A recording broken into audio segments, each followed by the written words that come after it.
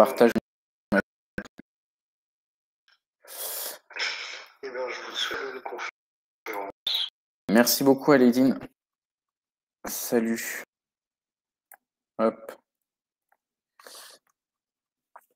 Allez, on va commencer dans quelques minutes. Julien, c'est bon, il est administrateur.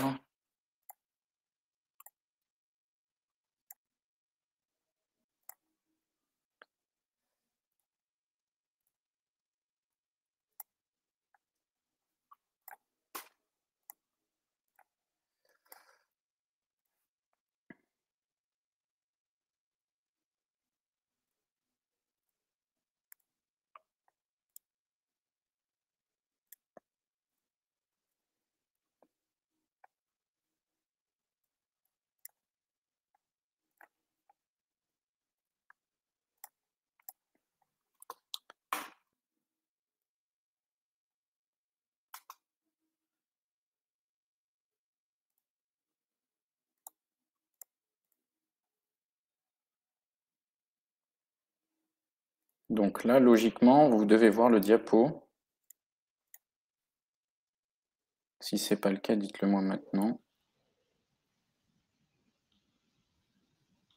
Je vois pas le diapo. Non, on n'a pas le diapo, non. Ok, alors attends, ça veut dire que ça, ça marche pas. Il faut donc, euh, comment est-ce que je peux le faire? Euh, Je vais tenter autre chose.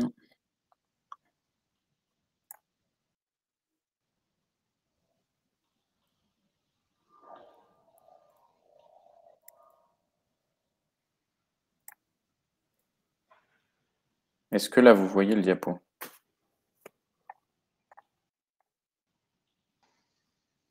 Ah, je sais, je ne l'avais pas activé. Ah.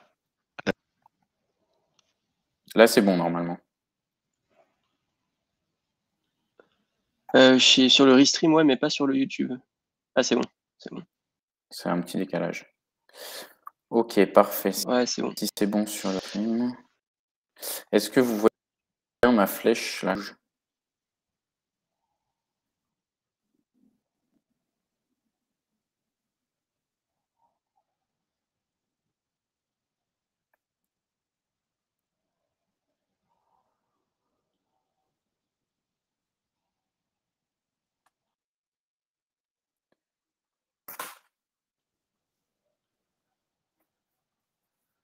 Oui, parfait.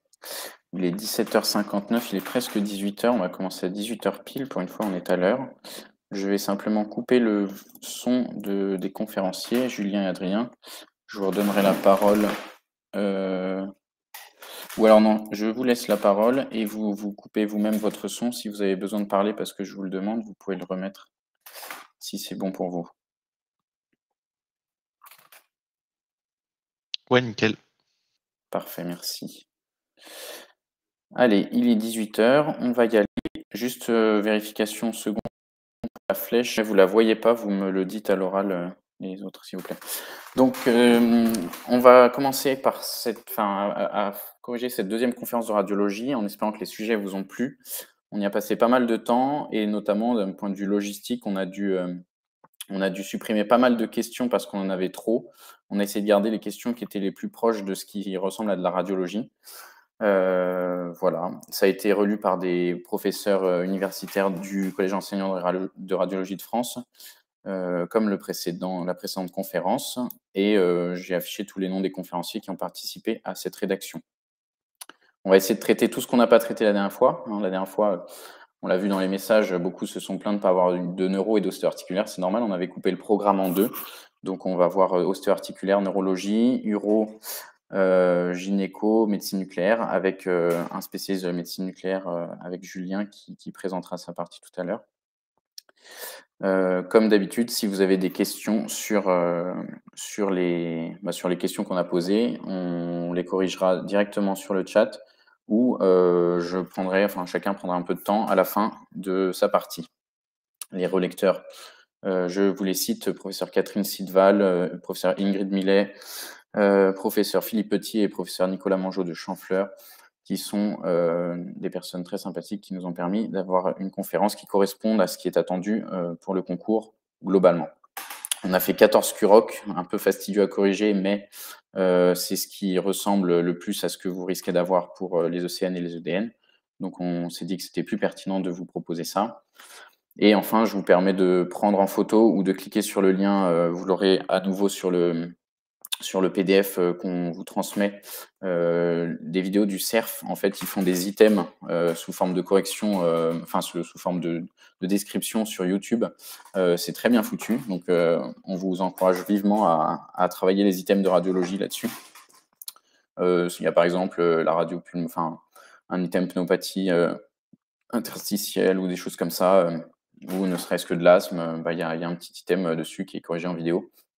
Et donc euh, voilà, ça c'est intéressant pour vous euh, de faire un petit tour, de jeter un petit coup d'œil là-dedans si vous vous sentez pas très à l'aise en radiologie ou si vous cherchez à aller plus loin. Le sommaire euh, de cette conférence, donc je vous ai déjà cité toutes ces matières. moi personnellement, Clément, donc je vais m'occuper de corriger la première partie, la cinquième et la sixième. La neurologie ORL, ce sera corrigé par Mehdi. La médecine nucléaire, ce sera corrigé par Julien et la pédiatrie, ce sera corrigé par Adrien. Allez, on y va pour la partie ostéo-articulaire. C'est parti. Donc, euh, on va essayer, comme la dernière fois, de passer assez vite sur les énoncés. Là, on essaye d'être euh, efficace. Sur cette curoc, on a regardé, il y a beaucoup de gens qui nous parlent de tophus goûteux. Il faut savoir que le tophus goûteux, c'est euh, une description clinique. Hein. c'est le fait de voir un, gros orteil, par exemple, euh, avec euh, des, bouts de cristaux du, du rate de sodium euh, qui sortent un petit peu de la peau. Donc là, il faut évidemment évoquer une goutte dans ce contexte-là. voilà. donc le tofu goûteux, j'ai mis 0,5 quand même, mais c'est pas pas hyper exact comme réponse. Euh, la question suivante, ça concernait une radiographie de hanche. Alors, les radiographies standards, c'est hyper important à connaître. Ah oui, je vous ai pas, excusez-moi, je, vous ai pas montré. Hein. c'est là-dessus qu'on voit qu'il y, a, de la goutte. Hein. Euh, sur l'articulation métatarso-phalangienne du premier rayon, euh, on voit là le métatarse ici, le, la, première phalange. on voit qu'il y a un, épaississement, euh, une opacification, une opacité pardon, euh, de l'articulation qui correspond en fait à des dépôts de cristaux. Euh, c'est typique de l'urate de sodium, surtout avec ce contexte d'hypertension artérielle, d'insuffisance rénale. c'est des patients qui, ont un petit peu ce, ce profil-là métabolique. Donc là, je passe à la question 2 sur la radiographie de bassin où on voit bien euh, une asymétrie euh, au niveau des articulations coxofémorales, avec notamment un pincement qui est plus important à gauche. Euh, je, rappelle, hein, pour les radiographies standards, on inverse la droite et la gauche. On voit pas grand-chose de particulier en plus. Il n'y a notamment pas de fracture. Hein. Évidemment, toute radiographie, notamment quand on s'intéresse aux os, on suit les corticales osseuses. Et on fait ça pour toutes les corticales osseuses. On voit qu'il n'y a pas du tout de fracture. En revanche, là, il y a un, un pincement de l'interline qui normalement est plus large en latéral, en externe que euh, en médial. Là, c'est à peu près le cas sur la, hanche de droite, mais ce n'est pas le cas à gauche. On voit qu'il y a un pincement euh, net euh, latéral et aussi un pincement médial. Donc les, éléments qui sont exacts là-dessus, voilà, on passe assez vite parce que je l'ai déjà décrit, il y a un pincement articulaire, les formations ostéophytiques. Qu'est-ce que c'est? C'est une excroissance en fait d'os qui vient, par exemple, ici, on le voit très bien, euh, comparativement à l'autre côté. Ça, c'est quand même très pratique, la radiographie euh, de bassin. Ça nous permet de comparer les côtés. On voit qu'il y a une petite forme qui correspond à, de la stimulation de, formation osseuse, de l'ostéo euh, qui se fait à cause des, des, contraintes mécaniques qui sont exercées sur l'articulation dans ce contexte d'arthrose. Voilà, donc le bourrelet au cotyloïdien, c'est ce qui est à la partie inférieure du cotyle euh, au niveau de la hanche. Des érosions osseuses, non, ça c'est un terme qui est plutôt euh, réservé à ce qui va être euh, des, arthrites ou des maladies inflammatoires des, articulations.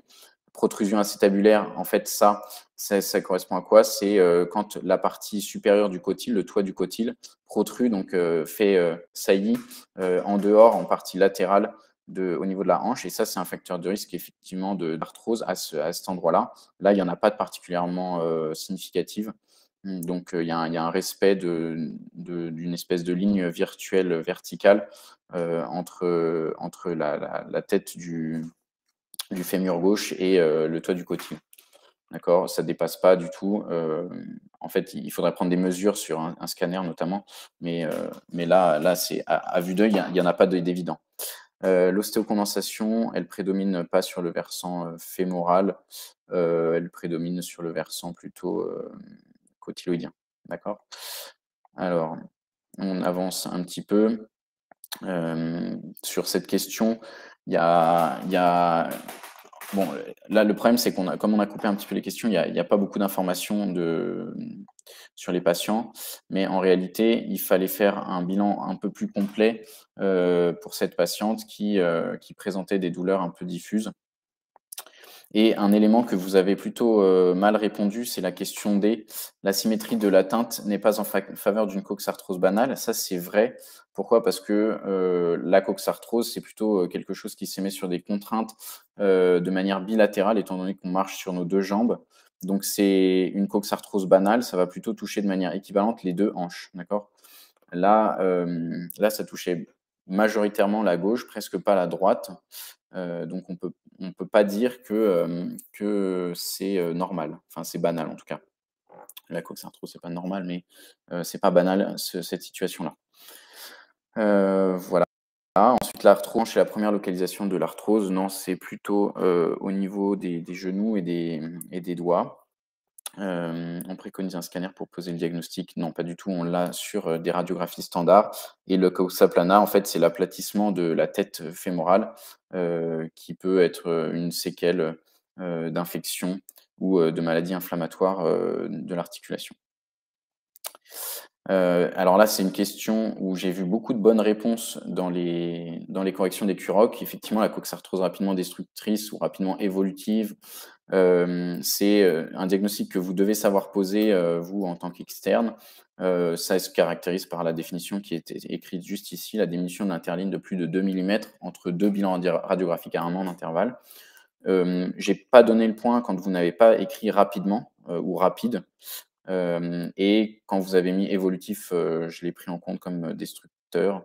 Donc voilà, j'ai aussi compté bon tout ce qui est coxite, quand vous avez parlé de, de parce que ce n'est pas le terme propre, mais ça fonctionne dans la mesure où ça reste une, certaine forme d'inflammation un petit peu rapide de la hanche. Mais bon, le terme propre, c'est la coxarthrose rapidement destructrice. Voilà, donc ensuite, on, vous mettait une radiographie, des radiographies qui sont réalisées pour la mesure de la densité osseuse, hein, c'est ce qu'on appelle une ostéodensitométrie. Euh, on voit que c'est une patiente qui a 65 ans et euh, elle est par rapport aux courbes normales un petit peu en dessous. Euh, ce qu'on va regarder principalement, c'est le Z-score et le T-score. D'accord? Ces scores-là, en fait, à quoi ils correspondent? C'est les scores de, densité osseuse par rapport à un référentiel. Le T-score, c'est comparé à des patients jeunes.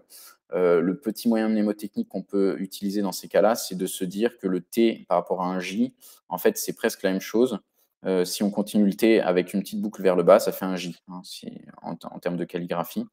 Donc, euh, vous pouvez retenir ça comme ça. T-score par rapport aux jeunes, parce que le T et le J se ressemblent un petit peu. Le Z-score, c'est comparé à la population du même âge.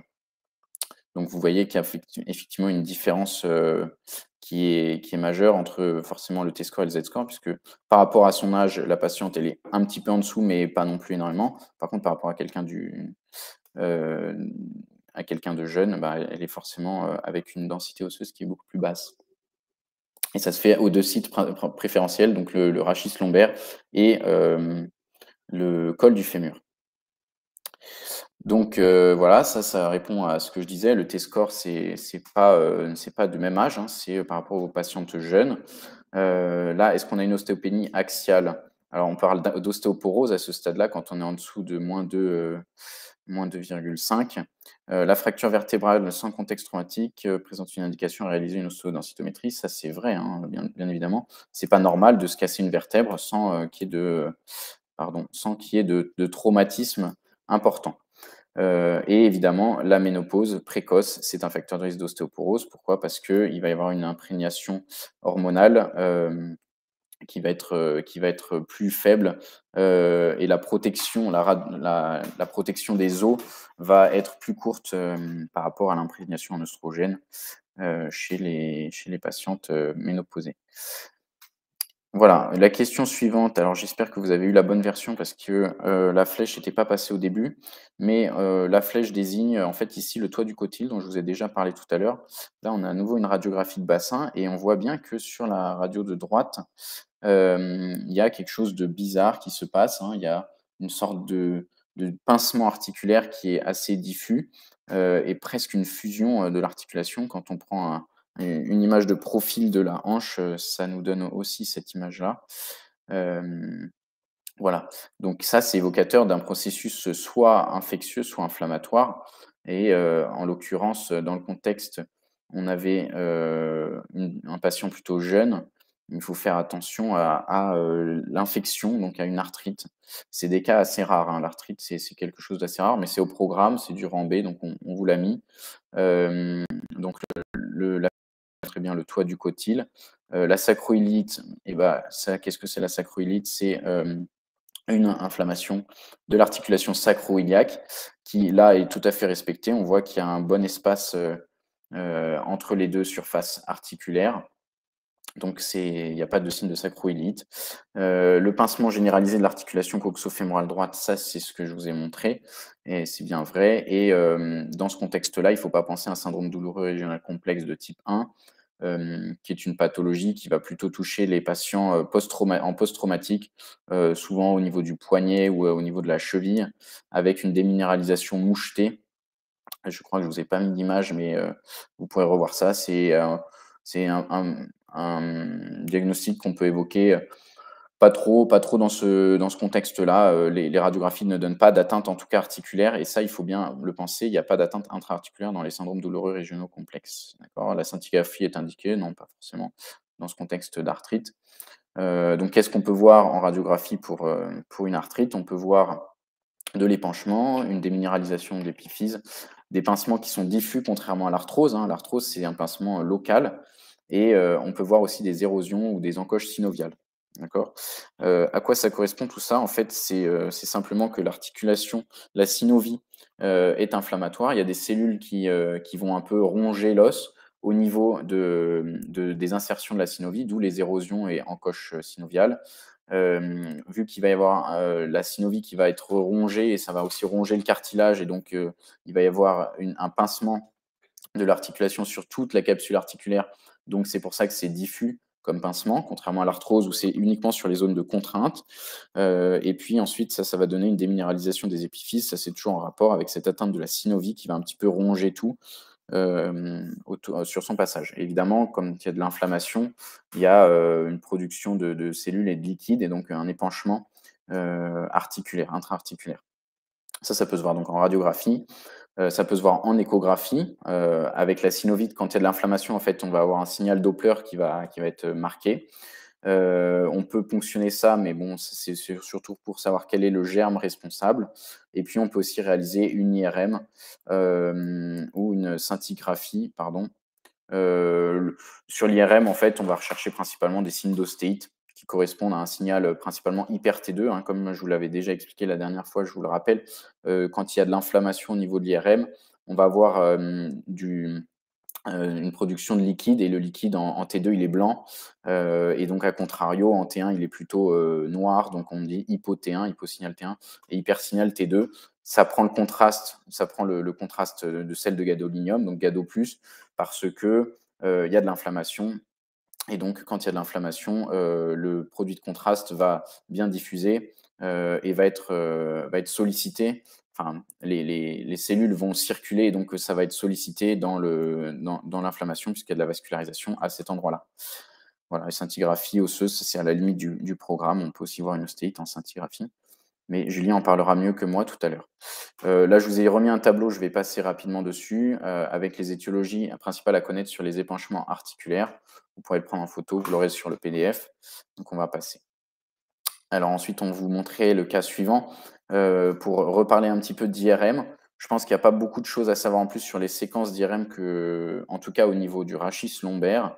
Donc là, je vous ai mis différentes séquences. L'idée, c'était de vous, entraîner euh, dessus à bien repérer quelles étaient quelles séquences. Donc comme je vous ai dit, le liquide, c'est blanc en T2. Donc on peut déjà éliminer que la A, c'est du T1. Donc ça, c'est faux. C'est bien du T2. Hein.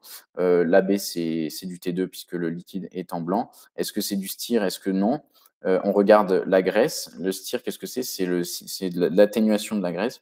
Donc on regarde la graisse, est-ce qu'elle est blanche ou est-ce qu'elle est noire? Si elle est noire, ça veut dire que ça a été atténué, euh, puisqu'en temps normal, elle est blanche. D'accord? Elle est blanche en T1 et en T2. Euh, et donc là, on a atténué son signal pour voir s'il y avait. En fait, c'est pour faire la différence entre ce qui est graisseux et ce qui est plutôt inflammatoire. Euh, et quand donc c'est graisseux, ça va disparaître. Quand c'est inflammatoire, ça va rester blanc euh, en stire. D'accord? Donc c'est plutôt euh, la B est plutôt vrai. la C, au contraire, on a donc le liquide céphalorachidien dans lequel se situe la moelle. enfin, plus il n'y a, plus de moelle à cet endroit-là, mais c'est les, racines nerveuses, la queue de cheval, etc. Le, donc le liquide autour de ça est noir, donc ça veut dire qu'on est dans un, signal T1. Euh, donc là, c'est fausse. Euh, et ensuite, la question, c'est de savoir est-ce qu'il y a une injection de produit de contraste ou pas? Et là, pour ça, on regarde euh, un élément qui est assez intéressant à regarder. C'est en fait au niveau du, du, pédicule vasculaire de chaque vertèbre, donc à peu près au milieu de chaque vertèbre, se trouve une artère, enfin il y a de la vascularisation, et donc, euh, ça va prendre le contraste quand il y a de l'injection de sel de gadolinium, excusez-moi.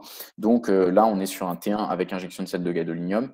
En fait, la E, euh, qu'est-ce que c'est? C'est quelque chose que, qui, je pense, à la limite du programme, mais je voulais vous le montrer. C'est une soustraction. C'est la différence entre le T1 avec injection et le T1 sans injection, ce qui permet de mettre en évidence les prises de contraste de gadolinium bah, qu'on voit au cours du temps. Et là, on voit bien qu'entre L4 et L5, les, deux dernières vertèbres lombaires, en T1, sans injection, c'est très noir, donc en hyposignal. Avec, après injection, ça se blanchit en quelque sorte.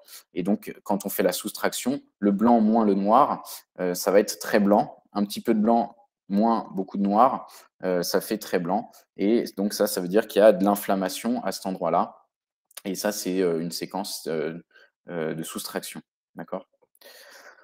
Alors ensuite, donc, je pense que pour les IRM, il n'y a pas beaucoup de choses à savoir en plus que ça. Donc là, on était dans un cadre de spondylarthrite, de spondylodicite même, de spondylodicite, puisque c'est autour du disque qu'il y a de l'inflammation et de l'infection. Après, ça c'est une question de cours. Hein. Le germe le plus fréquent, je ne vous fais pas l'affront de vous dire que c'est le staph doré. Ensuite, euh, voilà, on, a caractérisé ça, donc euh, c'est ce que je vous expliquais. Il y a de l'hyposignal T1, de l'hypersignal T2 et une prise de contraste. Ça, c'est ce, qui nous permet de définir euh, une ostéite. Et évidemment, quand on a une atteinte épidurale de la, de la, donc c'est enfin le, canal épidural, c'est autour des, de la dure mère et donc au niveau, au niveau médulaire et au niveau de de la, la, de la queue de cheval, pardon, euh, eh bien, si cette euh, zone-là est atteinte, il y a un risque de lésion nerveuse puisque les racines passent par là. et donc, il faut un avis neurochirurgical en urgence parce que parfois il y a besoin de faire des gestes de décompression pour enlever cette, infiltration épidurale. Ça peut bomber et ça peut comprimer des racines nerveuses et aller jusqu'au déficit moteur. Euh, et enfin, j'introduis un petit peu la médecine nucléaire dont on va parler plus tard. Le, TEP scanner ou la TEP tomodensitométrie euh, est complémentaire de l'IRM pour le diagnostic positif. Ça, c'est vrai. Je crois que vous n'êtes pas nombreux à l'avoir coché, euh, cet item. il faut savoir que ça aide pour un peu localiser toutes les zones où il y a, y a effectivement de l'inflammation. voilà. Je vais accélérer un petit peu. Les spondylodicites, bon, ça, c'est tout ce dont j'ai parlé. Il faut savoir que les signes radiographiques sont plus tardifs que l'IRM. Donc, ce qu'il faut, d'ailleurs, j'ai peu importe, euh, sont plus tardifs que l'IRM. Donc, ce qu'il faut, c'est quand on a un, doute sur une spondylodicite, quand on pense à la spondylodicite, il faut plutôt réaliser une IRM, surtout s'il y a des signes neurologiques, il faut le faire en urgence pour savoir s'il y a besoin de faire un geste de décompression. Mais euh, a posteriori, on peut réaliser des radiographies standards bon, en pratique, on ne fait pas trop de radio standard pour des spondylodicites. Et voilà, et le, le scanner qui est, réalisable aussi. Donc ça, c'est pour vous montrer un petit peu ce que ça donne en radiographie. Donc là, c'est deux, trois semaines après, hein, il n'y a pas de signe au début. le temps que, le temps que le, les, les, cellules réagissent suffisamment pour que ce soit visible en radio, c'est deux, trois semaines. voilà, en IRM, c'est ce qu'on a vu tout à l'heure. On va passer. Pour la suite, donc là, on a un contexte d'une patiente de 50 ans donc la cinquantaine, d'accord, des douleurs euh, des deux poignets, euh, des métacarpophalangiennes, des interphalangiennes proximales de tous les doigts. Donc là, à quoi on doit penser? Il faut penser évidemment à euh, la polyarthrite rhumatoïde. c'est le, cas typique hein, de la patiente de 50 ans, ménopausique ou post-ménopausique, qui a ces douleurs un peu diffuses. C'est une maladie inflammatoire. Et dans ce contexte-là, il y a un certain nombre d'examens à réaliser question qui a été assez mal euh, réussie, c'est l'item D, la radiographie du, bassin. Il faut quand même penser à le faire. Ça fait partie du bilan systématique à réaliser euh, dans les polyarthrites rhumatoïdes. Euh, j'ai vérifié ça dans le collège, hein, donc je ne m'avance pas tout seul, pour rechercher une coxite rhumatoïde. D'accord? On, peut aussi être amené à faire une radiographie cervicale, mais ça, pour le coup, c'est pas systématique. C'est uniquement si euh, il y a des, risques, enfin des suspicions, une suspicion de euh, diastasie C1-C2 par euh, atteinte du ligament transverse. En fait, donc la polyarthrite rhumatoïde, c'est une inflammation de la, synovie autour, de, autour de des articulations et notamment ça peut attaquer la synovie et le ligament transverse au niveau du cou qui pourrait entraîner un diastasie C1-C2 en cas de, de rupture. D'accord? Euh, les, coups de vent ulnaires, les encoches, euh, les érosions, tout ça, on en reparlera un petit peu plus tard. Mais le coup de vent ulnaire, ça c'est quelque chose qu'on voit de moins en moins puisque c'est quand il y a une polyarthrite vraiment très euh, évoluée. Et ça, c'est des cas d'école qu'on voit plus trop de, nos jours. important de faire les clichés de trois quarts pour les pieds, puisque l'atteinte préférentiellement au niveau des métatarso-phalangiennes des quatrième et cinquième rayons, qu'on voit beaucoup mieux sur une radiographie de trois quarts, parce que si on est sur une radiographie de face stricte, euh, ou de profil, en fait, c'est un peu masqué par les autres articulations puisque le pied est un petit peu voûté. Donc on fait un trois quarts pour corriger ça. Et la radiographie de thorax à réaliser pour les nodules rhumatoïdes, qui sont des espèces d'opacité. Euh, c'est un tumeur hein, d'ailleurs, mais euh, dans un contexte de polyarthrite rhumatoïde, il faut penser aux nodules rhumatoïdes. Là, une question majeure, c'est du B. Hein. Ça, j'ai vérifié, c'est très important. Euh, j'ai plutôt vu des bonnes réponses dans les QROC. C'est très important de savoir que l'élément majeur à regarder en radio, c'est les érosions osseuses. Euh, j'ai accepté à, 0,5 euh, quand vous mettiez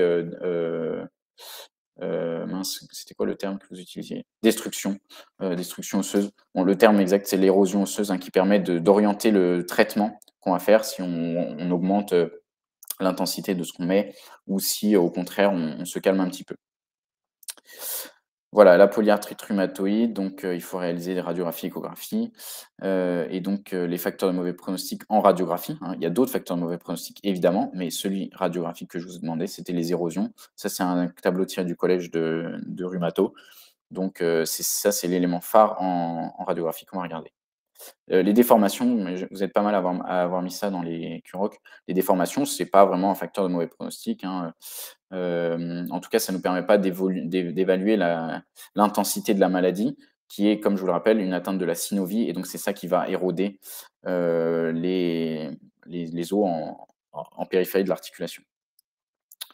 un tableau que je ne vais pas détailler là, mais ça peut vous aider si vous avez envie de vous faire une petite fiche récap pour savoir quelles vont être les différentes atteintes en fonction des différentes pathologies qu'on a évoquées tout à l'heure. voilà, je vais passer parce qu'on n'a pas énormément de temps, mais vous aurez le diapo. Alors ensuite, une radiographie qui n'est pas hyper belle parce que en fait, j'ai dû fenêtrer au maximum pour que ce soit bien visible, parce que quand on a du matériel prothétique, forcément, ça fait des artefacts. Et en l'occurrence, c'était une prothèse totale de hanche, mais qui n'est pas totalement à sa place. Hein. Comme vous pouvez le voir, la partie coltyloïdienne, elle est sortie de, bah, de, là où elle devrait être, hein, tout simplement. là, on voit bien que la tête fémorale est toujours en place, mais il y a un, petit espace qui est anormal entre l'os et la prothèse, la partie prothétique. Donc ça, c'était pour vous introduire à cette question qui est aussi dans le collège, qui a aussi posé pas mal de questions, pour savoir quelles sont les trois principales complications des prothèses articulaires. Il faut savoir qu'il y a une différence entre les principales complications des prothèses articulaires et du matériel d'ostéosynthèse. Donc, c'est pour ça que la B, vous allez voir, elle est fausse. Euh, ça ne fait pas partie des trois principales complications, même si c'en est une. Euh, les trois principales complications à retenir, c'est la fracture, la luxation et le décèlement. C'est c'est des, choses qui sont notées stricto sensu dans le collège, donc je me suis dit que ça pouvait tomber euh, comme ça, donc je voulais vous interroger là-dessus. Euh, L'infection, euh, c'est vraiment ce qui vous a posé problème. La fracture, faut y penser un peu plus. Hein. Quasiment personne ne l'a mis. Euh, voilà. Donc l'infection, c'est plutôt pour les ostéosynthèses. Euh.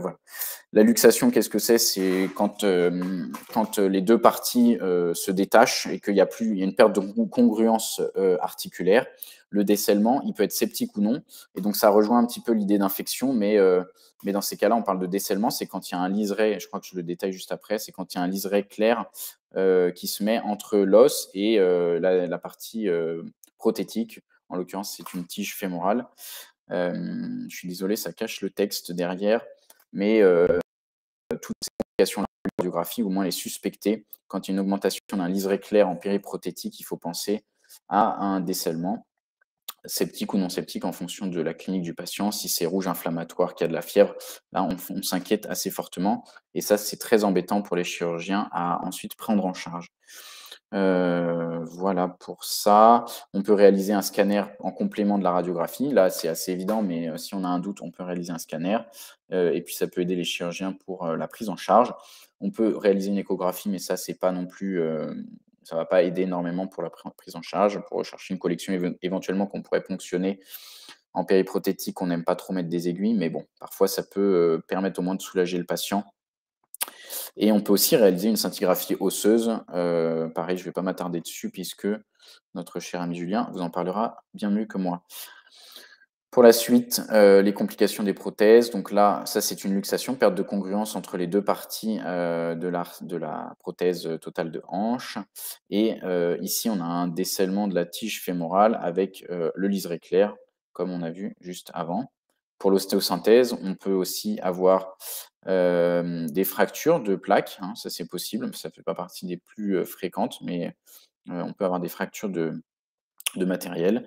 Et, là, on a un clou gamma qui n'est pas compliqué. Le clou gamma, c'est vis, enfin, c'est une espèce de grande tige et on met une vis à l'intérieur. ça, c'est pour certaines fractures du, col ou pertes. Euh, voilà, pseudarthrose. Euh, voilà, pseudarthrose, en fait, qu'est-ce que c'est? C'est un retard de consolidation osseuse. On voit que là, il n'y a pas de consolidation osseuse euh, qui est deux fois supérieur au temps normal de consolidation de l'os en question. Une question suivante qui va nous... Ah bah c'est malin ça. J'ai oublié d'enlever cette diapo, je suis désolé. On va y revenir après. Donc là, la question suivante, ça c'est un, un, polytraumatisé avec une imagerie euh, cervicale qui montre des fractures et avec un recul du mur postérieur. Donc ça, c'est hyper dangereux. Ça, ça peut complètement léser la moelle et donc euh, entraîner des paraplégies, tétraplégies, tout ce que vous voulez. Euh, donc là, il faut, il faut avoir un, une chirurgie en urgence dans ces cas-là. Et donc, dans ce cas-là, il faut absolument immobiliser pour pas qu'il y ait de mouvement et qu'il y ait un risque que l'os se déplace en arrière et qu'il lèse la moelle. Euh, L'épaississement des parties molles, ça c'est quelque chose à, bien repérer. Euh, théoriquement, c'est plus fin en avant là, et puis après ça grossit un petit peu, mais là c'est augmenter cet espace-là, hop, hop, hop, hop, hop, hop, hop, tout ça là, c'est anormal. Donc on parle d'épaississement des parties molles prévertébrales. Euh, évidemment, il faut prendre un avis en chirurgie en urgence et le pronostic. Il y a à la fois une atteinte médulaire, à la fois une atteinte vasculaire. Est-ce qu'il y avait une autre question qui posait problème? Donc la charnière cervico-occipitale, qu'est-ce que c'est? Rappel d'anatomie, c'est entre l'occiput, euh, qui est cette partie-là, l'os, où se trouvent d'ailleurs euh, les amygdales cérébelleuses, un peu plus euh, au-dessus. Là, on est en fenêtre osseuse, donc on ne voit pas très bien. Et entre le C1 et le C2, l'odontoïde. Donc, en fait, c'est cette charnière-là, la charnière cervico-occipitale, qui semble tout à fait respectée dans ce cas-là. Là, on est plutôt sur une atteinte de C4, C5 euh, pour ce patient. Vous n'avez pas trop à connaître les, types de fractures euh, cervicales, euh, tout ce qui est euh, teardrop, tout ce qui est my girl ou je sais pas quoi. Donc on a passé, c'est plutôt du, rancé, donc on, on, vous en fait grâce aujourd'hui. Le petit rappel pour savoir la prise en charge du polytraumatisé, pareil, je vais passer, ça c'est de la clinique, on se concentre sur la radio aujourd'hui. Donc, l'espace, euh, ce que je vous disais, les parties molles prévertébrales, euh, en temps normal, à la partie supérieure du, rachis cervical, c'est très fin, c'est inférieur à 5, 5 mm, et ensuite ça augmente. Les chiffres ne sont pas à connaître, hein, d'accord? Mais il faut se dire que en haut du rachis, là en avant, en avant des vertèbres. Euh, ça doit être très fin. Ensuite, ça peut un petit peu augmenter vers le bas, mais pas énormément non plus, d'accord? Mais là, c'est surtout qu'ici, c'est trop, trop euh, large, trop, épais, trop profond. Et donc, s'il y a un risque avec cet épaississement, tout ça, ça peut pousser si on fait un mouvement euh, un peu trop contrarié en, hyperlordose ou en hypersyphose, ça peut ensuite faire déplacer la vertèbre et donc avec un risque d'atteinte médulaire et les artères vertébrales qui cheminent, je vous le rappelle, dans les foramen transverses là, sur les côtés. Euh, là, j'ai un peu du mal à vous montrer parce qu'il faudrait une coupe transversale de scanner pour vous montrer ça, mais euh, ça chemine dans des petits canaux sur les côtés des, des vertèbres. D'accord?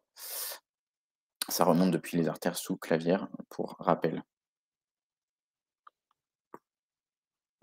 une nouvelle radiographie de bassin euh, qui nous permet d'introduire un chapitre assez apprécié, je pense, des, rédacteurs euh, de dossiers de CN, qui est la fracture de l'extrémité supérieure du fémur. Euh, et là, j'ai vu aussi dans, vos réponses que vous étiez quand même assez incertain sur le diagnostic qui ne mérite pas d'être incertain. Là, c'est vraiment euh, typique. Euh, en suivant bien la corticale osseuse, comme je vous l'ai dit, donc là, on voit qu'il n'y a pas de fracture des branches iliopubiennes ni ischiopubiennes, que ce soit à gauche ou à droite. Euh, à droite, la, même si on n'est pas vraiment dans le plan, on arrive à bien suivre les corticales osseuses. Il ne semble pas y avoir de fracture du col, ni de la diaphyse proximale, ni euh, pertrocantérienne. Ensuite, le, la fémorale le rond, il est OK. Euh, la sphéricité de la tête est respectée. Le col, euh, il est respecté en bas, il est respecté en haut. Et là, paf, après le col, qu'est-ce que c'est? C'est euh, le, massif trochantérien. Et là, on voit qu'il y a clairement une fracture, il y a une perte de la continuité osseuse qu'on retrouve avec le fragment distal hein, du fémur on voit l'autre partie. Donc en fait, euh, l'os, il était comme ça et il s'est euh, cassé à cet endroit-là et la tête s'est un petit peu horizontalisée. Et donc ça, c'est une fracture pertrocantérienne. Quand on a ça, forcément, vu que la, tête s'horizontalise, le fémur remonte un petit peu. Pourquoi? Parce que l'iliopsoas qui s'insère sur le petit trochanter que je vous pointe avec ma flèche tire vers le haut. Donc, si ça tire vers le haut, ça rapproche le fémur. En temps normal, il y a de l'os qui maintient, donc ça ne le rapproche pas tant. Mais là, vu qu'il n'y a plus de lien osseux, euh, ça rapproche le fémur vers le haut et ça le tire un petit peu en rotation interne. Il y a aussi des, muscles rotateurs internes euh, de hanches qui se contractent, qui, tirent sur les trochantères sur lesquels ils s'insèrent. Et donc, ça entraîne une position entre guillemets vicieuse euh, en raccourcissement et rotation interne. Donc là, on est bien sur une fracture pertrocantérienne. La fracture fémorale de Garden 4, c'est une fracture du col fémoral, hein. euh, donc une partie un peu plus proximale que le, les massifs trochantériens. Euh, les fractures Garden 1 et 2 sont des fractures engrenées, ça c'est du court, euh, c'est-à-dire que les fractures, même s'il y a y a un trait de fracture, en fait ça se rapproche, les, deux, fragments se rapprochent l'un entre et l'autre, c'est ce qu'on appelle une fracture engrenée. Euh, bon, ça, c'est du cours, la mortalité post-opératoire. Euh, et le, la plupart des fractures du col bah non, sont plutôt traitées euh, par, par un traitement prothétique, hein, puisque c'est souvent des patients âgés. et que le col, le, le clou gamma, c'est plutôt chez les patients plutôt pour des pertes trochanteriennes, d'accord. Les fractures du col, c'est plutôt des, des, prothèses, ok? Clou gamma, après, ça, c'est vraiment, je pense que c'est dur programme les, les traitements, donc euh, retenez pas. Euh, une autre radiographie qui est intéressante avec un poignet, un poignet qui nous permet de voir le radius de profil, le radius qui est là, l'ulna qui est ici. Euh, donc le radius, je rappelle, qui est plutôt latéral, l'ulna qui est plutôt médial. Donc on est face à un poignet plutôt droit. Euh, euh, et qu'est-ce qu'on voit? En fait, on voit qu'il y a une, pareil, une rupture de la corticale de osseuse, ici à l'extrémité inférieure du radius, avec une atteinte aussi de la styloïde ulnaire, hein, cette partie-là. Euh, je vous rappelle rapidement les os du carpe. Allez, scaphoïde, lunatum, triquetrum, pisiforme, la petite bille là, trapèze, trapézoïde, capitatum, le grand os, amatum, de l'amatome qu'on voit en transparence ici. Donc ça, des os par cœur. Ensuite, on a les, métacarpes, évidemment. Bref, tout ça pour vous dire qu'il y a une fracture de l'extrémité inférieure du radius, avec un déplacement qui est, on dit, antérieur. Comment on le sait, ça? Euh, le déplacement antérieur, on le voit par rapport à la colonne du pouce qu'on arrive à repérer ici, évidemment, qui est plus antérieur que le reste des doigts. Donc, par rapport à la colonne du pouce, distal, est-ce qu'il se déplace vers le pouce ou à l'opposé du pouce. Là, en l'occurrence, il se déplace vers le pouce. On parle donc de déplacement antérieur. On, se réfère toujours à la partie proximale. Donc, par rapport à la partie proximale, est-ce que le fragment distal est antérieur ou postérieur? Il est antérieur. Donc, on parle de déplacement antérieur, fracture des symétries inférieure euh, du radius. Ah, pardon, je viens de voir un message. Euh, je dois décaler les têtes. Ah oui, c'est mieux comme ça, je pense. Excusez-moi. Euh, donc euh, là, on a un déplacement euh, antérieur, c'est ce qu'on appelle une fracture bah, avec le, terme propre de Goerens-Smith. voilà. Et l'index radio-ulnaire, qu'est-ce que c'est? C'est l'index entre une ligne horizontale qui passe par le radius et une ligne horizontale qui passe par la surface articulaire ulnaire. Hum, donc voilà. Et de savoir s'il est positif, inversé, c'est de savoir si il est, enfin, s'il y a une différence positive ici, parce que parfois, en fait, le l'ulna va remonter, enfin, le radius va descendre suffisamment pour descendre en dessous de l'ulna. donc, dans ce cas-là, il est négatif. Excusez-moi, je vais dans le mauvais sens. Forcément, quand on a un déplacement comme ça, avec un déplacement antérieur, on parle de déformation en ventre de fourchette. D'accord? Bon, c'est des termes cliniques à connaître. Le dos de fourchette, c'est plutôt quand il y a un déplacement postérieur, justement. Euh, l'absence de consolidation à 4 mois est appelée pseudarthrose. Je vous ai évoqué la pseudarthrose tout à l'heure. Donc là, en fait, euh, il faut savoir que c'est deux fois le temps normal. Le temps normal de consolidation, euh, c'est plutôt, c'est plutôt 6 mois. Donc, c'est plutôt une absence de consolidation à, à 6 mois qui, qui s'appelle la pseudarthrose. Euh, les douleurs de flexion, avec flexion du poignet, hyperextension MCP, ce n'est le côté d'un syndrome des loges. Oui, ça c'est euh, la caractéristique du syndrome des loges. En fait, tout est comprimé au niveau du poignet et donc dès qu'on va bouger un peu trop notre poignet, euh, ça va nous faire hyper mal. Il y a une pression hyper importante dedans. Allez, plus que quelques questions en ostéo-articulaire. J'espère que c'est plus que quelques questions. et c'est là où je vous reviens, je, suis désolé pour la mise en page je reviens à cette question-là, à version de 22 ans qui euh, a euh, une, chute en ski. Et qu'est-ce qu'on voit sur cette radiographie de genou, de face du genou euh, plutôt gauche? C'est qu'il y a une petite fracture latérale au niveau, de, au niveau du, tibia qui nous fait évoquer fortement une fracture de second. C'est un terme, un propre lieu d'insertion euh, croisé antérieur. En fait, c'est une lésion secondaire, enfin, euh, qui, doit faire penser à une lésion du croisé, mais ce n'est pas euh, le croisé lui-même qui s'insère ici. Il hein, faut faire attention. Et donc, parfois, on peut avoir des fractures de seconde qui sont associées sans, lésion du croisé antérieur. mais souvent, quand on en a une, c'est qu'il y a une lésion du croisé. Donc, ce que je voulais vous dire par là, c'est que, excusez-moi, hop, c'est que euh, on ne peut pas affirmer le diagnostic de rupture du ligament croisé antérieur sur euh, cette simple fracture de second. D'accord? L'épanchement articulaire, je crois que je vous le remonte là, c'est parfait. C'est euh, le comblement de l'espace vide qui est pré-fémoral, d'accord, sous-patellaire là. Normalement, ici, même au-dessus d'ailleurs, c'est de la graisse. La graisse, c'est peu dense, donc c'est plutôt noir. Là, c'est plus, c'est trop blanc.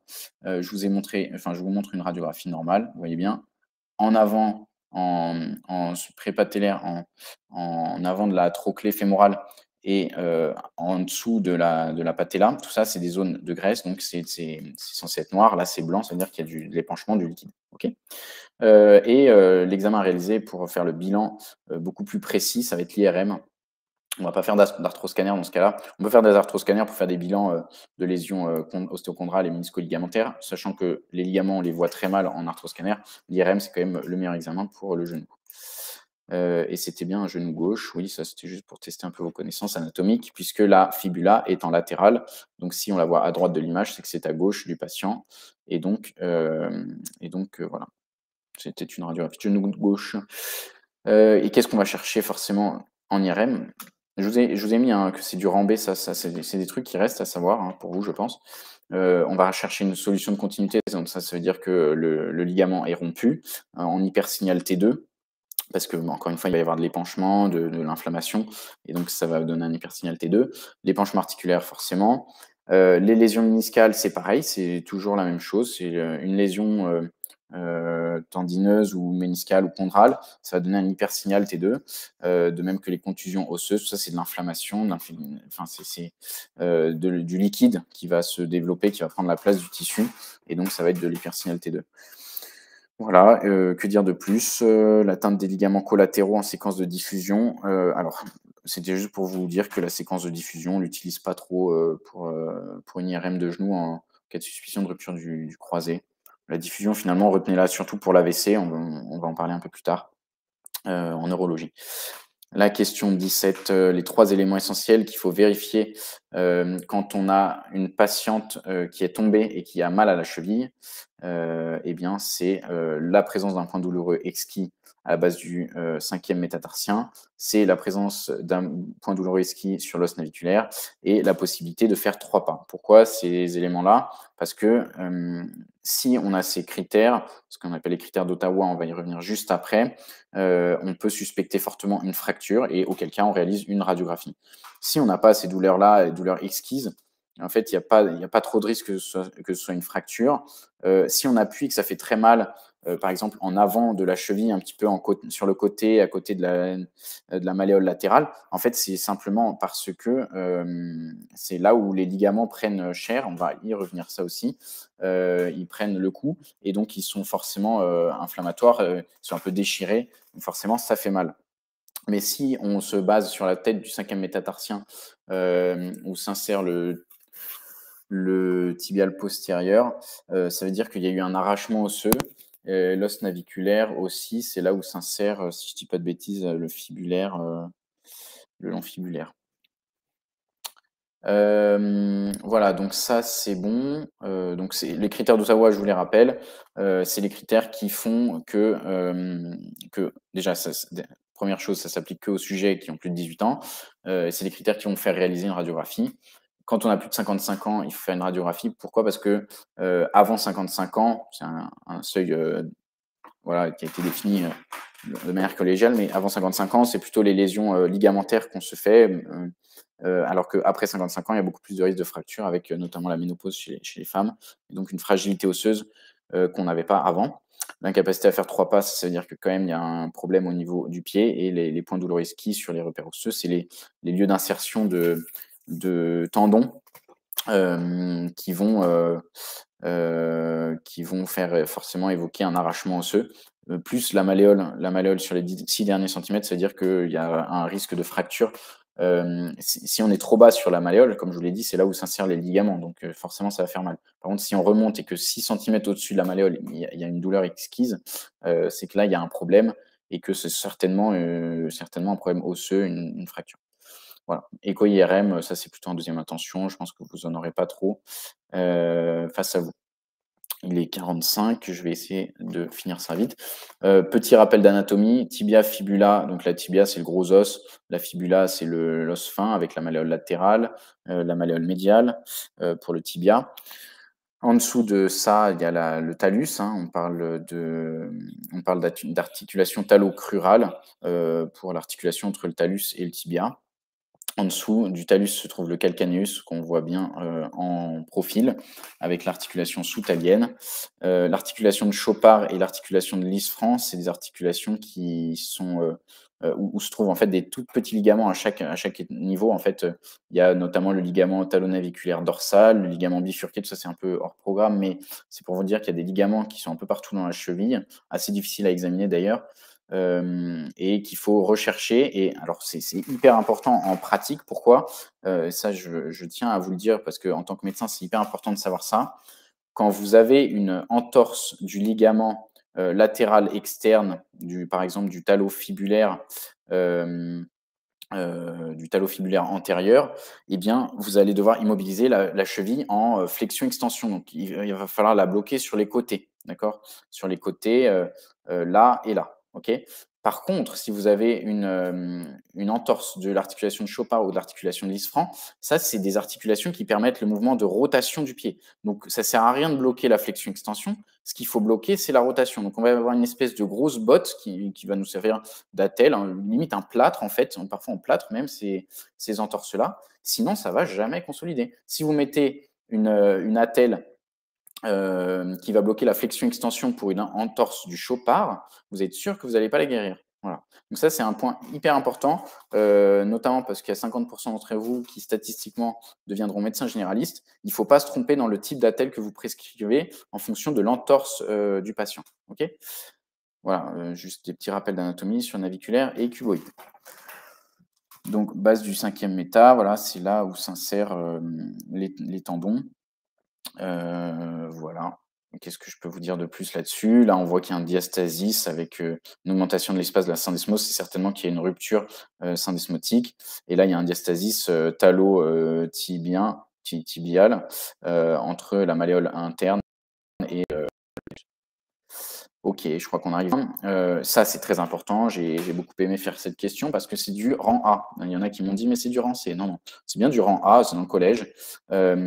Euh, quel est le premier faisceau qui va être touché dans une entorse du ligament collatéral latéral? Eh bien, c'est le, faisceau antérieur, euh, qu'on appelle aussi ligament talofibulaire antérieur.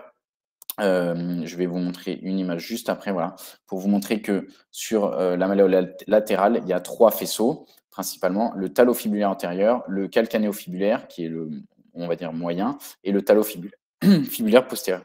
Il se, blesse en fait tout simplement chronologiquement antérieur, puis euh, calcanéofibulaire, puis euh, talofibulaire postérieur. Donc, euh, quand on va regarder pour les entorses, ce qu'on regarde en échographie notamment, c'est principalement le talofibulaire antérieur. On les regarde tous hein, évidemment, mais le talofibulaire antérieur qui est très souvent atteint.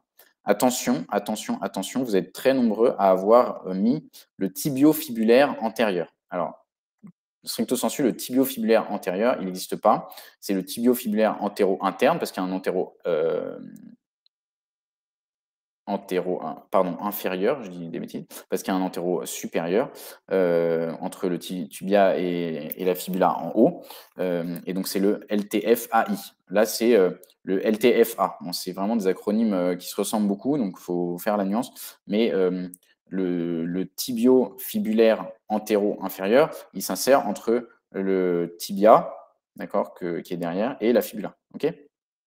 Euh, au, au niveau médial, entorse beaucoup plus rare, euh, c'est le ligament qu'on dit deltoïde, avec différents faisceaux, faisceau tibionaviculaire, tibiotalaire antérieur, euh, qui est un peu plus profond là-bas, tibiocalcanéen, tibiotalaire postérieur. Bon, ça c'est un peu moins à connaître. C'est vraiment sur le- l'externe qu'il faut bien avoir des connaissances parce que c'est celui qui va être atteint dans 90% des cas. Allez, on est presque à la fin de l'ostéo-articulaire. Euh, là, vous avez une radiographie de cheville. Euh, vous avez été très nombreux à me donner des diagnostics euh, hyper précis, fracture du puits-train, etc. Moi, ce que j'attendais, c'était surtout une fracture bimalléolaire de la cheville gauche. Ceux qui m'ont fait des fractures de la cheville droite, il faut bien faire attention à ce que vous regardez. Pourquoi? Parce que le tibia, comme je l'ai dit, il est en interne et la fibula, elle est en externe. On regarde le patient de face.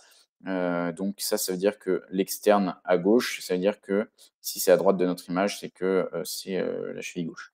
Bon, ça, je vous laisserai réfléchir vous-même. On voit bien qu'il y a une fracture à la fois de la malléole interne et de la malléole externe. Donc oui, c'est un mécanisme en éversion, en abduction, comme vous voulez. Il y en a qui me l'ont précisé, très bien, je mets le point. L'important, c'était de dire que c'était bimalléolaire et pas uniquement de la malléole externe ou de la malléole interne. J'ai eu beaucoup de fractures de la malléole externe seule, alors que non, il y a, hum, il y a une atteinte des deux. transsyndesmotique, euh, suprasyndesmotique, sous-syndesmotique, ça franchement c'est hors programme pour vous. Donc euh, retenez que dans le, collège, ce qui est demandé, c'est savoir diagnostiquer une fracture euh, bimalléolaire, fracture de la cheville. donc voilà, est-ce que vous savez le diagnostiquer? Oui. Est-ce que vous avez besoin de connaître les détails? Non, vous n'avez pas besoin de connaître toutes les classifications. Il y en a un qui m'a mis quoi? Ou la classification de Web, je crois. Ça, c'est pas du tout à connaître pour vous.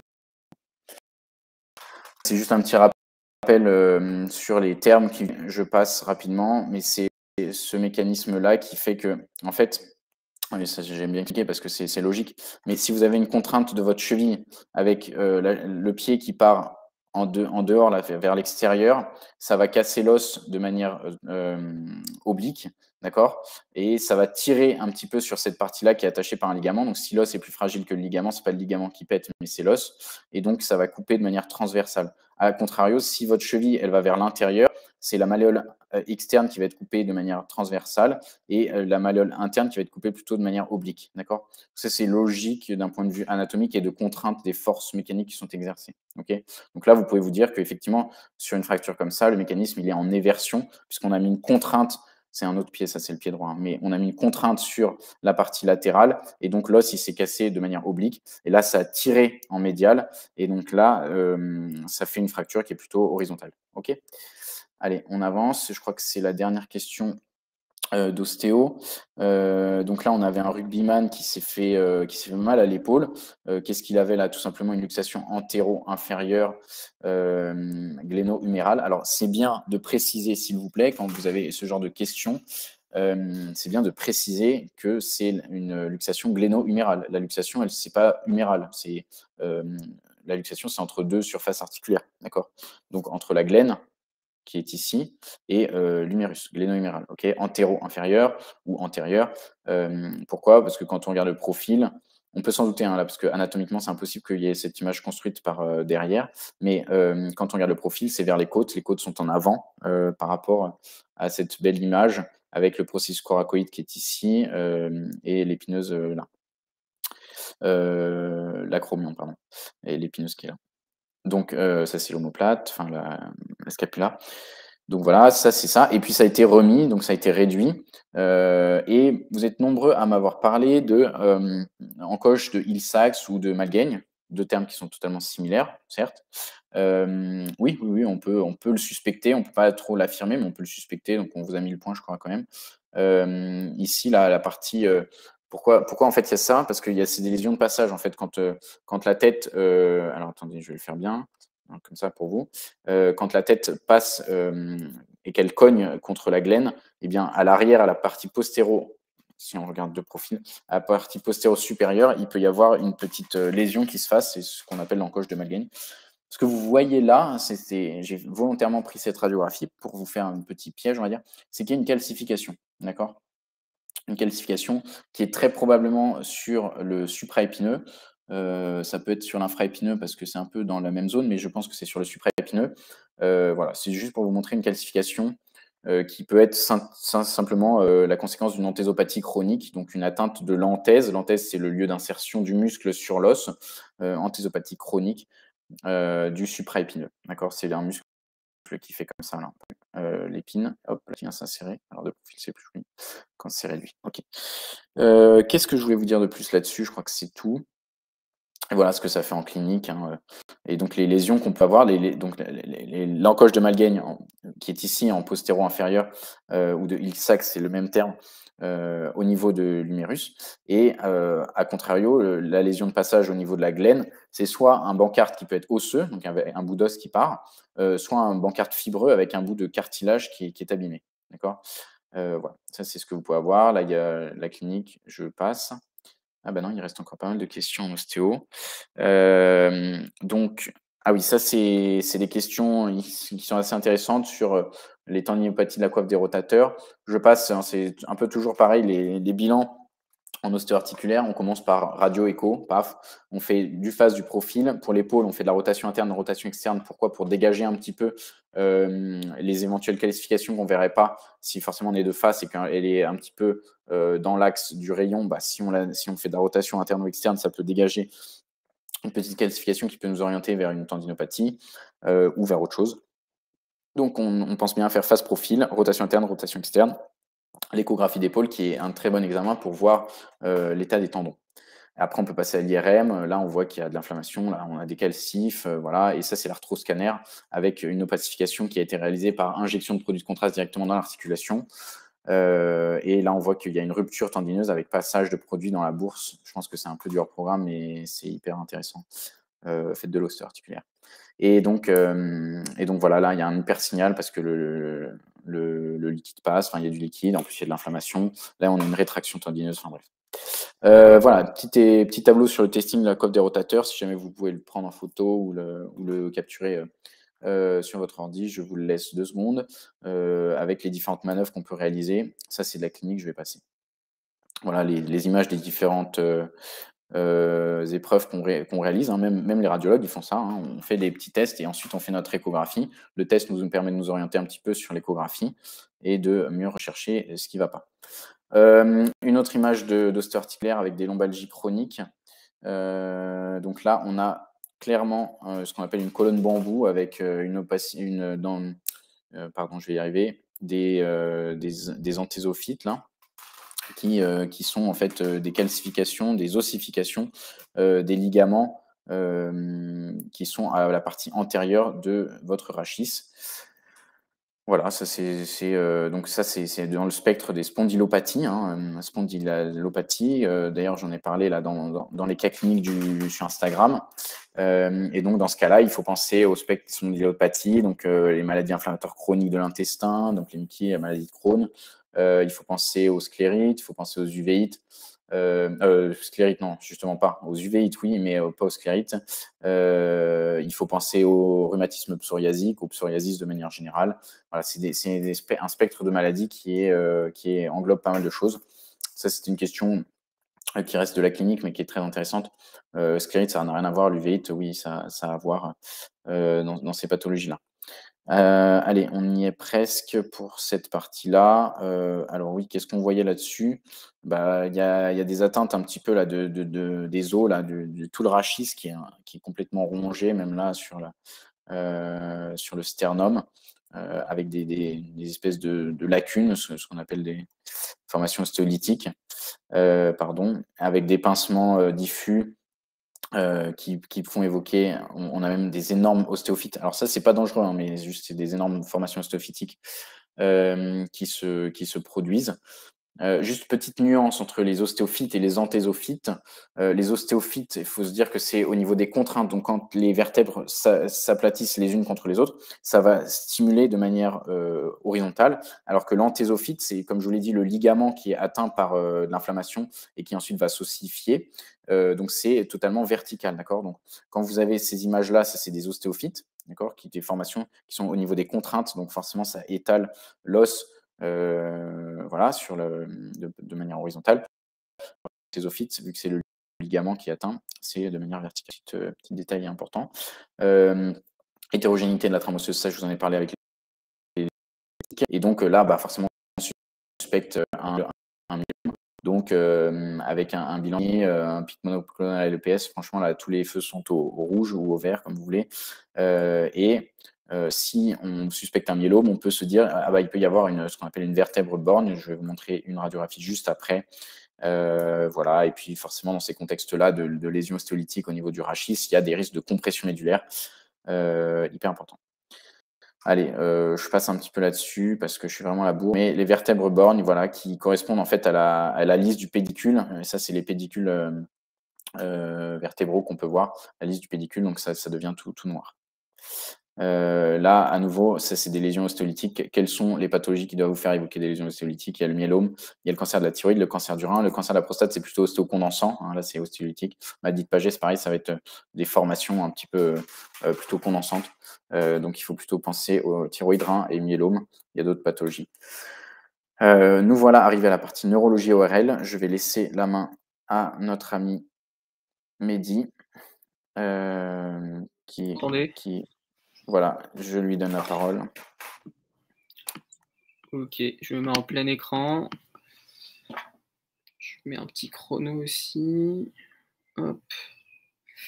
Ok, bah on va commencer. On a un peu moins d'une heure pour tout balayer, donc ça va pas être évident, mais je préfère que à la limite, même si on termine pas, euh, au moins qu'on fasse bien les questions euh, qu'on va traiter, et puis euh, et puis on verra. Donc, bon, on va on va commencer par le DP avec l'hémorragie méningée du coup.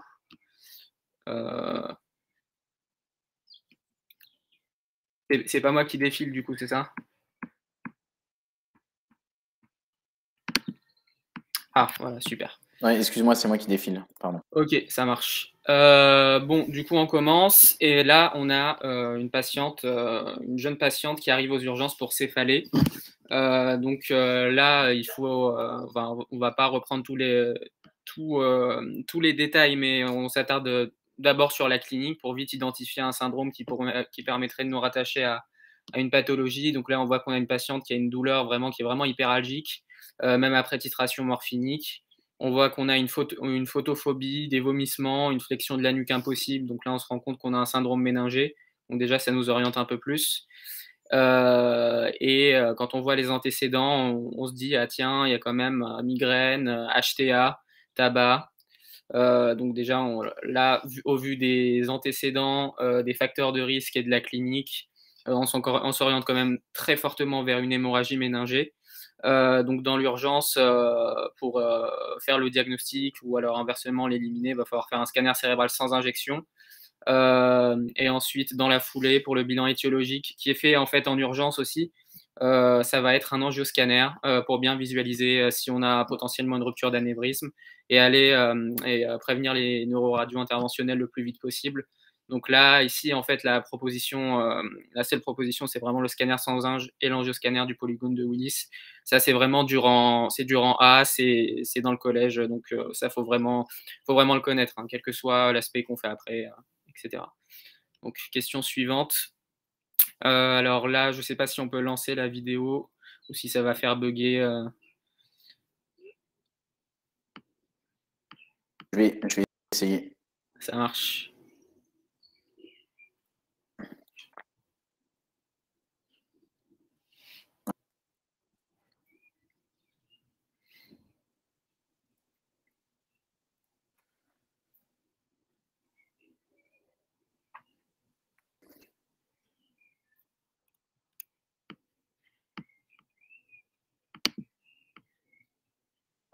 Faire les euh, ouais. Bah, alors moi, elle s'affiche plus à l'écran, donc je vais les prendre sur mon ordi. Attends. Ouais, ça bug, ça bug, c'est. Ah.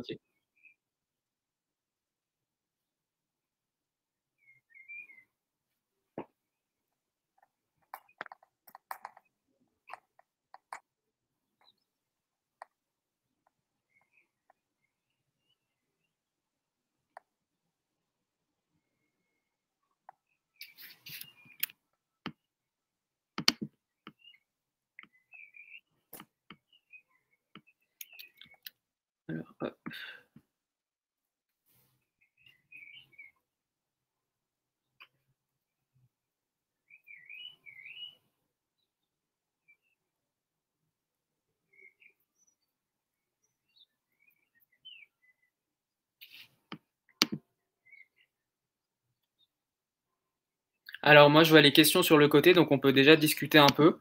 Euh, alors là, j'avais retenu scanner. Alors Alexandre qui dit j'avais retenu scanner cérébral sans, sans en première intention. Euh, alors oui, c'est vrai euh, que en fait c'est vraiment l'examen qu'on fait en premier, oui. mais en fait, dans la, déjà en pratique, on enchaîne tout de suite avec l'angioscanner parce que c'est pas seulement le bilan étiologique, mais euh, c'est aussi le traitement en urgence. Il euh, faut qu'on fasse un bilan anatomique parce que souvent, euh, bah, on va devoir coller tout de suite l'anévrisme. donc, il faut l'angioscan tout de suite. Et dans le collège, en tout cas dans le nouveau collège, il y a bien précisé qu'on fait bien en urgence et de manière indispensable scanner sans inge et angioscanner. mais on va dire que techniquement, l'examen qu'on va faire là tout de suite, oui, en premier, ça va être le scanner sans inge, euh, mais là, c'est un cas particulier, on ne peut pas vraiment dissocier l'examen qui fait le bilan étiologique de celui qui fait le diagnostic. Euh, bon, on va. Si on n'arrive pas à lancer la vidéo, bon, c'est pas très grave de toute façon. Euh, de toute façon, ce qu'il fallait voir, c'est qu'on avait vraiment des hyperdensités au niveau des vallées sylviennes, au niveau de la base du crâne et au niveau des citernes prémésencéphaliques. Donc voilà, des hyperdensités en aigu comme ça sur le scan, ça fait quand même surtout vu le contexte clinique, euh, on attendait seulement une confirmation de notre HSA. Euh, donc euh, on va, on va aller dans ce sens-là sur, sur, les items. c'est bien un scanner sans injection parce que quand on défile, vous voyez bien que, enfin, c'est compliqué de dire sans défiler, mais là, les, vaisseaux ne sont pas rehaussés. Il n'y a pas de, rehaussement des muqueuses et des sinus. Donc là, on est vraiment sur le scanner sans inge. De toute façon, on s'en doute un peu parce que euh, là, en premier, on va quand même, ça nous avantage un peu plus de vous montrer des images du scanner sans inge pour faire le diagnostic. Il n'y a pas de signe de trop belle artère sylvienne.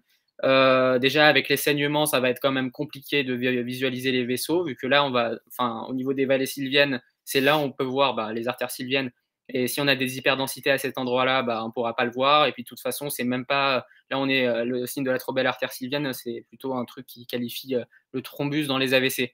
Euh, donc euh, là, c'est un distracteur euh, plutôt, plutôt classique. Là, on vous dit il existe une hémorragie sous-arachnoïdienne périmésencéphalique seule. Alors là, c'est pas le cas. C'est une HSA vraiment massive qui prédomine vraiment au niveau des vallées sylviennes. en fait, il y a tellement de sang dans les vallées sylviennes qu'on va venir en effet un peu extérioriser au niveau périmésencéphalique. Mais c'est pas seulement au niveau périmésencéphalique qu'on a du sang. Ça, c'est quand même très très rare et c'est plutôt euh, ça ne sera pas trop sur ça qu'on va vous embêter. Euh, donc, il existe une hémorragie sous-arachnoïdienne assez diffuse, oui, clairement. Euh, il existe une hémorragie intraventriculaire. Alors là, non, on ne voit pas de sang dans les ventricules, en tout cas pas pour l'instant. ce qu'on voit, ce sont des calcifications des plexus choroïdes qui ne sont surtout pas à confondre avec, avec, avec du sang. Quoi. Donc là, ça sera plutôt des hyperdensités plutôt ponctuelles. Et là, c'est c'est là que c'est pratique de défiler pour se rendre compte que c'est pas du sang, mais pas d'extension ventriculaire pour l'instant. Question suivante, question de physiopathe pour comprendre un peu euh, d'où vient euh, une HSA, comment ça se forme et comment ça se résorbe. C'est pas une question facile, c'est toujours difficile euh, en vrai les questions de physiopathe. donc là, c'est à la fois de la natte et de la compréhension. on va faire chaque région une par une. Donc la région 1, euh, là, on est vraiment euh, ces structures. De toute façon, quand on vous montre quelque chose de bleu comme ça au niveau euh, extra-axial, c'est souvent les sinus qu'on est en train de visualiser. Donc là, ça va être le sinus sagittal, le sinus longitudinal supérieur ou sagittal. donc là, qui sera une structure plutôt impliquée dans les thromboses veineuses cérébrales. la région 2, alors là, on est entre la dure mère, la dure mère qui est la méninge vraiment qui est accolée à l'os, et euh, l'arachnoïde, l'arachnoïde qui est euh, la structure euh, donc qui est qui est la, structure méningée entre la, la dure mère et la pimère. donc là, la structure 2, ce qu'on vous montre, c'est l'arachnoïde. Alors que, alors, ah oui, et donc la structure 3 ensuite, là, on est vraiment au niveau des, des, des, petites veines qui vont venir se drainer au niveau du sinus sagittal. Euh, qui font le drainage veineux du cerveau en fait, et euh, qui sont des structures euh, notamment qui vont se péter et qui vont saigner dans l'hématome sous-dural par exemple. voilà. Et la proposition, du coup, on a fait quoi? On a fait donc 1, on a dit sinus sagittal. 2, on a dit arachnoïde. 3, on a dit bah, vénule péricérébrale. 4, là, c'est pas facile. là, c'est en fait, c'est ce qu'on appelle des granulations de Pacchioni qui sont un peu des, des structures qui vont venir résorber le liquide cérébrospinal euh, au niveau extra-axial, euh, euh, au, niveau des, ben, au niveau des sinus. Et c'est très important en fait parce que même si ça fait un peu pointu, ces granulations-là, elles expliquent pourquoi on peut avoir une extension ventriculaire dans les, dans les HSA parce que tout le sang qui va se retrouver dans ce compartiment du, dans ce compartiment de crânien, eh ben, il va être résorbé par les granulations de Pacchioni. Donc dans un premier temps, c'est un peu un mécanisme compensateur. Mais après, dans un second temps, bah, si on remplit trop nos ventricules, euh, bah, on se retrouve avec une hydrocéphalie potentiellement et, et, euh, derrière euh, un pronostic beaucoup plus grave. Donc, il faut bien savoir, enfin, il faut savoir ce, que sont les granulations de à quoi ça sert. Ça, c'est c'est de la physiopathe. Donc là, la seule bonne proposition, ça va être, ça va être la D.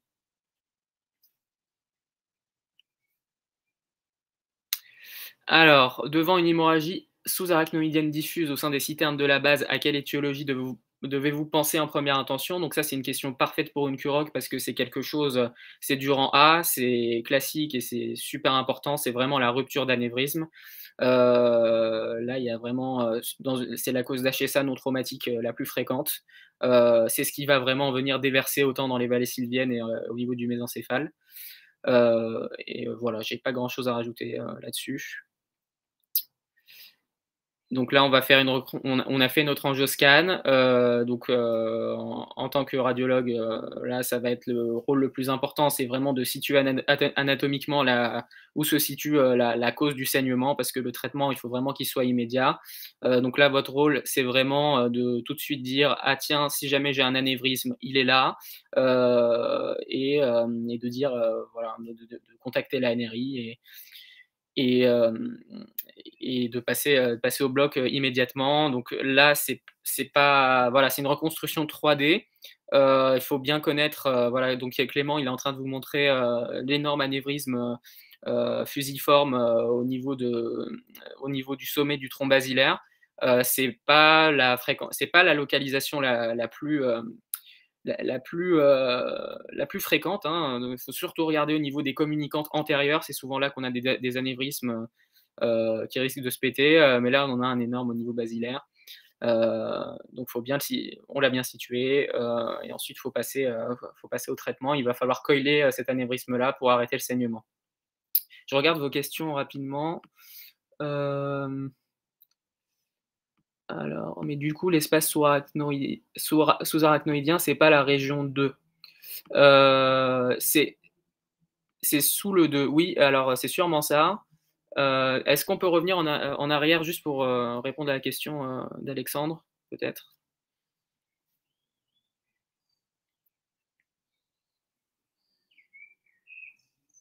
Ok. ouais, en fait, c'est euh, Sixtine, j'imagine, qui a, raison. Euh, là, tu vas vraiment. L'espace sous-arachnoïdien, ça va être plutôt euh, en dessous du 2. il faut te dire que dans une HSA, on a souvent cette image, on va le voir un peu après, je, pense, mais. Enfin, enfin, en fait, il faut penser aux HSA corticales, là vraiment où tu as du sang dans les sillons. là, il faut te dire que si tu veux te retrouver avec du sang dans les sillons, bah, il faut que tu sois plutôt dans l'espace qui est en dessous de l'espace 2. Parce que si tu es dans l'espace qui est montré en deux, bah, là, en fait, tu seras pas directement, enfin, tu n'auras pas de, c'est pas exactement l'endroit où tu vas pouvoir vraiment t'infiltrer dans tes sillons. Bon, désolé, c'est peut-être un peu, c'est un peu compliqué, mais, mais c'est, l'esprit de la question, c'est vraiment juste de situer durmère, arachnoïde, pimaire, les sinus, et comprendre un peu en quoi un saignement peut se localiser à telle ou telle localisation. On le verra après avec les causes traumatiques, notamment hématome extra et sous-dural. Euh, mais je, suis d'accord que c'est pas que c'est pas évident. On va, on va continuer. Ouais, je vais aller plus. Je vais répondre aux questions euh, peut-être à la fin, parce que sinon on va pas finir.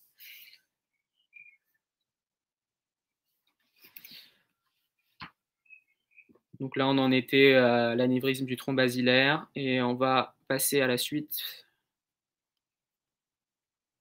Ok, donc quelles sont les propositions exactes à propos du scanner de contrôle? Euh, donc là, euh, c'est c'est pas forcément évident. Il faut se faire un peu l'œil, mais il faut voir qu'on a vraiment une réduction du calibre euh, de, toutes les collatérales des, des, sylviennes de manière bilatérale. Donc là, on a vraiment une diminution diffuse du calibre des artères du polygone. C'est donc ce genre de vasospasme, c'est vraiment une complication fréquente de l'hémorragie sous-arachnoïdienne qu'il faut savoir évoquer. Euh, donc rechercher des signes d'ischémie cérébrale retardée, notamment des signes focaux, par exemple un syndrome pyramidal, euh, un déficit moteur sensitif, etc. Euh, et, on voit bien cette hyperdensité au, niveau, au niveau médian là, qui est pile au niveau de là où, enfin, du sommet du tronc basilaire et qui correspond à ce qu'on appelle un coiling euh, de, l'anévrisme. On a mis des petites, euh, des petites boules dans l'anévrisme pour le boucher, qui prennent vraiment la forme de l'anévrisme et qui font en sorte d'arrêter le saignement.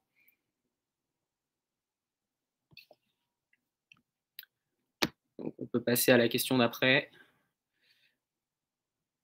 Ok, donc là, euh, pour le côté HSA, on a un peu terminé. Là, on est face à un traumatisme. Donc, patient de 54 ans, victime d'un traumatisme crânien dans un contexte éthylique aigu.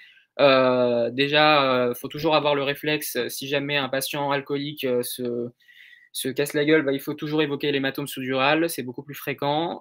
donc là, on a vraiment cette forme, cette fois-ci, enfin hématome intracrânien en général, pas forcément que sous-dural. donc là, on va tout de suite se demander est-ce qu'on a quelque chose de sous-dural ou extradural? Et là, on a vraiment cette forme lentille euh, biconvexe ou euh, en, citron, comme vous voulez, euh, qu'il faut savoir rattacher à un hématome extradural. Dans le cas d'un hématome sous-dural, on aurait plutôt une forme en banane ou en croissant, comme vous voulez. et on voit vraiment ce saignement qui vient exercer un effet de masse sur l'hémisphère gauche. Provoquer un engagement sous la faux du cerveau. Hein. On a vraiment bah, l'hémisphère qui est en train de glisser sous la faux du cerveau.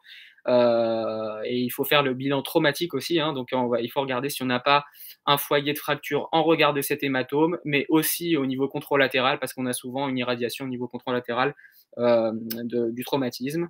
Euh, cet hématome ne peut pas franchir les sutures parce que là, on est vraiment sur des structures vasculaires qui sont en dedans de, l'os. Et là, on n'a pas, un, traumatisme suffisant pour, pour que le sang suffuse de l'autre côté. Patient de 54 ans présentant des sciatalgies droites résistantes au traitement médical. Euh, donc là, on est face à une IRM euh, du rachis lombaire.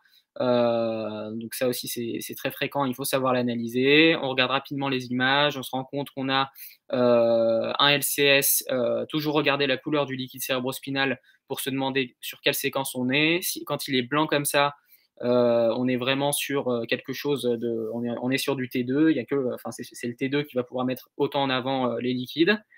et là, déjà, en sagittal, on se rend compte que le disque entre L5 et S1, il est procident. Il, il, est procident, il n'est pas là où il devrait être. Donc là, on fait tout de suite, on complète par des coupes axiales pour se rendre compte de si on a une hernie ou pas. Et là, en effet, on a vraiment un gros, une grosse protrusion discale euh, postéromédiane euh, gauche ou paramédiane gauche, comme vous voulez, euh, qui va vraiment, alors qui fait une sténose canalaire, mais qui en plus est sur les trajets des racines. donc voilà, donc on a vraiment, ça va, ça va forcément provoquer une sciatique. Et là, c'est là où c'est un peu compliqué. On est entre L5 et S1. Donc on va avoir les racines L5 qui vont sortir par le foramen au niveau L5-S1, alors que les racines S1 vont commencer à naître euh, au, centre du canal, euh, donc euh, vraiment en et, partir en paramédian après. donc quand c'est dans, ce cas-là, on a vraiment vu que c'est une hernie paramédiane, on va avoir une compression de ce qui naît en paramédian et donc de, S1. Donc on va faire les items rapidement. C'est pas une IRM en T1 mais en T2. C'est pas un scanner. On a bien une hernie postéromédiane en L5 et S1 et euh, on va avoir une compression d'une racine, oui, mais ça ne peut pas être L4. L4, du coup, si on applique mon raisonnement, euh, L4, ça va commencer entre L3 et L4, euh, donc au centre et ensuite en, paramédian. et ensuite, ça va sortir par le foramen de L5. Et donc L4, là, n'est vraiment pas concerné. Et cette, cette imagerie ne permet pas de voir d'arthrose. Alors, ce n'est pas l'imagerie idéale, mais si on voit de l'arthrose à l'IRM, euh, notamment ici, on voit, enfin, on peut pas vous demander ça, mais on voit de l'arthrose au niveau des apophysaires postérieurs. On va passer à la question d'après. Donc là, on est sur de la, CMF. Euh, traumatisme facial direct par coup de poing antéro-postérieur. Euh, là, la question, forcément, va vous demander, selon la localisation du trait de, fracture, de côté, selon la classification de l'EFOR. Euh, on voit qu'on a un trait de fracture qui passe euh, au niveau des apophyses ptérygoïdes de l'os phénoïdal, du sinus maxillaire, de la glabelle, euh, mais qui a l'air d'épargner les apophyses, enfin les os zygomatiques et la partie postérieure de l'orbite. Et ça, c'est crucial parce que c'est ça qui va faire la différence entre un Lefort 2 et un Lefort 3. Donc là, on est bien en présence d'un Lefort 2 parce que on n'a pas d'atteinte de la partie postérieure de l'orbite, de l'apex et des zygomatiques. Euh, il existe un risque de, brèche durmérienne, oui, parce que le trait de fracture passe euh, au voisinage euh, des méninges, notamment au niveau de la glabelle. Donc là, on peut vraiment avoir une brèche ostéoméningée. C'est un des principaux risques à, craindre. Et alors, est-ce qu'il existe un risque de séquelles visuelles par atteinte du foramen infraorbitaire? Donc là, on a, on a bien une, une, atteinte du foramen infraorbitaire, mais là, c'est le 5-2 qui passe par là, donc c'est plutôt une atteinte sensitive. donc pas de risque d'atteinte visuelle. pas, on passe pas par le canal optique en fait, donc là il n'y a pas de raison d'avoir une atteinte visuelle. et est-ce qu'on a un risque de séquelles olfactives par atteinte de la lame papyracée de l'ethmoïde Donc ça c'est un piège. c'est ce qui différencie le Lefort 2 du Lefort 3, c'est aussi le fait que on a, on a, une atteinte de la lame criblée de l'ethmoïde dans le Lefort 3, et c'est par la lame criblée qu'on a un passage des fils olfactifs et non pas par la lame papyracée ou la lame papyracée qui en fait fait partie de la paroi médiale de l'orbite et il n'y a pas de raison d'avoir une, atteinte olfactive dans un Lefort 2. Question 10. Trouble de la conscience avec Glasgow à 10 depuis 5 jours. Ponction lombaire initiale normale, donc il ne faut pas se faire piéger. Euh, il faut toujours, malgré tout, euh, suspecter une cause infectieuse. Euh, on fait une IRM et là, on se rend compte qu'on a, un, hypersignal, peut-être même, enfin, il est plus visible à droite, mais on a vraiment un hypersignal temporopolaire euh, droit, euh, donc là qui est vraiment typique d'encéphalie herpétique. Euh, on est bien sur du T2 parce que là on est vraiment sur une séquence anti-anatomique où la, la, substance blanche est grise. On le voit bien au voisinage du foyer en hypersignal. on a une atteinte bilatérale asymétrique qui est vraiment très spécifique d'une encéphalie herpétique. C'est vraiment ce qu'il faut évoquer en premier devant une IRM comme ça. et la réaction virale, elle va se faire plutôt au niveau du ganglion de Gasser euh, et, euh, enfin, pardon, oui, c'est ça, du ganglion de Gasser ou ganglion trigéminé, qui est en fait le ganglion principal euh, du nerf trijumeau, parce que c'est là où le HSV va, se va, stagner après une infection latente. Donc ça, c'est le piège de la proposition D. Les lésions régressent en général en l'absence de traitement, alors ça, absolument pas. Ça évolue vers la nécrose, voire même l'hémorragie. Il ne faut pas oublier qu'on a une mortalité de 20% dans la céphalite herpétique. Voilà, on va passer à la question suivante. 7 ans, douleur périorbitaire droite fébrile. Donc euh, là, vraiment, il faut tout de suite penser à l'ethmoïdite, hein, surtout chez un enfant. Euh, là, on se rend compte euh, qu'on a un scanner avec une collection, une collection vraiment. Alors déjà, on a un petit comblement du sinus ethmoïdal. Donc là, ça doit nous mettre sur la voie et on se rend compte qu'on a une collection sous périostée latéralement à ce petit comblement qui exerce même un petit effet de masse sur l'orbite. Euh, donc là, vraiment, c'est une urgence euh, chirurgicale. Euh, va falloir drainer ça pour pas avoir de séquelles visuelles. Donc là, c'est une ethmoïdite compliquée d'un abcès sous périosté. et il ne faut pas faire de retour à domicile. Là, il faut, il faut drainer ça.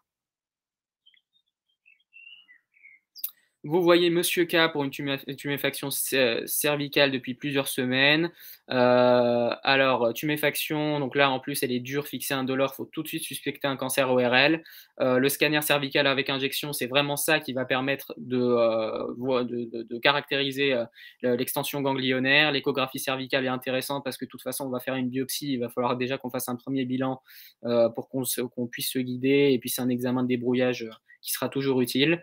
L'IRM et le TEP, faut être réaliste. Euh, là, pour l'instant, c'est des examens qu'on ne peut pas avoir tout de suite, qui seront certes très efficaces plus tard, mais là, on va se contenter du scanner. Euh, là, je, réponds, bah, c'est pas moi qui dois le faire, mais je vois juste le message là pour la thrombophlébite, ça va être rapide de toute façon. Une thrombophlébite au scanner, en fait, euh, le mieux, je crois qu'il y avait marqué injection, et la thrombophlébite, ça se voit beaucoup mieux sur un scanner sans injection parce que là, on a vraiment le signe du delta, notamment si on a une atteinte du sinus sagittal. Euh, donc, si tu injectes, en fait, tu vas pas forcément, enfin, tu n'as pas forcément besoin d'injecter pour te rendre compte de si tu as un thrombus ou pas. Euh, le scanner sans inge euh, sera, sera très utile. On y reviendra potentiellement après si on a le temps. Là, il faut qu'on enchaîne. Alors, dans le cadre des tumeurs des VADS, donc là, c'est un peu une question sur le bilan d'extension. On va faire item par item. Euh, item A, l'IRM permet une bonne évaluation des extensions profondes musculaires de la corticale osseuse. Il faut s'arrêter tout de suite. Il euh, faut gagner du temps, hein. surtout si vous avez des QI aux ECN, c'est vraiment l'épreuve où c'est très facile de se laisser déborder. Euh, l'évaluation osseuse, on l'a fait au scanner, donc on, arrête tout de suite, on passe à l'item d'après. Le scanner avec injection de produits de contraste permet de rechercher une tumeur synchrone, en particulier des VADS, oui, tout à fait. Euh, c'est pas rare de se rendre compte, souvent chez des patients fumeurs, qu'on a euh, une tumeur euh, du parenchyme pulmonaire en même temps qu'une tumeur ORL. Et le TEP scan, il va permettre à la fois de se rendre compte s'il y a une tumeur pulmonaire. D'ailleurs, le TEP scan, c'est un examen qui est très utile dans le bilan d'extension des tumeurs pulmonaires. Et il permet en plus de se rendre compte si on a des métastases viscérales ou lymphatiques à distance, vu qu'elles sont hypermétaboliques. Devant une suspicion du tumeur du larynx ou pharyngolarynx. Quel examen demandez-vous?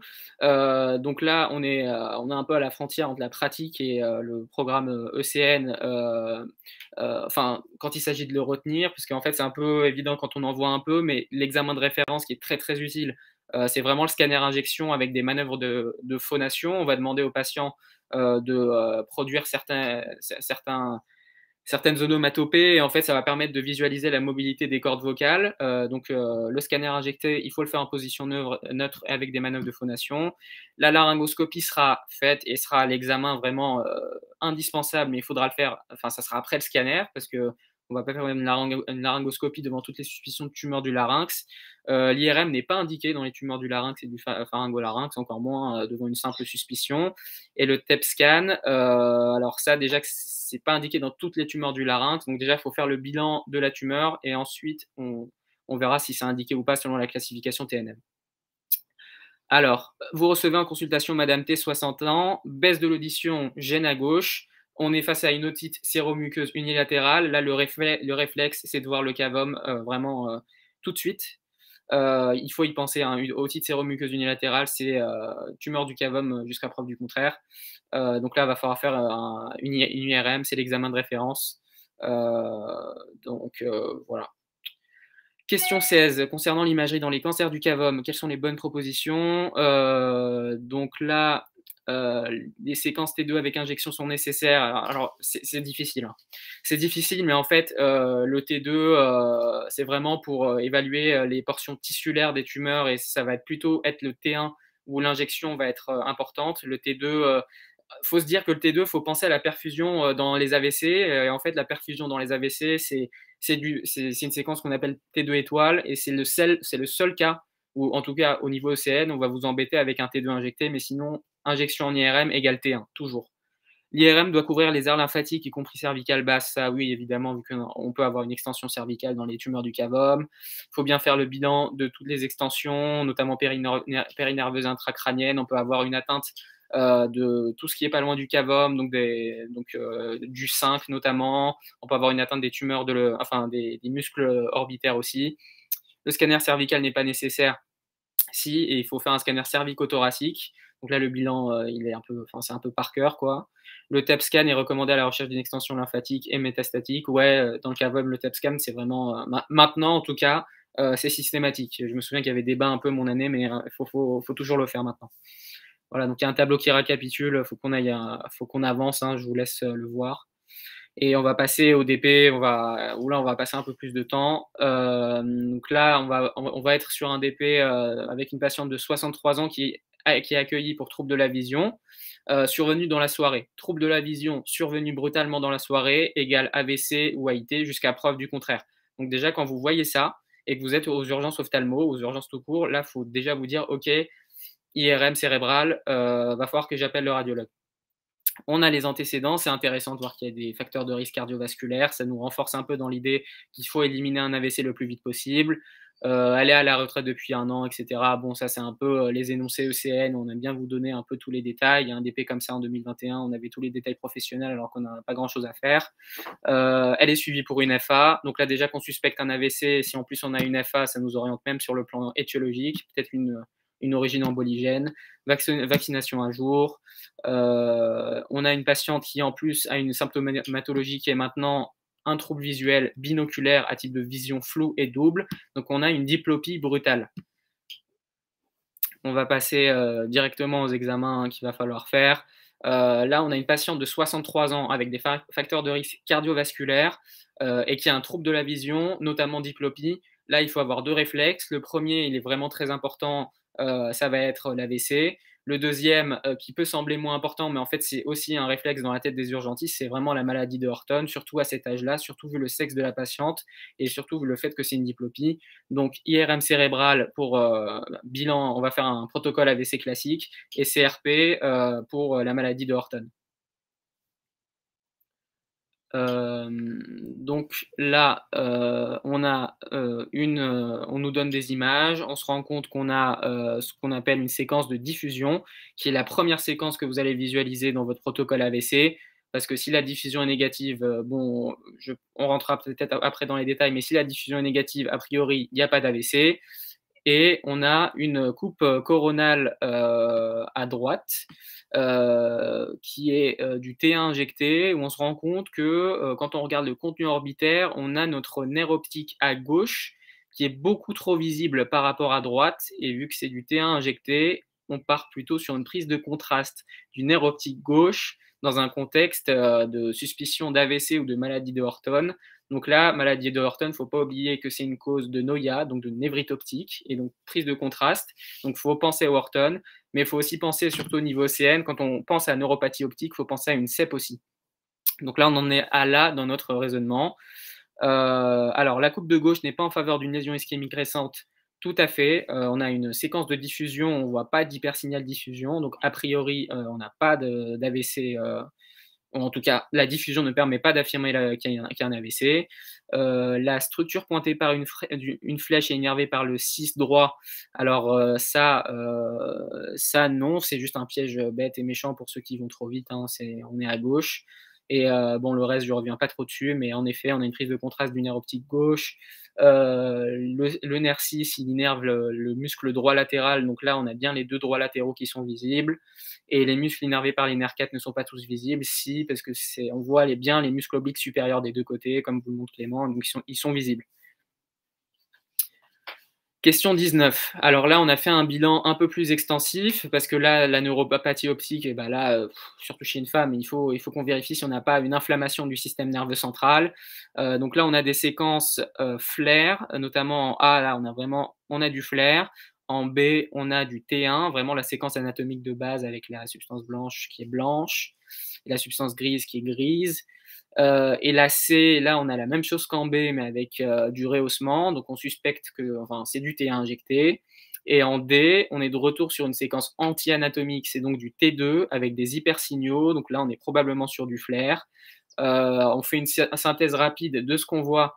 il faut se dire que là, on a vraiment des hypersignaux flair sus et sous-tentoriels qui sont en hyposignal en T1 et qui prennent le contraste.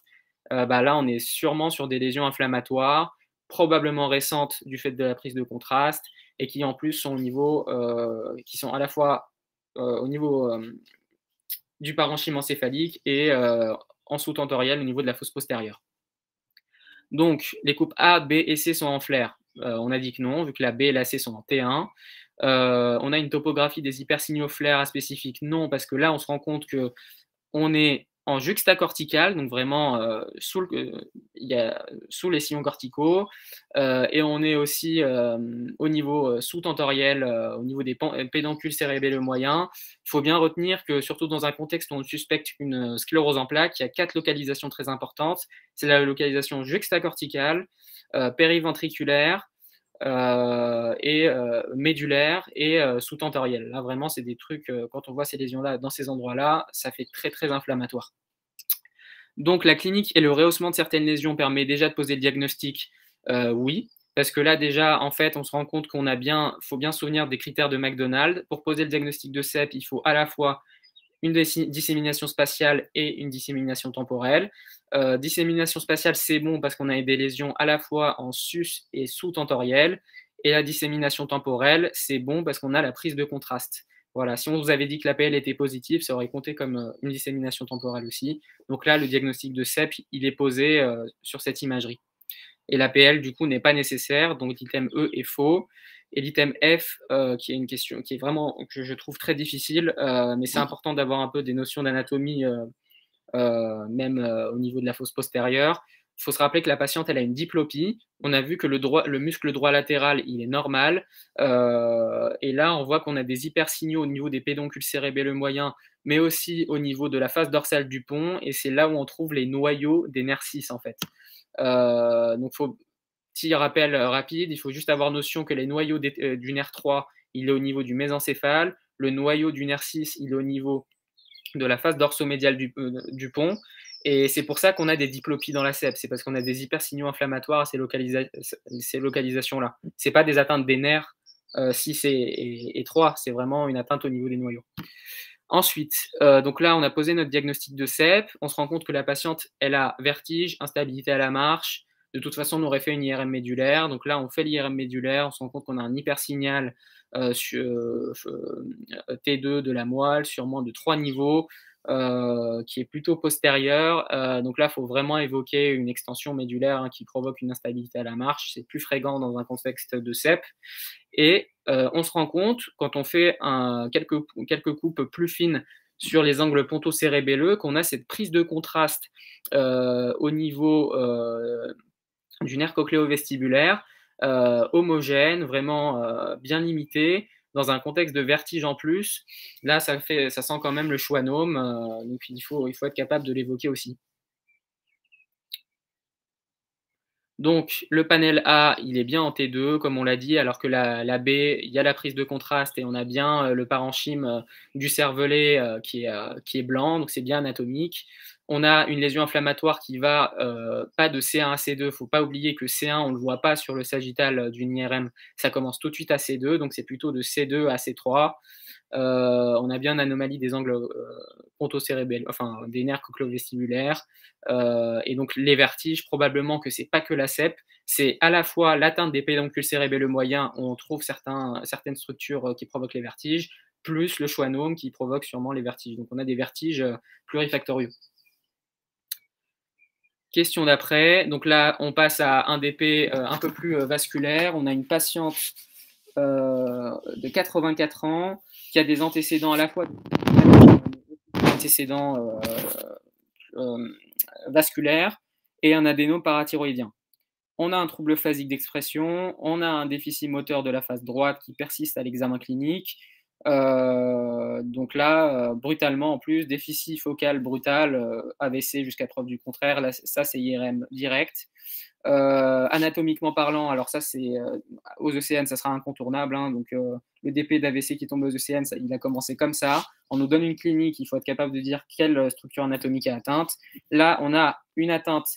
Dans ce qu'on nous met là, en fait, le seul truc qui est cohérent, c'est frontal gauche, parce que on va, on va être obligé de le faire un par un, mais hippocampique droit, ce serait trouble de la mémoire plutôt, ou alors épilepsie, convulsion. Donc là, ça correspond pas. Euh, frontal gauche, bah, c'est au niveau frontal qu'on a l'air de Broca. Donc là, on est vraiment sur une aphasie, aphasie de Broca euh, typique. Euh, thalamique gauche, il faut savoir que le thalamus, c'est la structure où on va surtout avoir les relais sensitifs, donc ce serait plutôt une anesthésie. Face postérieure du bulbe droit, alors là, là c'est juste un distracteur, hein, bulbe, donc ce serait tronc cérébral. et là, ce serait plutôt syndrome alterne, il faut penser à un Wallenberg. Il n'y a pas de raison d'avoir un, déficit, euh, d'avoir une aphasie. Et euh, capsulaire gauche, bah, la capsule interne, c'est la structure où passent toutes les fibres motrices. Là, on n'a pas seulement une atteinte motrice, on a vraiment, euh, on a vraiment une atteinte à la fois, on a un déficit brachiofacial plus une aphasie. donc là, on est vraiment sur une atteinte frontale gauche ou au niveau du sillon, enfin, on verra après. Donc on fait l'IRM, on a bien nos séquences, on a notre diffusion. Euh, donc on a quatre, coupes, euh, quatre couples euh, en diffusion. Juste en dessous, on a ce qui s'appelle une séquence SWI qui se rapproche du T2 étoile qui est dans le collège. Enfin, il faut juste se dire que ça permet de mettre en évidence le saignement. Donc là, on s'attarde dans un premier temps sur la diffusion. on a quatre coupes de diffusion.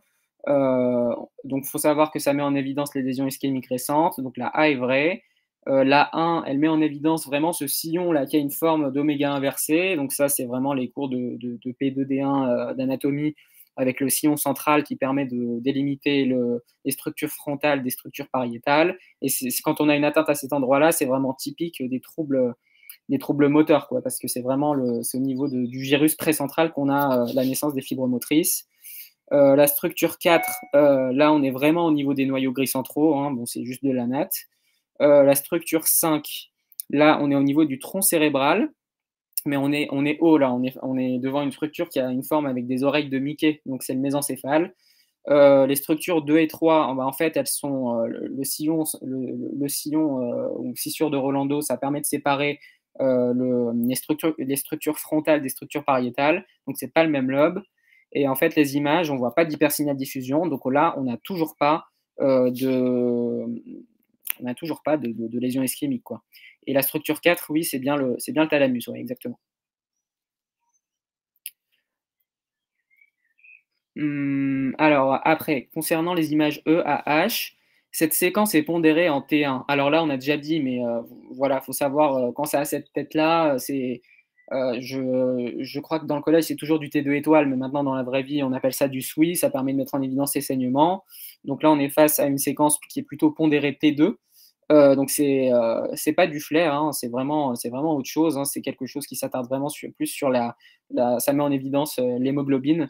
Euh, donc ça permet de mettre en évidence les lésions hémorragiques et c'est super important euh, parce que si jamais vous voyez un saignement sur la, cette séquence-là, vous pouvez pas aller faire de thrombolyse en fait. et ça c'est un truc qui est pas très connu alors que pourtant c'est très important. C'est que si on a un saignement, bah pas de thrombolyse.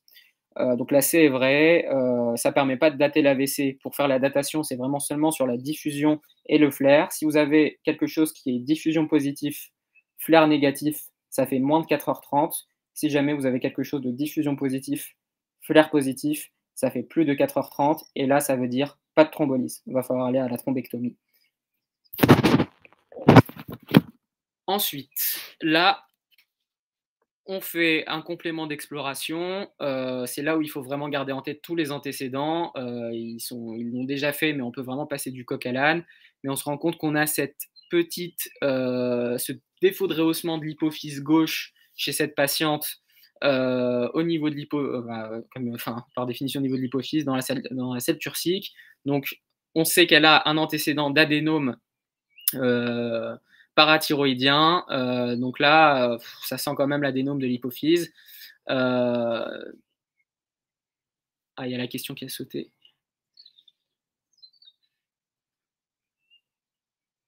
Alors, il y a MR qui me dit le thalamus ne fait pas partie des noyaux gris centraux. Euh, alors pour moi, ça faisait partie des noyaux gris centraux. Euh, là où j'étais, quand j'étais en stage, on considérait que ça, en faisait partie. Euh, si jamais euh, dans tes cours de neuroanat c'était pas le cas, euh, alors, désolé, c'est peut-être un défaut, de, un abus de langage de notre part dans le service, mais voilà, moi c'était ce que j'avais retenu. Euh, alors, euh, on va revenir sur la question. Donc, on a bien ce petit défaut de rehaussement. On évoque en priorité un adénome de l'hypophyse. Très rapidement, euh, la structure 1. Là, on est vraiment au niveau du chiasma optique. Super important dans un contexte d'adénome parce qu'on peut avoir des adénomes qui surélèvent le chiasma et qui font des hémianopsies bitemporales. Ça ne sera pas le cas ici. La structure 2 la, correspond à la lumière plutôt de la carotide. Hein, on est au niveau du siphon carotidien au sein du sinus caverneux. Euh, et on a bien notre défaut de rehaussement. Et la structure 4, en fait, là, on est vraiment au niveau du pont, hein, ou protubérance bulbaire, comme vous voulez, mais là, c'est vraiment le pont. J'ai pas grand chose à dire de plus, c'est de l'anatomie. Euh, c'est pas parce que je vais vite que c'est facile, hein. c'est les questions souvent les plus dures aux ECN, euh, surtout en radio, mais c'est juste pour insister sur le fait qu'en euro et en ERL, si on fait pas d'anat, euh, on peut pas dire grand chose. Ensuite, là, on va passer à quelque chose vraiment, là, c'est une QI d'ORL on a euh, une atteinte, on a une surdité de transmission chez un patient de 55 ans. Euh, on a deux clichés de l'acquisition axiale. Euh, là, je sais que c'est très difficile, que surtout quand on ne voit pas beaucoup, mais il faut, avoir une vague notion de ce qui se passe dans l'oreille, surtout dans l'oreille moyenne. On va passer directement à la question. Cet examen permet d'étudier l'intégrité des structures de l'oreille moyenne, oui. Les, les, structures pointées par les flèches rouges, noires et vertes sont atteintes dans les surdités de perception. J'ai essayé de faire un item plutôt facile parce que Là, sans même regarder les images, euh, enfin, si vous les regardez rapidement, vous voyez que c'est les osselets. Si vous avez une atteinte des osselets, ça va être une surdité de transmission, parce que les surdités de perception, ça sera une atteinte de la cochlée et des nerfs cochléo-vestibulaires. Donc là, on est plus dans de, la, dans de la neuro, on va dire. Mais là, vous voyez que les flèches, elles vous montrent euh, rouge, noir, vert. Donc le, rouge, ça va être la tête du marteau. Euh, le noir, ça va être l'enclume. Euh, et le vert, ça va être euh, l'étrier, qui est très difficile à voir d'ailleurs. Mais voilà, donc la surdité de perception. La flèche verte, comme je viens de le, dire, c'est l'étrier. On va pas forcément vous demander si on a une atteinte de l'étrier, mais il faut savoir anatomiquement qui s'articule avec la fenêtre ovale. Euh, et il euh, n'y a pas d'os qui s'articule avec la fenêtre ronde. Hein. C'est une structure euh, qui est impliquée dans l'autospongiose, mais il faut juste savoir l'identifier, c'est tout. On peut passer à la question d'après.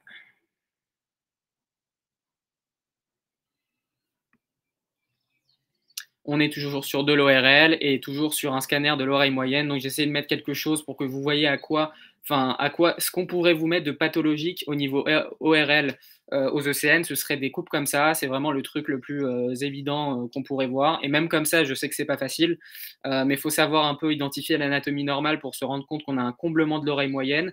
Vous voyez sur la question d'avant, on a vu qu'on avait, qu'on avait, qu'on voyait l'étrier, le marteau, l'enclume. Bah, là, on voit le marteau. mais on va juste revenir sur l'image d'avant. Il faut que je le détaille un, peu parce que c'est pas pas évident.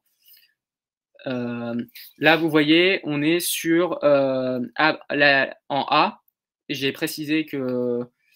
Ah oui, donc il y a juste une petite inversion là. En fait, j'ai dû m'emmêler les pinceaux. En A, c'est une coupe axiale. C'est la même, coupe que sur la question d'avant. Euh, on voit la flèche blanche, elle montre vraiment le comblement, là où on devrait avoir les osselets. Vous voyez sur la question d'avant, en fait, il y avait l'étrier qui était marqué, qui, était indiqué par la flèche verte, mais là, on ne le voit plus du tout, en fait, parce que ce comblement, il, a, dû le, il a dû complètement ronger l'étrier euh, et, on ne le voit plus du tout. Et là, en fait, en B, on a une coupe coronale. Je ne vous demande pas de, savoir les différencier, mais je vous le dis du coup que c'est coronal. Enfin, je, me suis, enfin, je sais pas pourquoi ça affiche coronal axial, je suis, je suis désolé. Euh, et en fait, en coronal, on voit euh, le conduit auditif externe, qui est la partie la plus latérale, qui est tout en noir, là, qui est pleine d'air.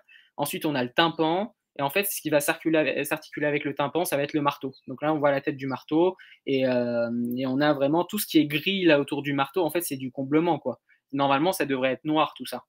Euh, et donc là, on a, on a un peu cette, cette hypodensité bouliforme qui comble un peu toute l'oreille moyenne et qui a l'air en plus de, masquer l'étrier. Bah jusqu'à jusqu'à preuve du contraire, ça va être un cholestéatome. Et la flèche rouge, là, ce qu'on voit, euh, là aussi, c'est alors c'est très difficile, mais là aussi, c'est au programme. Euh, en fait, c'est ce qu'on appelle le mur de la logette, euh, qui est la structure qui, quand elle est lésée, et c'est quasiment pathognomonique d'un cholestéatome. donc là, c'était seulement pour qu'on en parle, parce que ça peut tomber, parce que c'est incontournable en ORL, mais, mais, c'est vraiment, c'est pas évident. Donc on a, on a, bien un comblement.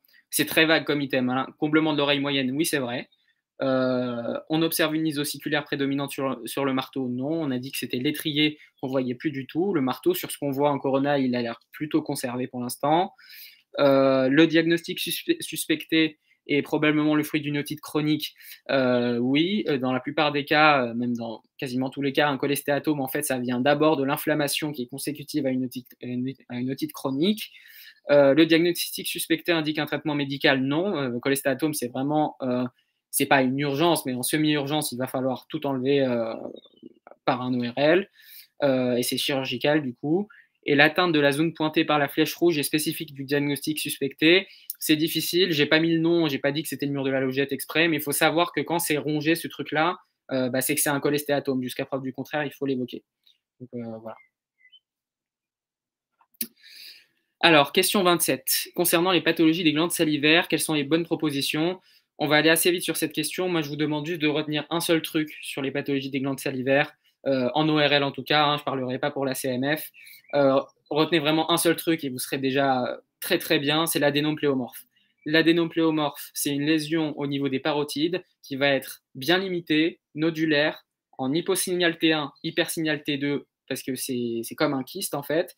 Et si vous avez un peu de place, vous, vous gardez en tête que ça a un profil de perfusion de type A, c'est-à-dire qu'on a vraiment un rehaussement homogène dans le temps. En fait, quand on injecte, on se rend compte qu'on euh, a une perfusion au niveau de, cet adénome qui augmente euh, vraiment euh, de manière. Enfin, ça suit un profil un peu sigmoïde comme ça, et, ça, permet de faire le diagnostic. Donc, l'IRM parotidienne doit être réalisée devant toute suspicion de tumeur parotidienne, oui.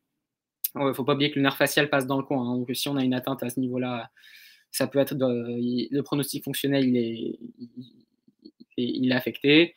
Euh, il est difficile d'affirmer le diagnostic d'adénopléomorphe en IRM. Non, au contraire, on ne fera même pas de biopsie en fait. Euh, on peut faire le diagnostic à l'IRM, notamment grâce à la perfusion. C'est pour ça que je vous en glisse un mot.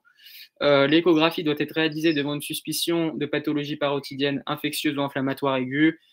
c'est difficile, franchement, c'est très difficile. en pratique, il n'y a pas d'indication à l'imagerie en première intention, mais si vous l'avez mis, franchement, il n'y a pas de, il n'y a pas de. Bon, bref, je, passe, c'est compliqué. L'IRM parotidienne doit être réalisée devant une pathologie parotidienne inflammatoire chronique. Euh, oui, bah, dans le cas, par contre, si c'est chronique, euh, là, il va falloir faire un bilan, un bilan morphologique. Et de toute façon, la parotide, c'est une glande qu'on voit seulement à l'IRM. Donc, il faut avoir des notions un peu comme ça, un, peu, pratiques sur une pathologie chronique au niveau parotidien. Il n'y a que l'IRM qui permet de, poser des diagnostics. Alors, juste la question rapidement, c'est rapide. franchement, pour les courbes de perfusion, retient seulement celle de l'adénopléomorphe. Moi, je trouve déjà que c'est difficilement tombable. Et la seule qu'on voit, moi j'étais dans un centre de référence en ORL au semestre d'avant, le seul truc qu'on voyait tout le temps, c'était l'adénopléomorphe et on nous demandait de connaître la courbe de perfusion et on nous demandait même pas de connaître celle des Vartins et des systèmes lymphomes. Donc franchement, on retient juste celle de l'adénopléomorphe. Et si jamais tu vois pas celle de l'adénopléomorphe, c'est que c'est malin et que c'est dangereux. Euh, dans les pathologies dithyasiques submandibulaires, l'échographie permet l'analyse du conduit submandibulaire, du parenchyme glandulaire. Bon, ça c'est du cours. C'est pas du, c'est, faut, faut, juste le connaître. Euh, mais ouais, c'est du cours. Question 28, encore une question anatomique euh, difficile. Alors, on va faire les structures une par une. En 1, on a vraiment euh, en fait. Hein. voilà, une anatomie difficile, mais l'ORL, c'est vraiment que ça. Hein. L'ORL, on ne peut pas raisonner si on ne fait pas d'anat. Donc, en 1, on a bien l'osioïde. en 2, on se rend compte qu'on est dans une loge, en fait, entre l'osioïde et l'épiglotte, qui est la structure 4. Donc là, logiquement, c'est la loge préépiglottique. Euh, ensuite, en 3, on se rend compte, si on sait où est l'épiglotte, que. Euh, ah oui, non, justement, c'est piégeux, pardon. Là, vraiment, en 3, on est tout en bas, là, euh, juste derrière le cartilage cricoïde, mais en fait, on est vraiment au niveau des cordes vocales, en fait. Donc on est au niveau du larynx déjà. donc c'est pas le bord inférieur de l'épiglotte. Faut vraiment, ça pour le coup c'est important. Faut savoir que là on a les cordes vocales. Euh, en 4, on a le sinus piriforme. Alors, euh, bon, déjà que c'est difficile de savoir ce que c'est sinus piriforme, faut juste se dire un truc tout simple c'est que le sinus piriforme, c'est une structure qu'on voit en axial, surtout. Donc, si on est en sagittal, vous pouvez tout de suite vous dire on passe à autre chose. Et de toute façon, euh, la 4, c'est l'épiglotte. Et ensuite, en 5, là, on est en fait vraiment au niveau de la base de la langue. Ça, normalement, ça, c'est plutôt, ça, c'est plutôt ECN, ça passe. Ensuite, là, on est face à une coupe coronale euh, encéphalique. Euh, on est sur du T1 parce que là, on est anatomique. On a la substance blanche qui est blanche, la substance grise au niveau des sillons corticaux qui est grise. Euh, je vous demande pas forcément de reconnaître que là, on a une atrophie diffuse des sillons. Euh, par contre, ce qu'il faut savoir voir, il faut situer les deux hippocampes, donc vraiment au niveau interne, temporal interne, et se rendre compte qu'en fait, on a une atrophie bilatérale des hippocampes. Donc si vous l'avez jamais vu avant, c'est impossible. Euh, mais bon, si, maintenant qu'on en parle, euh, voilà. Et même si vous n'êtes pas trop familier avec ça, dites-vous juste que vu la symptomatologie, on a un patient qui est vieux, on a un patient qui a des troubles de la mémoire euh, et qui a des hippocampes un peu chelous, c'est un Alzheimer. Enfin, au niveau CN, on n'ira pas plus loin que ça. oui, pardon, 5, c'est bien base de la langue, du coup, ouais. ouais. Ah non, pardon, euh, oula, euh, désolé. En fait, là, on est un peu plus haut. Là, on est même au niveau des, au niveau des, on est au niveau du nasopharynx. C'est, moi. On est, on n'est pas du tout au niveau de la base de la langue. Clément, vous êtes en train de vous montrer la base de la langue.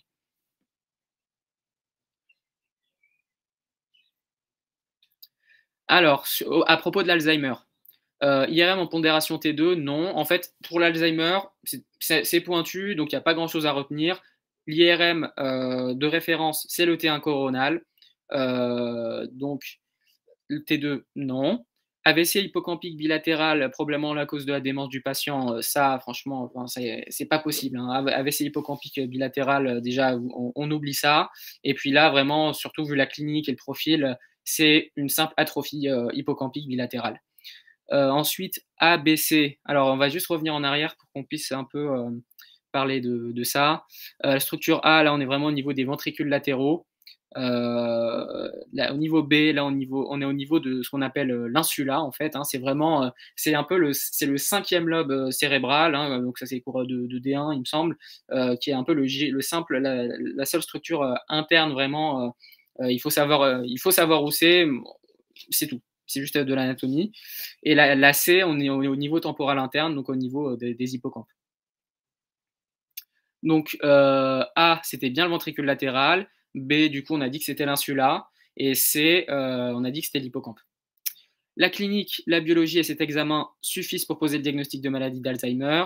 Euh, je ne vous fais pas un topo sur l'Alzheimer, on n'a pas trop le temps, mais il faut juste vous dire que l'Alzheimer, déjà, rien que sur la clinique, déjà, c'est quand même très indicateur. il suffira juste de faire une coupe coronale. Si vous voyez une atrophie de l'hippocampe et que votre bilan, euh, biologique il est négatif, c'est bon, c'est un Alzheimer.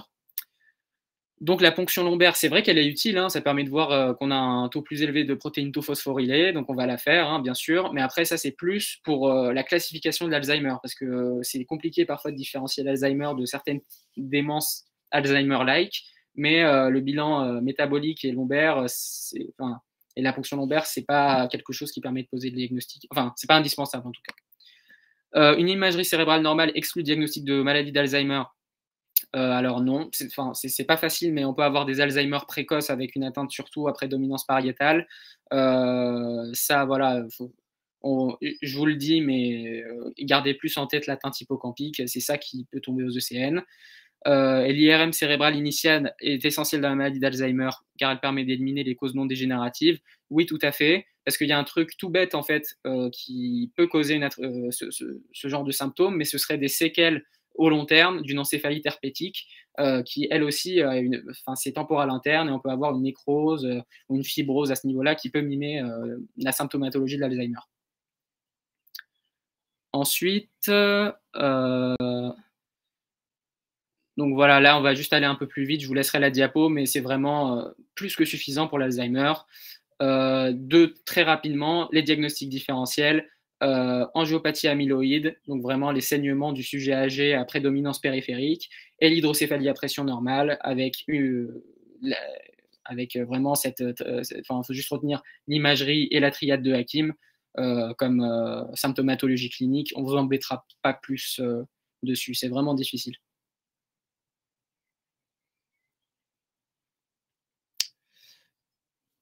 Alors, je crois que je vois plus Clément, donc je ne peux plus défiler les, diapos. De toute façon, je pense que c'est bientôt terminé. Euh, ah ben non, c'est fini. Je voulais juste faire un petit commentaire, mais là, on n'a pas le temps. Euh, on n'est pas si en retard que ça, je crois. Bon, euh, tant pis. Je voulais juste vous mettre la perfusion. Enfin, c'est une imagerie de perfusion, en fait, juste là. Euh, ça, permet de, ça permet de voir euh, la, les AVC avant que la diffusion soit positive. Ils en glissent peut-être un mot dans, le, dans l'ancien collège, ça y était, maintenant je crois qu'ils n'en parlent plus. Et ça, c'est juste pour vous dire que n'oubliez pas qu'il faut vraiment connaître par cœur le polygone de Willis et les troncs supraortiques. Il faut savoir légender une coupe comme ça. Ça, c'est super type ECN, donc je vous en ai mis une. Euh, là, je ne veux pas mettre les autres en retard, donc j'en parlerai pas, mais de toute façon, vous allez sur Imaios, il y a toute l'anatomie là-dessus. Voilà.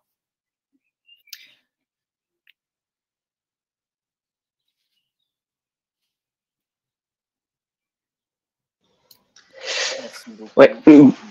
Bonjour tout le monde, moi je suis euh, Julien, donc je suis interne en, médecine nucléaire. Il n'y a pas grand chose euh, à savoir en vrai pour les ECN. J'ai posé des questions qui étaient un peu compliquées, mais c'est pour que vous garniez des, grandes idées derrière. Euh, voilà, donc en gros la médecine nucléaire, contrairement à la radiologie, nous on injecte un produit qui est radioactif et c'est comme ça qu'on le suit en fait. on le couple à un vecteur dont on veut connaître la position et on a des images quantitatives et qualitatives dessus.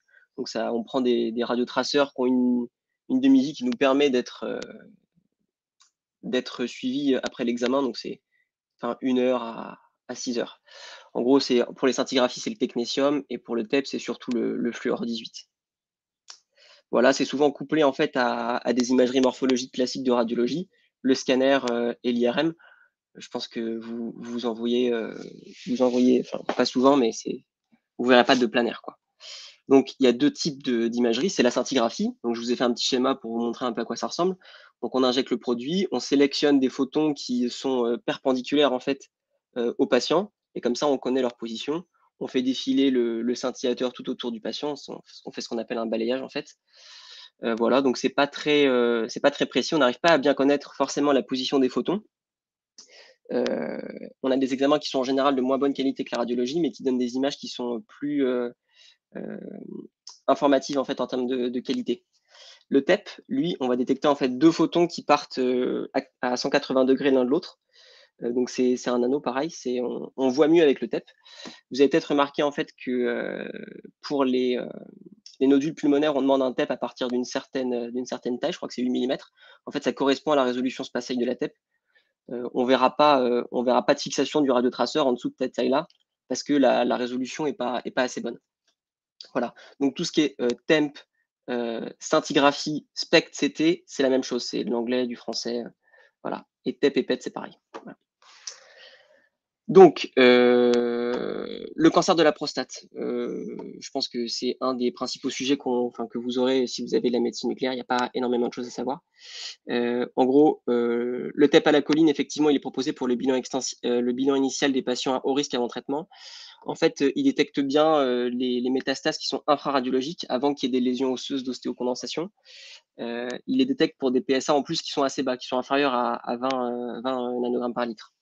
Le TEP-FDG, il marche pas bien parce que bah, le glucose, euh, le, cancer de la prostate, en fait, il n'a pas une activité euh, euh, glycolytique, il, ne métabolise pas le glucose de façon importante, donc on le verra pas, sauf s'il y a des dédifférenciations, mais c'est pas, pas votre programme.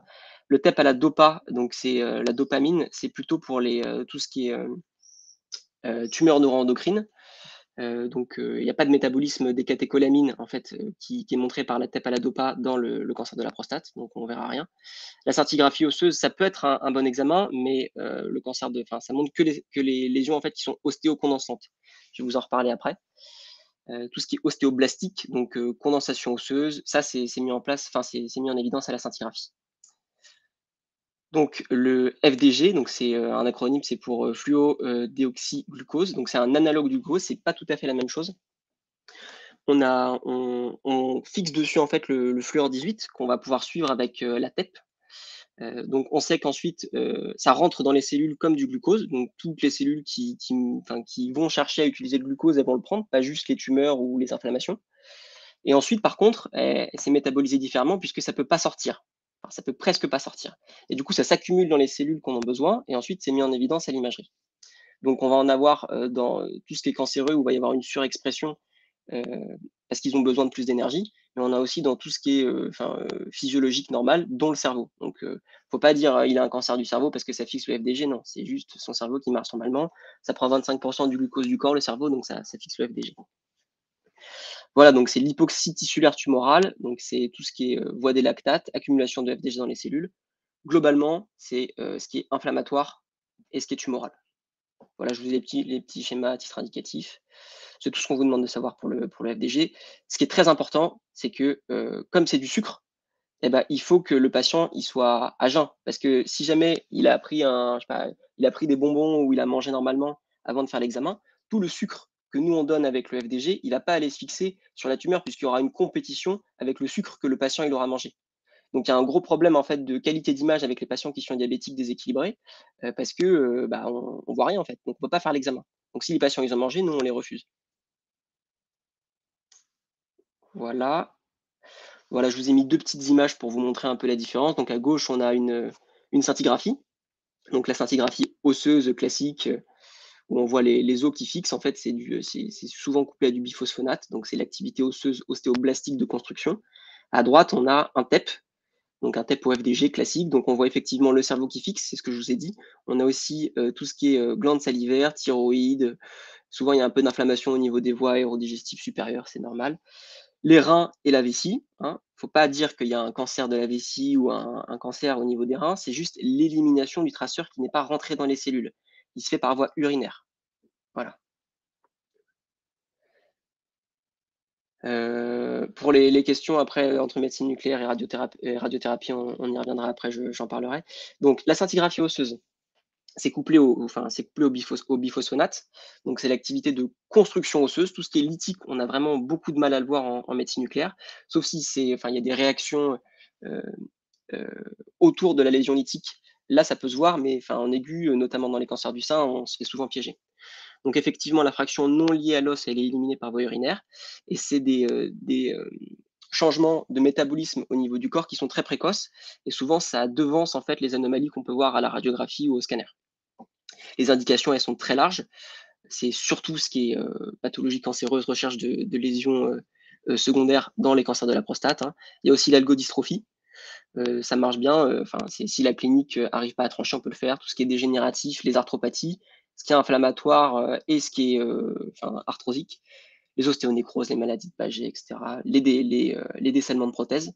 On peut essayer de, donner des indices sur si c'est quelque chose de septique lié à une infection ou quelque chose de mécanique. Voilà, donc là, c'est une scintigraphie osseuse.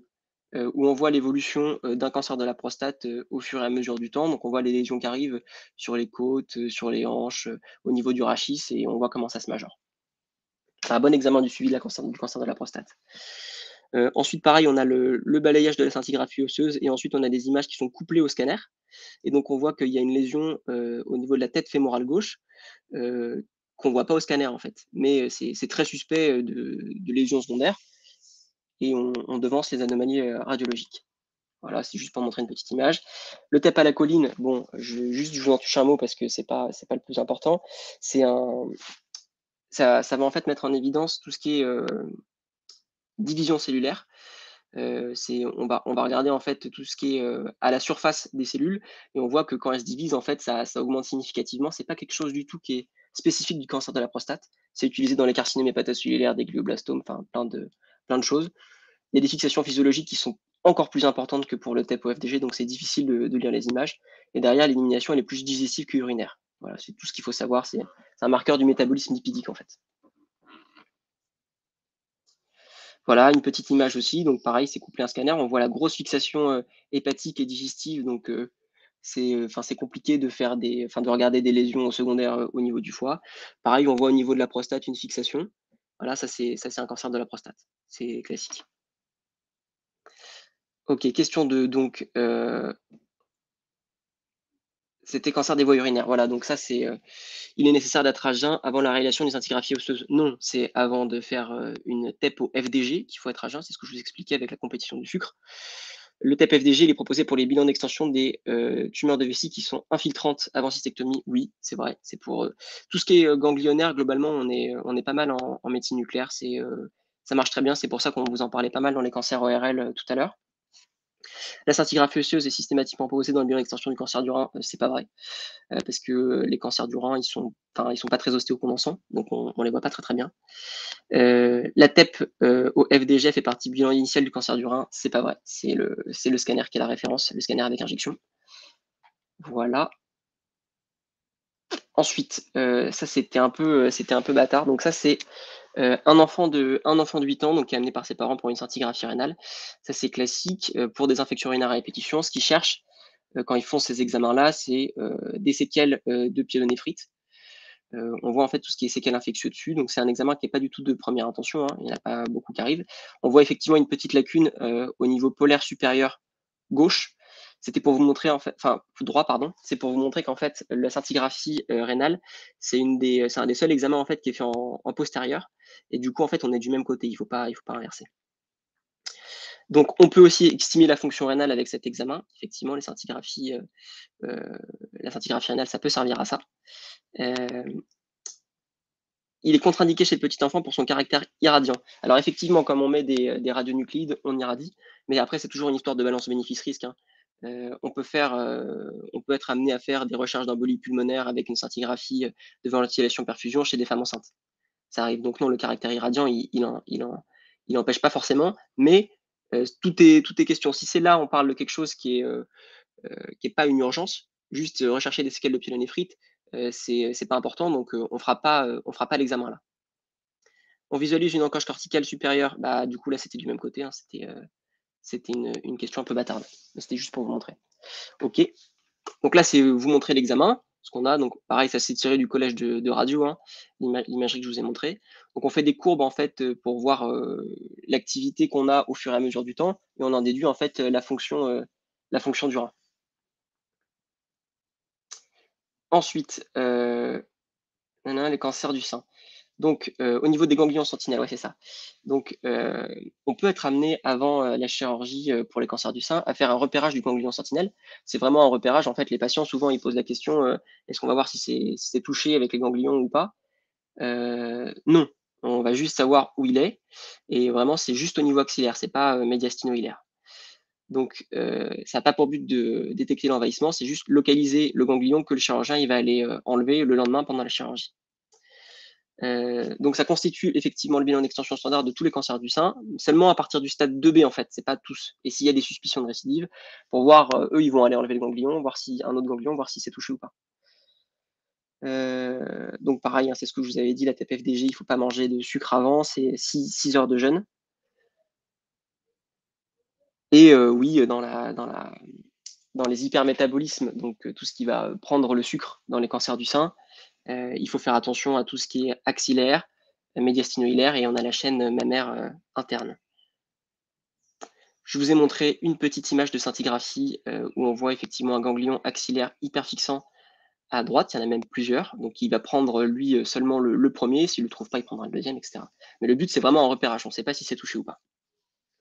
Et pareil, à côté, une scintigraphie osseuse euh, d'un euh, cancer euh, du sein, où c'est des lésions qui sont plutôt ostéolytiques. On voit qu'au niveau du crâne, là, à droite, c'est pas très hyper fixant. Alors que niveau, au niveau de la sacroiliaque, c'est beaucoup plus hyper fixant. Les, cancers du sein, ça peut donner des lésions osseuses qui sont mixtes, hein, qui sont lithiques ou condensantes. Nous, on détecte plutôt les lésions condensantes. Voilà, autre, exemple, où on a donc ça, ça doit être un TPFDG, voilà, où on voit bah, une grosse masse euh, en, axillaire ici, donc c'est euh, le cancer du sein avec les, adénopathies euh, axillaires. Voilà, tu peux passer, c'est juste pour montrer des petits exemples à quoi ça ressemble. Ensuite, on a aussi un gros versant cardiologique en médecine nucléaire, qui est maintenant l'examen qui est le plus fait en euh, médecine nucléaire. En scintigraphie, c'est pas les scintigraphies osseuses qu'on fait le plus, c'est les scintigraphies euh, de perfusion myocardique. Donc, euh, c'est, je pense que ça peut, ça peut faire partie des questions. L'interprétation, elle est, elle est, elle est compliquée, donc je vous ai pas, vous ai pas posé des questions trop, trop difficiles. Donc là, ce qu'on voit en fait sur le, sur, tu peux revenir juste sur l'imagerie, s'il te plaît, Clément. Voilà. Donc en fait, ça se passe en deux phases le, la scintigraphie de perfusion myocardique. On fait faire un effort au patient comme dans un test d'effort classique. Quand il est au pic de l'effort, on lui injecte le radionuclide, qui va être un reflet vraiment de la, de la perfusion. C'est-à-dire que si c'est bien, si bien perfusé, qu'il n'y a pas d'athérome, que, que, le sang passe, le radionuclide, il va, aller, il va aller se fixer en fait sur les zones qui sont euh, perfusées. Donc on a à l'effort une imagerie. Ensuite, on attend un peu et on fait une deuxième injection. Et on repasse le patient euh, sous, la, sous la caméra et on a du coup là ce qui se passe au repos. Et on voit s'il y a des changements entre l'effort et le repos. Euh, s'il y a des, euh, hypofixations à, l'effort, c'est un signe d'ischémie. Mais on ne sait pas si euh, c'est de la nécrose ou si c'est juste de l'ischémie. Et pour ça, il faut faire des images au repos. Si le sang ne passe pas au repos, bah, c'est que c'est de la nécrose en fait. Si jamais ça s'améliore entre l'effort et le repos, quand la demande en oxygène est diminue, c'est que c'est juste de l'ischémie. Les gens, ils ne sont pas gênés normalement, et c'est dès qu'on leur demande un effort physique qu'ils sont plus capables de vasodilater suffisamment. Donc là, c'est ce qu'on a en fait. On voit que euh, la paroi euh, inférolatérale, voilà, elle, fixe, elle fixe pas, voilà, c'est exactement là. Elle fixe pas euh, à l'effort et après ça s'améliore au repos. Donc ça, c'est de l'ischémie. Voilà, c'est l'image classique. Voilà. Ensuite, donc en médecine nucléaire, c'est pas des produits de contraste, c'est vraiment un isotope. Les injections de gadolinium, c'est pour les IRM. Il se fixe que sur les zones euh, qui euh, sont perfusées, puisque le sang passe, sinon bah, il ne peut pas être amené euh, aux zones qui vont fixer. Il expose à des rayonnements, comme tout ce qui est en médecine nucléaire, c'est ce que je vous ai expliqué. Il a une valeur localisatrice, effectivement, puisqu'on va voir toutes les, toutes les zones ensuite avec des reconstructions 3D sur le cœur. c'est une ischémie qu'on a sur, cet examen. C'est inférolatéral, réversible, donc c'est l'artère circonflexe. En fait, on sait au niveau du cœur sur les reconstructions 3D euh, quelles, euh, quelles, artères euh, vont vasculariser quelle partie du cœur. Je vous montrerai après, je vous ai mis un petit exemple. Et on sait qu'effectivement, quand les ischémies sont supérieures à 10%, il y a une indication à une revascularisation, puisqu'on a montré avec des études que derrière, il y avait un, vrai risque de mortalité juste dans les, mois qui suivent l'examen. voilà, donc ça, c'est des redites de ce que je vous ai expliqué, fixation normale, etc. Et donc, on voit aussi en fait le cœur qui bouge, puisqu'on fait des images en fonction qui sont couplées au rythme cardiaque, et du coup, on voit s'il y a de l'akinésie ou pas. Euh, qui est réversible au repos ou pas, qui nous fait du coup d'autres arguments pour l'ischémie ou la nécrose. Voilà, donc ça c'est juste pour vous montrer. Ensuite, on fait des, projections de, ce qu'on voit sur le cœur. On voit les artères qui sont liées, donc l'artère ventriculaire antérieure qui est au-dessus, l'artère circonflexe qui est en inférolatéral et l'artère coronaire droite qui est plutôt euh, voilà, ici. Parfait. Voilà, donc c'est pareil, c'est tiré du collège de radio. En haut à droite, je vous ai mis euh, en haut à gauche, pardon, je vous ai mis une imagerie euh, de scintigraphie myocardique qui est totalement normale. donc le cœur est fixe bien partout, il n'y a jamais de problème. C'est blanc quand euh, ça dépasse la fixation du rouge, hein, ce qui est, classique. Voilà. Voilà, c'est d'autres images, et c'est pas très important. Vous pourrez, replonger dessus si vous voulez. Ensuite, un autre examen, je pense, que, dont vous, entendez parler euh, pour la médecine nucléaire, c'est euh, la scintigraphie de ventilation-perfusion. Donc là, on a une patiente de 25 ans, donc c'est une jeune. Donc attention, jeune, euh, on émet des radiations, il nous faut des bêta-HCG, ou enfin, il faut qu'elle soit ménopausée à 25 ans en général. sauf si elle s'est fait, si elle s'est fait c'est pas le cas. donc dyspnée depuis un mois, bien tolérée. Donc, on va faire, ça c'est un examen, la scintigraphie de ventilation-perfusion, c'est en deux temps. On fait respirer un produit pour voir tout ce qui est euh, euh, ventilation dans euh, les alvéoles pulmonaires, est-ce que ça passe bien, et on injecte un produit pour voir, pareil, la perfusion. Donc, nous, ce qu'on cherche, c'est ce qu'on appelle un mismatch, c'est-à-dire une zone qui va être bien ventilée, mais où la perfusion, elle va pas arriver parce qu'il y, bah, y a un caillot, il y a une embolie pulmonaire. Donc là, c'est un examen qui est, qui est tout à fait normal. On voit que les deux images sont, superposables. Voilà, c'est la même chose des deux côtés. Tu peux passer. Donc, euh, il est indiqué en première intention si les désimères sont augmentés. Non, c'est un examen qui est de deuxième intention parce qu'il est beaucoup moins disponible que, le scanner en fait. On a beaucoup moins de médecine nucléaire que de radiologie, donc euh, c'est vraiment s'il y a une, contre-indication, une impossibilité de faire le, scanner qu'on va pouvoir nous euh, entrer en action. il est réalisable même s'il y a une, allergie à l'iode, euh, oui, parce que c'est pas pas de l'iode qu'on met euh, pour ça. Nous, il n'y a pas de, problème d'insuffisance rénale, on ne fait pas d'injection de, produits de contraste. Euh, il permet de visualiser une embolie pulmonaire directement. Non, on on voit pas l'embolie pulmonaire, on voit juste le fait que le produit n'arrive pas au n'arrive pas au, vaisseau, genre tout ce qui est sous-segmentaire, on ne voit pas de fixation du traceur. Donc, on dit qu'il y a une embolie pulmonaire. Là, c'était totalement normal, il n'y a rien du tout. Euh, on peut affirmer qu'il n'existe pas d'embolie pulmonaire chez cette patiente. Oui, l'examen est normal et, euh, on a une VPN qui est à, 100%. Donc il euh, a pas de, on pose, le diagnostic ou on, on l'écarte. On aurait dû réaliser un test de crochet chez cette patiente, en effet, elle a 25 ans, et l'examen est irradiant. Ensuite, donc là, voilà, c'est pour vous montrer sur l'enjeu scanner, on voit bien l'embolie pulmonaire. Et euh, donc, il y en a effectivement juste euh, embolie pulmonaire bilatérale proximale avec euh, à droite, on voit des, des embolies pulmonaires qui sont sous-segmentaires. Et là, on a le, la scintigraphie de ventilation-perfusion qui est associée. donc, on voit qu'il y, a y a plein de petites lacunes en fait sur tout l'examen qu'on voit en perfusion et qu'on voit pas derrière en, en ventilation. Donc ça, c'est des embolies pulmonaires bilatérales. Voilà. Ensuite, euh, un, autre, euh, un autre examen, je pense qu'on peut qu'on pourrait vous donner et auquel les endocrinologues ils ont souvent euh, ils ont souvent ils, enfin, demandent souvent, c'est les thyroïdes. Donc là, on a une patiente de 32 ans qui se plaint d'une irritabilité depuis plusieurs semaines, un bilan biologique qui retrouve une hyperthyroïdie biologique vraie, à la différence de quelque chose de frustre. Et on fait une scintigraphie thyroïdienne. Donc là, c'était pour que vous reteniez que, en fait, que, ce qui fixe sur la scintigraphie qu'on voit juste avant, ça c'est les glandes euh, thyroïdiennes, enfin c'est les glandes, euh, pardon, salivaires. La thyroïde, elle est juste en bas, on la distingue à peine. Voilà, ça c'est ce qu'on appelle en fait une scintigraphie euh, blanche. Et, le produit qui est de l'iode radioactif, c'est de l'iode, c'est pas de l'iode 131 qui est thérapeutique, mais c'est de l'iode 123 en général qu'on utilise. Et là, il se fixe pas, il se fixe pas parce que les thyroïdites, ils sont lisés. C'est une thyroïdite, en fait. La maladie de base d'eau, on aurait une, hyperfixation qui serait bilatérale symétrique et qui éteindrait tout, en fait, autour. S'il y avait euh, un nodule, euh, bah, on verrait euh, un nodule qui, enfin, avec une fixation thyroïdienne du reste du parenchyme qui serait diminué, puisqu'il prendrait tout l'iode, en fait, disponible, parce qu'il est autonome, il répond plus à la TSH, en fait. voilà, donc c'était effectivement une thyroïdite. Les glandes c'est ça. Ok. On n'est pas, je vois, les questions rapidement. Il n'y a pas d'allergie au, euh, a pas d'allergie en fait aux radionucléides qu'on utilise. Il y a des allergies à l'iode, mais là on était, on, parlait pas de ça pour la jeune de 25 ans. Là on n'utilise pas de l'iode en fait pour le, euh, pour la scintigraphie ventilation perfusion. Donc il n'y avait il a pas d'allergie. Ensuite, euh, voilà, je vous ai fait un petit tableau juste pour vous montrer, mais c'est pas, pas très important, vous pourrez relire ça après. Je vous ai mis des petites images pour que vous puissiez bien faire la différence. Donc ça, c'est le base d'eau dont je vous parlais, l'hyperfixation bilatérale symétrique de tout le parenchyme thyroïdien. Le nodule, euh, avec une fixation du reste du parenchyme qui est, euh, qui est diminuée.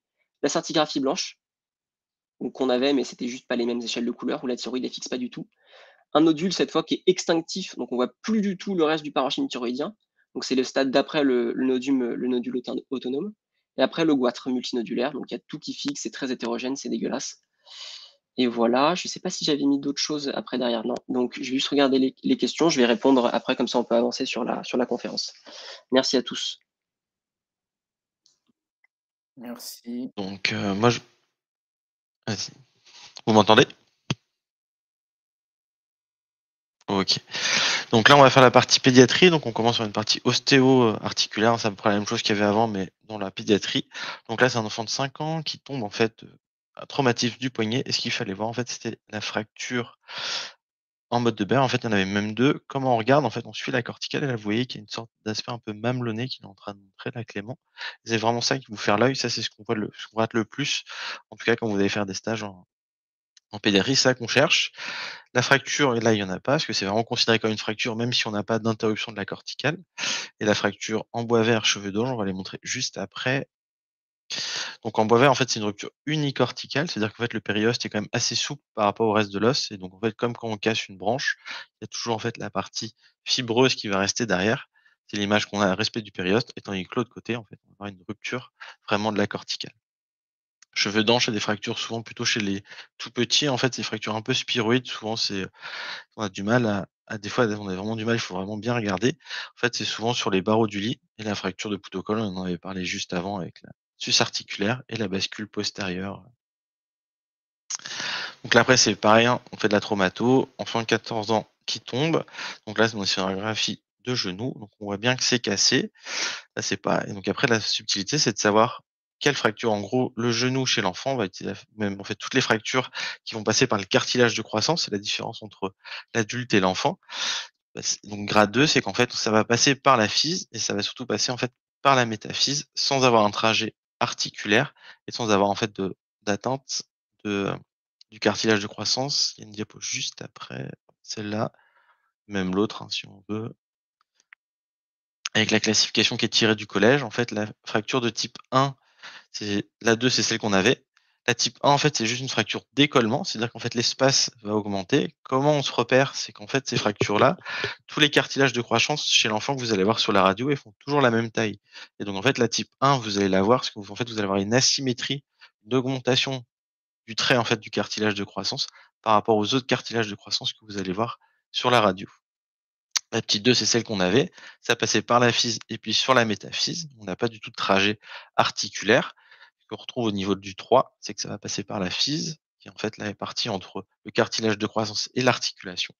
Et puis la 4, c'est encore plus grave parce que ça passe transverse comme une montre. Et le 5, c'est le plus grave parce qu'en fait, on va avoir un impact, en fait, une atteinte complète du cartilage de croissance.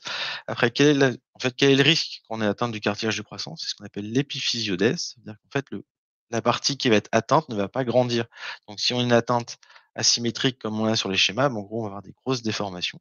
Et chez les enfants, en fait, si on a ça au niveau du genou, un type 5, en fait, l'enfant, quand il va grandir, il va avoir une jambe qui va faire 20 à 30 cm de moins. Donc, c'est assez compliqué. Donc, des fois, les chiens, ils, font les deux côtés. En fait, ils cassent pour, en fait, l'autre cartilage pour faire de l'autre côté, en se disant le patient, il sera petit, mais au moins, il fera il aura deux jambes de la même taille. La fracture de Lagrange et Rigaud, c'est au niveau du coude. En fait, type 1, c'est non déplacé. Type 2, en fait, on a une bascule postérieure, c'est unicortical, mais c'est toujours tenu par derrière. La 3, c'est on a une bascule postérieure et un déplacement en fait complet. Et le type 4, en fait, c'est un peu comme le Gardon au niveau de la, de la hanche qu'on a vu. En gros, c'est une rupture complète de contact. Et là, Clément avait expliqué, mais en gros, c'est que le pouce, si vous mettez comme ça, en fait, vous vous rendez compte que votre pouce, pardon, il est toujours en avant par rapport au reste. Et donc, en fait, sur la radio, vous savez que l'avant est sur le, la colonne en fait du pouce. Donc après, on va parler de la boiterie. Donc, c'est des patients de 5 ans. Et en gros, quel examen on doit faire dans une batterie? Je vais passer. En gros, c'est on fait une radiographie du bassin de face, de profil de l'ange douloureuse. On ne fait pas forcément de comparatif, en tout cas au tout début. On fait l'ange de base. Et puis, si on a un doute, on fait le profil, mais on évite surtout les chez l'enfant, donc on ne le fait pas du tout. On fait une échographie de hanche. En fait, c'est pour voir s'il y a un épanchement au niveau de l'articulation ou qui nous faut rentrer plus sur une synovite ou une arthrite. Et on fait une radiographie à 45 jours. En fait, c'est pour confirmer le diagnostic, pour voir qu'on n'est pas en fait une autre symptomatologie derrière sous-jacente. Donc là, la boiterie, ça c'est le schéma qui est tiré du collège de, de pédiatrie. Donc ce qui est super intéressant, c'est le contexte. En gros, c'est votre enfant. Est-ce qu'il vient pour avec de la fièvre ou pas? Si on a de la fièvre, on part vraiment sur l'infection ostéo-articulaire qui va être une urgence.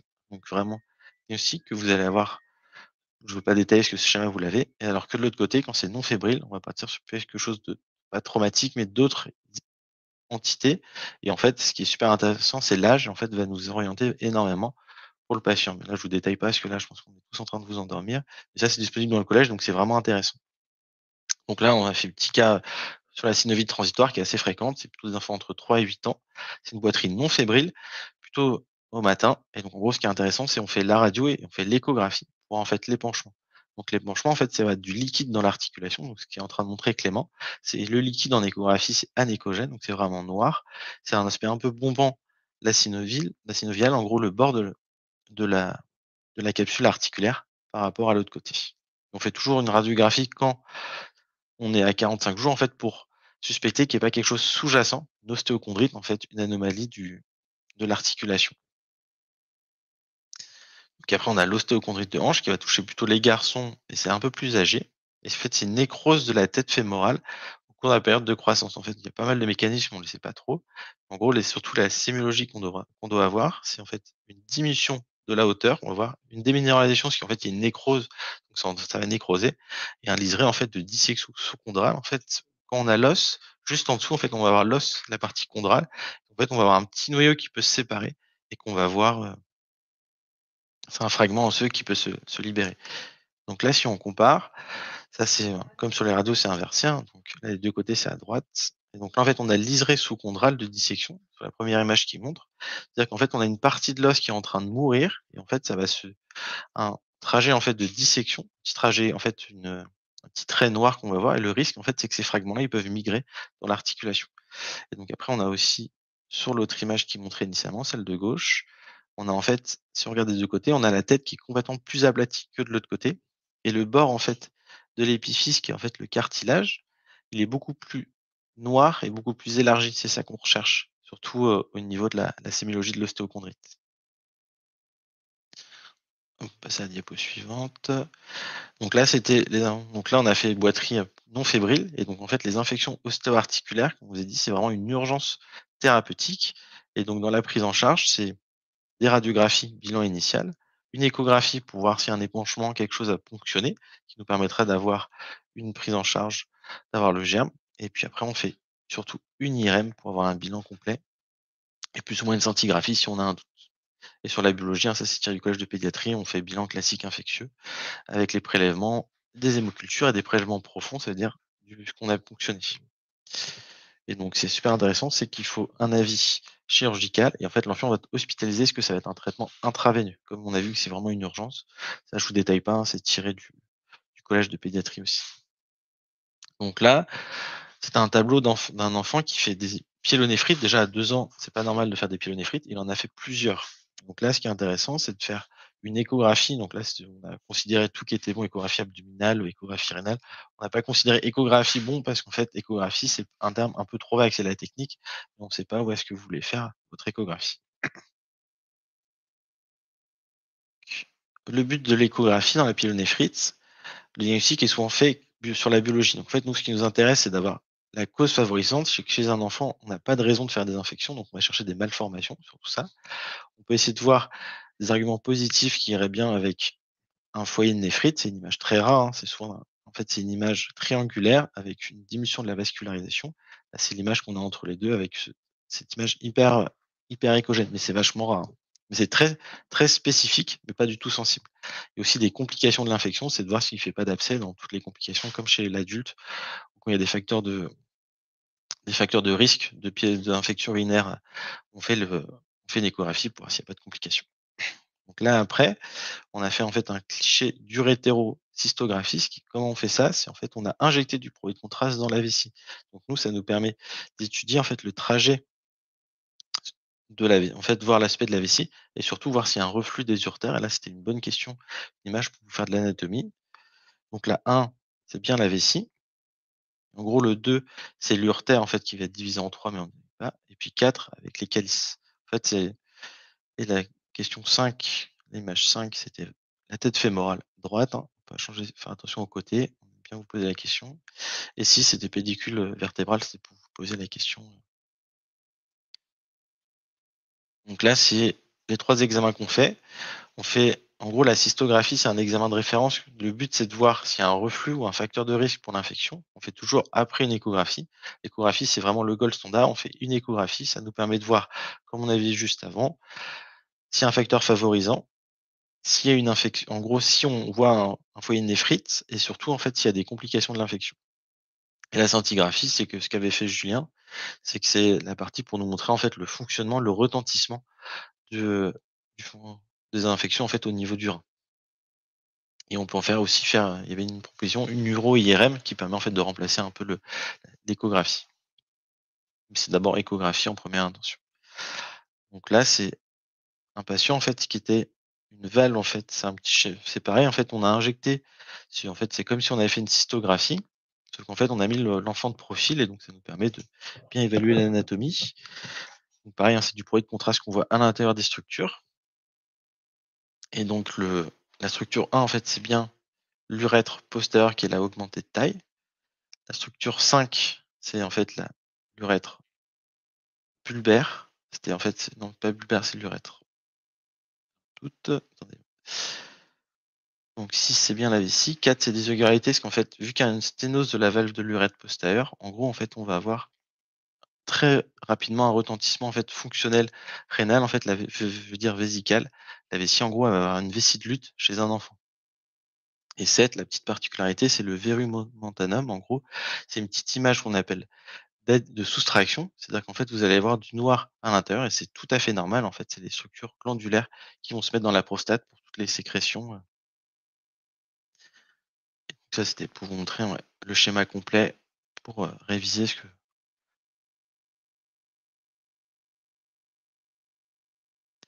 Donc là, c'était la valve, c'est un petit cas pour parler de la valve de l'urètre postérieure. En gros, c'est une structure, c'est un petit repli muqueux qui va se mettre juste en dessous du verumentanum. Et en gros, en fait, c'est des enfants qui vont avoir beaucoup de mal. En fait, il y a même des diagnostics anténataux. Anténatal, je veux dire, en fait, il va avoir un gros retentissement sur les sur la fonction rénale, parce qu'en fait, il va avoir une grosse dilatation, parce que la vessie, en fait, c'est vraiment une vessie de lutte, et donc c'est vraiment une urgence. Donc nous, on fait des échographies à vraiment à la naissance, que c'est des enfants quasiment qui n'arrivent pas du tout à pisser, qui se mettent quasiment en globe dès la naissance. c'est vraiment un examen et on fait vraiment très rapidement parce qu'en fait, il y a un gros retentissement sur la dilatation après qu'on va avoir au niveau des reins. là, c'était pour vous montrer l'image sur l'échographie avec une vessie de lutte. Et là, en fait, le, les, signes 1 qu'on voit, en fait, c'est vraiment les bases urtères qui sont en fait vraiment dilatées, le, le 2 avec un aspect de vessie de lutte. L'échographie, c'est vraiment le dépistage et la cytographie, c'est pour vraiment avoir le diagnostic. Donc ça, c'était pour le syndrome de la jonction. C'est il faut faire une échographie et une uro-IRM. On est en pédiatrie, donc on fait jamais d'uroscanner. En tout cas, pas de la scintigraphie. Ça va surtout être pas de dépistage initial. En fait, c'est pour voir les complications. Et l'urétrocystoscopie, c'est vraiment un examen d'urologie pour voir. On a, a pas du tout d'intérêt. Donc syndrome de la jonction piélo-urétérale, en fait, c'est un c'est faut imaginer qu'on a le rein, une dilatation, et en fait, le qui est juste après, il est normal. En fait, c'est vraiment un obstacle, c'est souvent plutôt fonctionnel, on ne connaît pas trop la cause, et qui reste en fait juste, en fait, on a le rein, juste en dessous, en fait, on va avoir l'urtère qui est atteint, et donc ce qu'on va voir, c'est une dilatation, comme il est en train de nous montrer clairement comme vous voyez. En gros, normalement, on ne devrait pas avoir autant ces calices remplis d'urine, en fait, ces images anéchogènes c'est des enfants qui ont des gros reins. Donc, l'examen à faire, c'est l'échographie. En fait, on fait une échographie. Là, on voit la dilatation. On voit plus ou moins un obstacle. On peut rechercher, en fait, on peut avoir une déco, c'est ce qu'on appelle un vaisseau polaire. C'est une petite artère qui va sur le pôle inférieur du rein. Et en fait, cette artère va cravater l'urotère, et pas l'urètre. Et donc, en fait, on peut avoir un traitement chirurgical euh, dessus. Et donc, après, ce qu'on fait, c'est on fait une scintigraphie pour voir le fonctionnement rénal. Des fois, c'est des trucs qui sont anténataux. Et donc, des fois, on a une un défaut de fonctionnement du rein, donc ça permet d'avoir une étude générale en fait de la fonction rénale. nous, on n'a pas du tout en imagerie, c'est l'avantage de, la médecine nucléaire. Et l'euro-IRM, ça permet de bien voir par rapport à une échographie, c'est vraiment si on a du bol, pas du bol, mais c'est un examen qui est encore plus performant, parce qu'on a une très belle image et vraiment très reproductible. C'était pour vous montrer. Donc, en gros, on a une dilatation à droite des cavités pieds localicielles par rapport à l'autre côté. Hein. Demander la question est-ce qu'on est, on est sur quoi comme séquence? On est vraiment sur du T2. Parce que là, ce qui nous intéresse, c'est de voir le liquide dilaté. On ne voit pas du tout en fait de dilatation de l'urtère. donc, ce qu'on va voir après, c'est qu'on injecte du produit de, contraste. Donc là, en fait, ça va être des sels de gadolinium. Et en fait, on va attendre que le produit soit excrété. en fait, là, c'est pas comme si les images qu'on avait vues de cystographie, on injecte le produit par la vessie. Là, on attend en fait que le produit soit excrété au niveau des reins. Et c'est là qu'on voit sur les images qu'au niveau des images de droite, c'est qu'on voit en fait qu'il y a un petit artère qui passe juste en dessous, en fait, qui va cravater à droite, là, au niveau du 3, qui est en fait la cause responsable. Et donc en chirurgie, on peut les enlever.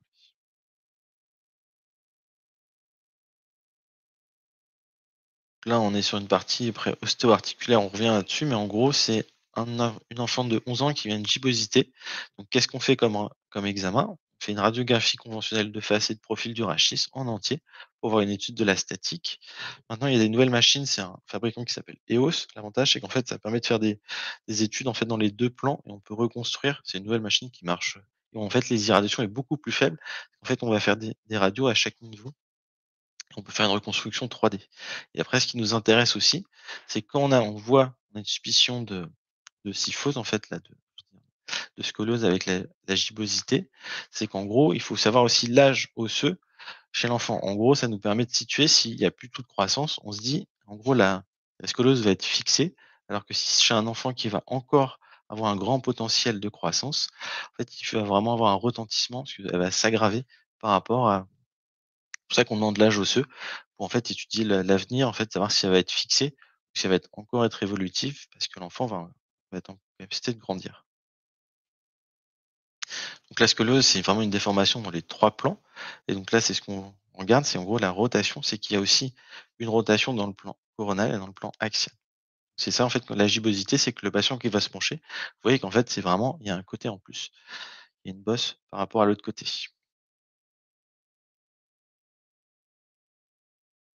Donc, euh, bilan de la scoliose, c'est radiographie du rachis entier de face et de profil, ou sinon avec la technique EOS qui permet, en fait, c'est une version quasiment améliorée du rachis entier de la face, qu'en fait, donc c'est vraiment deux entités qui sont quasiment identiques, qui nous permet en fait de voir, après de statuer, de trouver une étiologie s'il n'y a pas une malformation, et aussi de voir le niveau et l'étendue de la scoliose, ça veut dire est-ce qu'elle est double, est-ce qu'elle est plutôt à gauche, est-ce qu'elle est plutôt à droite, et aussi on fait un âge osseux pour savoir s'il y a encore un potentiel évolutif de cette scoliose par rapport au reste, par rapport à si elle était fixée.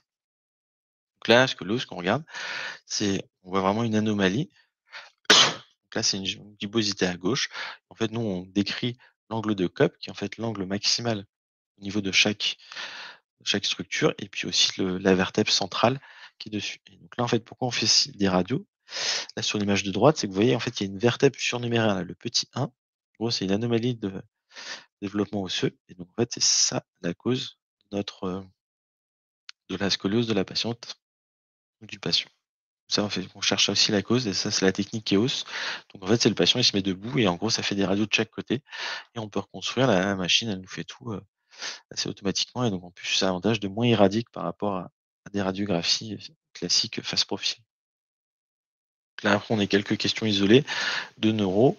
Là, c'est les tumeurs cérébrales pédiatriques. Donc, la première cause de tumeur cérébrale chez l'enfant, c'est le méduloblastome. Et en gros, méduloblastome, c'est plutôt une tumeur qui va toucher pic d'incidence, c'est avant 10 ans, et surtout entre 5 et 8 ans. Donc, le mode de révélation des tumeurs cérébrales pédiatriques, c'est plutôt des signes d'hypertension intracrânienne, parce que c'est plutôt des tumeurs de la fosse postérieure. Donc, en fait, il va y avoir une hydrocéphalie par obstruction, en fait, principalement du, soit de canal de Leydig, sur le, pas le mésencéphale, mais le, la de Silus dans le, la présence en fait de lésions spontanément hyper denses de la ligne médiane fait plutôt évoquer un méduloblastome, parce qu'en fait, c'est des cellules qui vont être très. Le méduloblastome, c'est une cellule qui va avoir, qui être très riche en cellules. Et en fait, ce qui va se passer, c'est que vu qu'elle est très riche en cellules, elle va être un peu plus dense que le parenchyme qui est autour. C'est pour ça qu'on la voit très bien en contraste spontané, et une image juste après. Ça, c'est un bon critère pour savoir si c'est un méduloblastome. Et dans le bilan initial, c'est en fait, on fait un scanner sans injection, et là, on voit une masse cérébrale. Qu'est-ce qu'on fait? Ben, En gros, on fait, on n'injecte pas parce qu'on va pas avoir plus d'informations. Et donc, ce qu'on fait, c'est qu'on passe directement l'IRM. Et là, on va injecter parce qu'en fait, notre injection au scanner va être irradiante et va pas nous apporter plus d'informations que l'IRM. en fait, on fait scanner sans injection et IRM, ou directement IRM. On ne fait pas scanner injecté. Ça, c'était vraiment, fallait distinguer. C'est qu'en fait, ça sert à rien. C'est une irradiation pour rien chez l'enfant. Et en gros, toute suspicion d'hypertension intracrânienne chez l'enfant, il faut vraiment penser à une tumeur. Et donc, imagerie cérébrale en urgence. Donc là, c'est pour un petit encart sur le méduloblastome. Hein, c'est vraiment détaillé dans, dans notre collège de radio. C'est une tumeur maligne de la fosse cérébrale postérieure. vraiment maligne, ça a son intérêt. C'est la tumeur cérébrale la plus fréquente chez l'enfant. Le pic d'incidence est entre 5 et 8 ans. Et 75% en gros arrivent avant 10 ans. Donc le mode de révélation, comme vous avez dit, c'est principalement l'hypertension intracrânienne. Syndrome cérébelleux, ça paraît assez logique. En gros, on a une tumeur dans, la, le cervelet, dans la fosse postérieure, donc une ataxie. Et puis, rare, on peut avoir des tableaux en fait de torticolis, mais sans contexte traumatique sans, sans fièvre. Et vu que c'est des tumeurs malignes qui peuvent métastaser, quand on fait un bilan d'extension, faire vachement attention. On fait toute la moelle en entier pour voir s'il n'y a pas des métastases, en fait leptoméningées, des métastases qu'on ne verrait pas. Donc on ne fait pas qu'un bilan d'extension. Au niveau du crâne, on fait aussi la moelle donc c'est 80% médian au niveau du vermis. Et là, comme vous disiez, c'est une lésion tissulaire qui est fortement dense. Et donc ça va être une hyperdensité spontanée au scanner. Et fait, les cellules sont très denses, et donc en fait, il va y avoir une anomalie de diffusion de l'eau. Donc ça va faire un peu comme l'image qu'on pourrait voir dans un AVC, avec une restriction de la diffusion, hypersignal diffusion et une chute de l'ADC. C'est des tumeurs qui se rehaussent intensément, avec un rehaussement hétérogène. Et comme je vous disais, c'est des tumeurs qui métastasent énormément au niveau médulaire, et donc, dans le bilan d'extension de base, on va le passer à l'IRM, on fait une IRM cérébrale et en même temps médulaire pour voir s'il n'y a pas de métastase. Donc là, comme montré, l'image de gauche, c'est un scanner sans injection. Et donc là, on voit très bien la masse qui est hyper dense, qui est vraiment blanche par rapport au reste, qui est vraiment au milieu de la fosse du cerveau. Là, on passe sur l'image de droite, après, c'est une lésion en hypersignal diffusion. Donc on voit qu'elle est vraiment. Je vous ai pas mis l'ADC à côté, mais ça serait restreint comme si on avait dans l'AVC. Et puis à côté, c'est vraiment une tumeur qui se rehausse de façon intense et puis qui a quand même un pattern un peu hétérogène. Il y a des zones en fait un peu de nécrose. Vu que c'est fortement cellularisé, il y a des problèmes de vascularisation. On va. C'est pour ça qu'on a un aspect hétérogène. Donc là, après, c'était pour vous montrer un petit peu l'hypophyse, même si ça avait détaillé avant. Ce qui est intéressant, c'est que l'antéhypophyse, c'est la petite flèche qui est en avant, en fait, elle est on va partir plutôt de la post-hypophyse. En fait, la post-hypophyse est très riche en protéines et les protéines sont en hypersignal T1. Et donc, on va voir sur un sagittal T1 qu'on a ici. On est sur du T1 parce que si vous regardez le cervelet, on est bien sur de l'anti on est sur de l'anatomique. Blanche et blanche, absence grise et grise. Et donc, en fait, là, la post-hypophyse, quand elle est toujours en hypersignal, ça nous permet de nous repérer quand il y a des anomalies. En fait, de la post-hypophyse, on aurait ce petit point blanc, en fait, qui serait au niveau de l'hypothalamus, qui, en fait, n'aurait pas migré. Juste au-dessus, on a le chiasma optique hein, sur la flèche de droite, sur l'image de droite, je veux dire, et vous comprenez très bien quand le cas d'adénome pléomorphe qu'il y avait juste avant, on va avoir un retentissement, une hémianopsie bitatemporale. Quand vous entendez, quand vous voyez ça, une analyse du champ visuel, il faut vraiment penser à un adénome hypophysaire, parce qu'en fait, ça va pousser juste en dessous le, le chiasme. Ça après le craniopharyngiome, c'est une tumeur pédiatrique qui a un rôle, en fait, c'est une tumeur bénigne, mais en fait qui a un retentissement fonctionnel local, et donc c'est la croissance lente. C'est plutôt chez les enfants entre 15 et 15 entre 5 et 15 ans. Signe d'hypertension intracrânienne. Et donc souvent on en parle, c'est dans les surtout dans les tableaux d'anomalies endocriniens, parce qu'en fait ça peut donner un panhypopituitarisme comparé. Ça c'est vraiment, vous verrez ça dans le cas dans les anomalies de croissance ou retard de croissance, c'est vraiment le crânio-pharyngome qu'ils aiment bien vous mettre comme image pour tumeur. Donc c'est une tumeur juste après qui est mixte. Pourquoi c'est mixte? Qu'on va avoir une portion tissulaire et une portion kystique, en fait, c'est des calcifications. C'est pour, juste pour vous montrer, là, vous pourrez regarder chez vous, parce que là, je pense qu'il y a encore d'autres questions, donc on va un peu vous endormir. Ça, c'est vraiment l'image typique du crânio-pharyngiome qui irait dans le tableau dans un cadre endocrinien, principalement retard de croissance en pédiatrie. si vous voulez vous mettre de l'imagerie, ça sera un crânio-pharyngiome.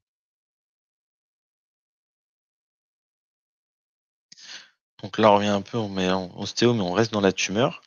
Donc les principales tumeurs malignes primitives chez l'enfant et l'adolescent, en tumeur osseuse, c'est l'ostéosarcome et le sarcome d'Ewing.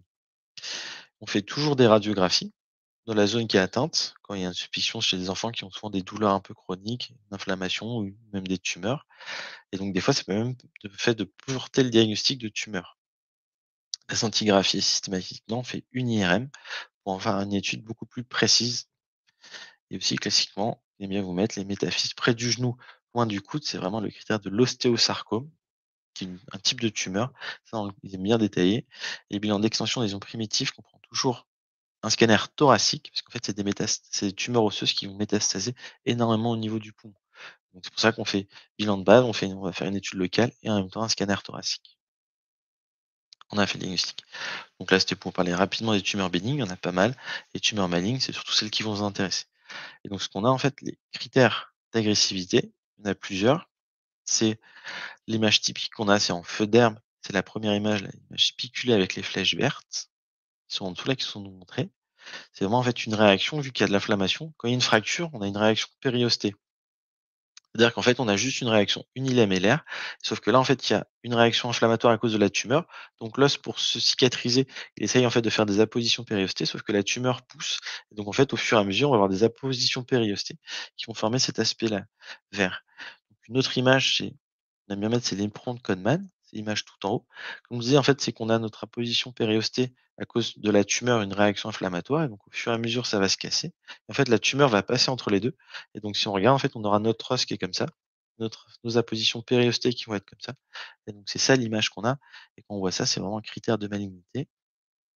Donc, la critère de, aussi de, qui va bien en faveur d'une tumeur osseuse, c'est une résorption osseuse. Donc, ça va être une hyper clarté au niveau de l'os, là, au niveau de la flèche jaune.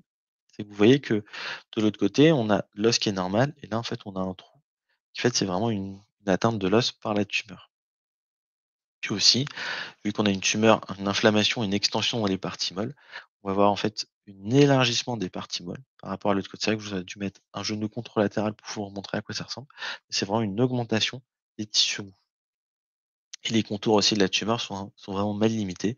Au niveau de la flèche rose, là, c'est que les contours de l'os on voit plus du tout, en fait, normalement, quand on a une réaction osseuse qui fait plutôt bénigne, on a toujours un, un liseré cortical qui est là. Et en fait, là, il est vraiment rompu, parce qu'en fait, il est bouffé par l'os. Euh.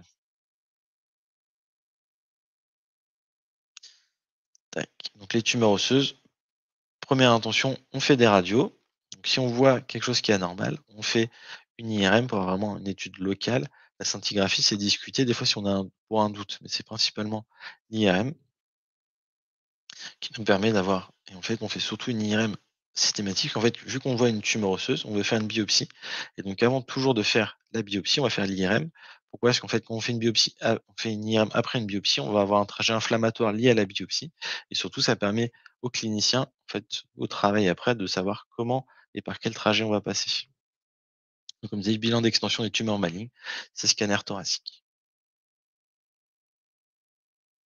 faire plus ou moins une Mais en gros, ce qu'on va voir, nous après, on a vu l'imagerie en radio. Là, en IRM, qu'est-ce qu'on voit? C'est une extension intramédulaire de la lésion. En gros, là, c'est séquence qui est injectée. Et donc, la corticale osseuse, vous allez voir, en fait, il y a une extension dans l'os. Parce qu'on est vraiment limité. A une atteinte qui va être aussi au niveau du cartilage de croissance, là qu'on voit sur la partie inférieure. On voit que ça a dépassé le cartilage de croissance, au niveau en fait entre la métaphyse et l'épiphyse. Extension épiphysaire, c'est-à-dire qu'on a une extension encore après le cartilage de croissance. Ce qui est très intéressant, c'est quand on fait une IRM, ils peuvent vous poser la question, mais est-ce qu'on fait une IRM centrée sur la lésion? En fait, il faut toujours une IRM qui fait un bilan d'extension sur l'articulation sus et sous-jacente.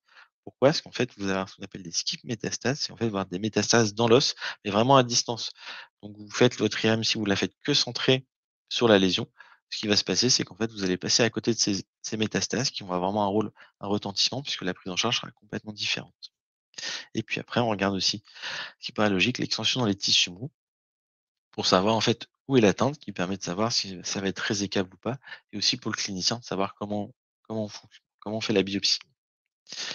Ça, après, c'est un petit cas, les tumeurs osseuses, en gros, c'est ostéosarcome et sarcome des wings, les tumeurs maligne. Isidore qui pourrait vous poser la question, c'est l'ostéosarcome, c'est près du genou blanc du coude, c'est au niveau des métaphyses. Et la survie globale, c'est à peu près 60 à 75% maintenant, avec le sarcome, l'ostéosarcome, c'est plus, c'est moins, c'est plus grave que le sarcome de oui. Donc après, là, on va quasiment atteindre la fin de ma partie. C'est la luxation congénitale de hanche. C'est une prédominance féminine. En gros, l'échographie, il y a deux cas. L'échographie, s'il n'y a pas d'anomalie, elle va être réalisée à six semaines. Bon, on fait jusqu'à trois mois, quatre mois, on fait une échographie, parce qu'en fait, la radiographie ne va rien nous apporter, parce qu'on sait que c'est une l'ossification ne va pas se faire. Donc, en fait, la radio, vous allez juste voir même pas un noyau de dosification, vous allez avoir rien du tout. Donc on le siège pour plus tard. Et les facteurs de risque, c'est la présence en siège, alors que la gimilité n'est pas du tout un facteur de risque.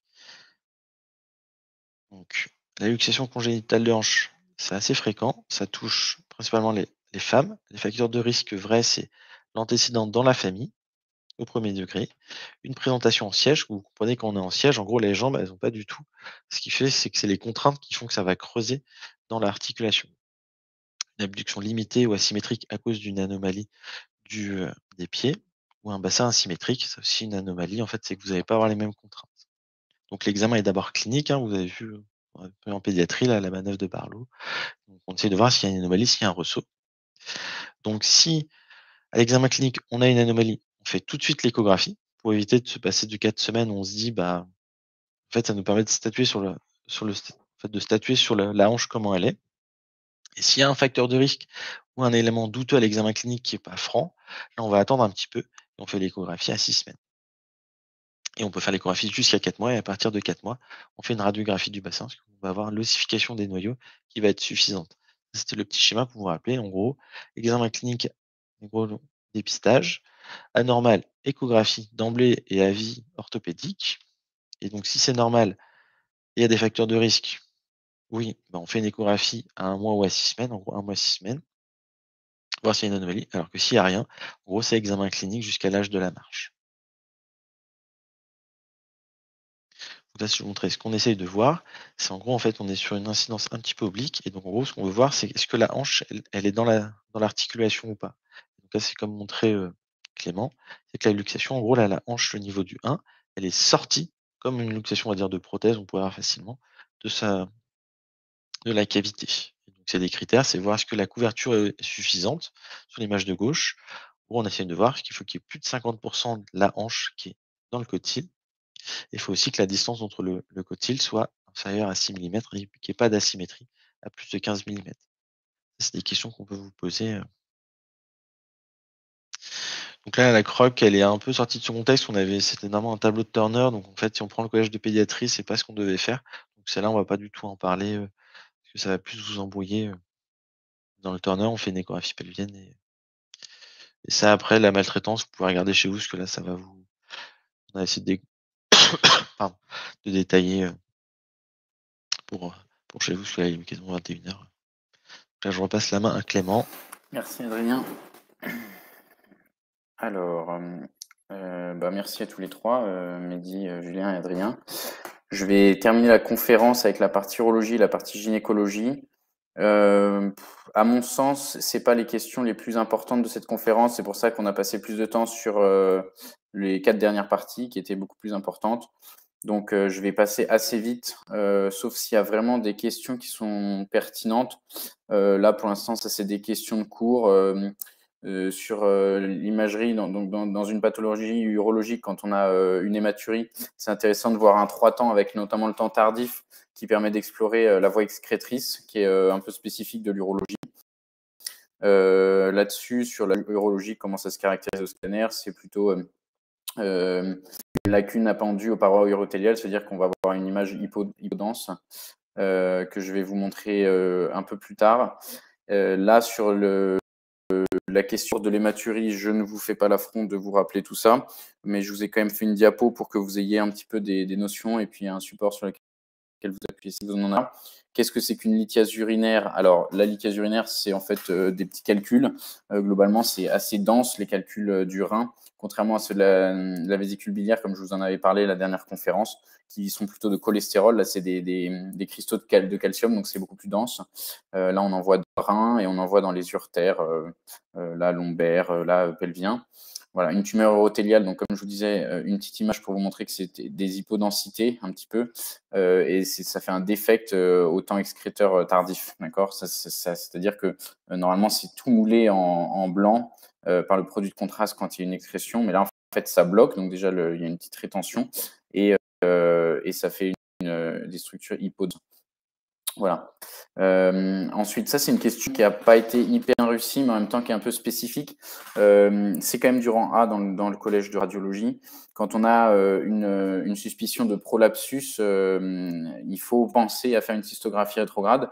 Vous, vous avez été nombreux à parler d'échographie. Alors oui, c'est intéressant, mais c'est pas essentiel euh, dans le diagnostic. C'est la cystographie rétrograde qui va permettre. euh, euh, J'ai l'impression que Clément, ton micro est débranché, non?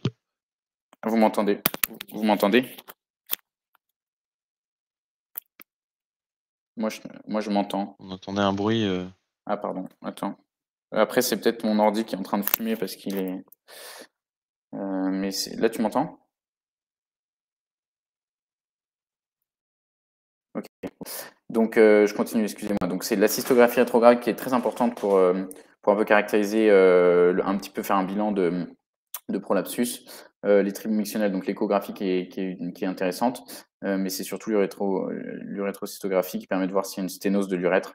Ça, c'est hyper important parce que c'est une complication majeure. Ensuite, ça peut entraîner des infections, des pyélonéphrite, etc. Donc, c'est euh, c'est essentiel, notamment dans l'incontinence urinaire. Donc, euh, les prolapsus, c'est ça qui va donner plutôt une incontinence urinaire. Les troubles mixtionnels, ça va euh, être plutôt. C'est euh, une autre gamme diagnostique. Euh, L'IRM dynamique qui peut être euh, très intéressante aussi pour voir comment se comporte le, prolapsus, notamment ça, ressemble un petit peu aux défécographies pour voir un petit peu s'il y, a- aussi des prolapsus à ce niveau-là. Voilà, on peut faire un neuroscanner, une échographie. Tout ça, c'est des questions qui sont pas majeures, si ce n'est vraiment, j'insiste sur la cystographie rétrograde, c'est très intéressante pour voir s'il y a une complication au niveau du col, du sphincter euh, et, comment se comporte euh, le prolapsus. Euh, voilà, là par exemple, on voit qu'il y a une petite obstruction avec dilatation d'amont de qui, est, qui est une complication d'un prolapsus. Ensuite, voilà, c'était juste pour vous montrer une image, une image de, tumeur rénale. Franchement, pas très intéressant. Retenez que le, type principal, c'est le carcinome à cellules claires. Là, c'était pour vous faire réviser un peu votre clinique, mais il y avait un, un dossier est-ce que j'avais bien détaillé Euh, Oui, j'avais noté, euh, voilà, cancer du pancréas, kyste etc., qui doit vous faire penser à la à Hippel-Lindau, le sclérose tubereuse de Bourneville, c'est un autre euh, ensemble de pathologies. Euh, c'est vraiment la limite du programme, ça, donc je vous ai pas mis de tableau spécifique parce qu'il faut se concentrer sur l'essentiel. La varicocèle, ça c'est hyper important, donc j'insiste. La varicocèle gauche, il faut absolument penser à un cancer du rein gauche. Qu'est-ce que c'est? C'est une dilatation des veines euh, autour du testicule. Et donc, quant à gauche, il faut penser à hum, une tumeur du rein gauche qui, en fait, obstruerait euh, la veine rénale gauche, dans laquelle s'abouche justement la veine euh, euh, spermatique, la veine euh, gonadique euh, gauche, alors qu'à droite, elle va, se drainer directement dans la veine cave inférieure. Donc, euh, à gauche, si on a un varicocèle gauche, il faut penser au cancer du rein gauche, donc faire un scanner. Ok? Euh, voilà. Euh, il faut réaliser un bilan d'extension par un scan TAP. En fait, euh, on a déjà l'abdominopelvien puisqu'on fait souvent un neuroscanner. Donc, il y a juste besoin d'un scanner thoracique en plus. Il n'y a pas besoin d'aller chercher dans le cerveau, etc. Parce que pas les, les sites, euh, les sites de métastases les plus fréquents. D'accord? Donc, on, se concentre sur le scanner thoracique. Très important, ça c'est une tumeur bénigne, et ça c'est du rang A, je l'ai vérifié dans le collège. Tumeur bénigne que vous devez connaître. Est-ce que j'en ai mis Je n'ai pas mis d'image, mais euh, il faut penser que si vous avez une tumeur dans le rein avec un endroit qui est très noir, très graisseux, euh, donc la, la densité graisseuse c'est celle-ci, hein, euh, ou, comme à l'extérieur, là, là c'est de la graisse euh, sous-cutanée et là c'est de la graisse euh, viscérale. Si on a du, gras là-dedans, dans une tumeur comme ça, c'est très très très évocateur d'angiomyolipome et donc c'est une tumeur bénigne euh, qui dégénère pas. Donc euh, il ne faut pas s'inquiéter. Au contraire, c'est plutôt rassurant de voir ça. Euh, voilà, quand on a un kyste simple en échographie, euh, pas besoin de, faire d'examen complémentaire. Euh, et ensuite, là pour la B, elle était fausse parce qu'il n'y avait pas de clair envahissement du pédicule rénal. Sauf si quelqu'un me dit le contraire. Ça a été non, moi je vois pas trop de d'envahissement clair. En plus, je l'avais pris dans un cas où, où, il disait qu'il n'y avait pas d'envahissement. En revanche, effectivement, s'il y a un envahissement du pédicule rénal, c'est assez évocateur de malignité.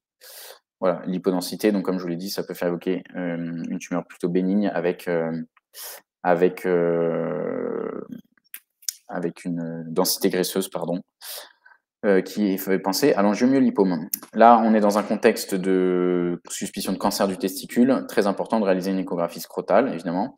Ceux qui m'ont mis échographie tout seul, finalement, on a changé un peu notre barème parce qu'on a été assez sympa sur les corrections des curocs, mais ceux qui avaient initialement, pour moi, c'est faux si vous ne précisez pas que c'est bilatéral, d'accord? Donc finalement, on vous a quand même donné le point, même si vous l'avez pas précisé parce que vous êtes très nombreux, donc on, reste logique dans nos corrections, mais c'est très important de regarder l'autre testicule pour voir s'il n'y a pas un autre cancer, justement, notamment pour des questions de, de sécoce et de, de fertilité plus tard. donc voilà, ceux qui n'ont pas précisé que c'était échographie scrotale ou testiculaire, là, on a mis 0,5. On aurait pu mettre 0. Je pense qu'aux ECN, ça risque d'être 0. Alors, juste un petit, un petit aparté sur les, les CUROC. Là, il y avait 14 CUROC à, ce, à cette conférence globalement, euh, vous êtes parfois trop précis et en fait, de ce que je constate, finalement, je pense que à vouloir être trop précis, euh, on a plus de risques de se tromper et donc euh, et donc, euh, vaut peut-être mieux euh, se contenter, comme là certains ont fait, de dire juste échographie, peut-être que ça rapportera un demi-point le jour J, alors que si vous mettez euh, une échographie inguinale droite, enfin, d'être trop précis peut euh, vous porter préjudice. Donc, essayez de, de, rester simple dans ce que vous mettez dans les. Euh, pas, pas, de phrase à, à rallonge, etc. C'était notamment vrai pour les fractures en, en, os, en ostéo-articulaire au début. Le cancer du testicule, je passe cette diapo. Retenez juste que le scanner, le, scanner TAP est, le bilan d'extension et qu'il faut rechercher. Alors, l'endroit où il faut rechercher les adénopathies, c'est pas du tout au niveau inguinal parce qu'il n'y a pas de drainage à ce niveau-là, mais ça va être euh, complètement au niveau euh, lombo-aortique, d'accord, euh, qui va suivre la vascularisation à, ce niveau-là. Donc, surtout, pas d'adénopathie inguinale. Si on vous le propose, ça va être forcément un, un piège et c'est assez facile de proposer ça parce qu'on serait tenté de dire inguinal c'est faux. Euh, voilà, et pensez aux sécos, évidemment, toujours en, euh, urologie. Euh, qu'est-ce qu'on avait là? On avait à nouveau un calcul. Là, on avait des calcifications de la horte. C'est vrai que c'est pas hyper simple à voir pour vous parce que finalement, on n'est pas dans une coupe sagittale et on n'a pas bien déroulé la horte, mais il faut le savoir. voilà, là ensuite, il y a d'autres images. Euh, donc ça, c'est un peu de l'anatomie. Hein. Euh, l'anatomie, on la révise quotidiennement euh, sur Instagram, donc je ne vais pas trop détailler.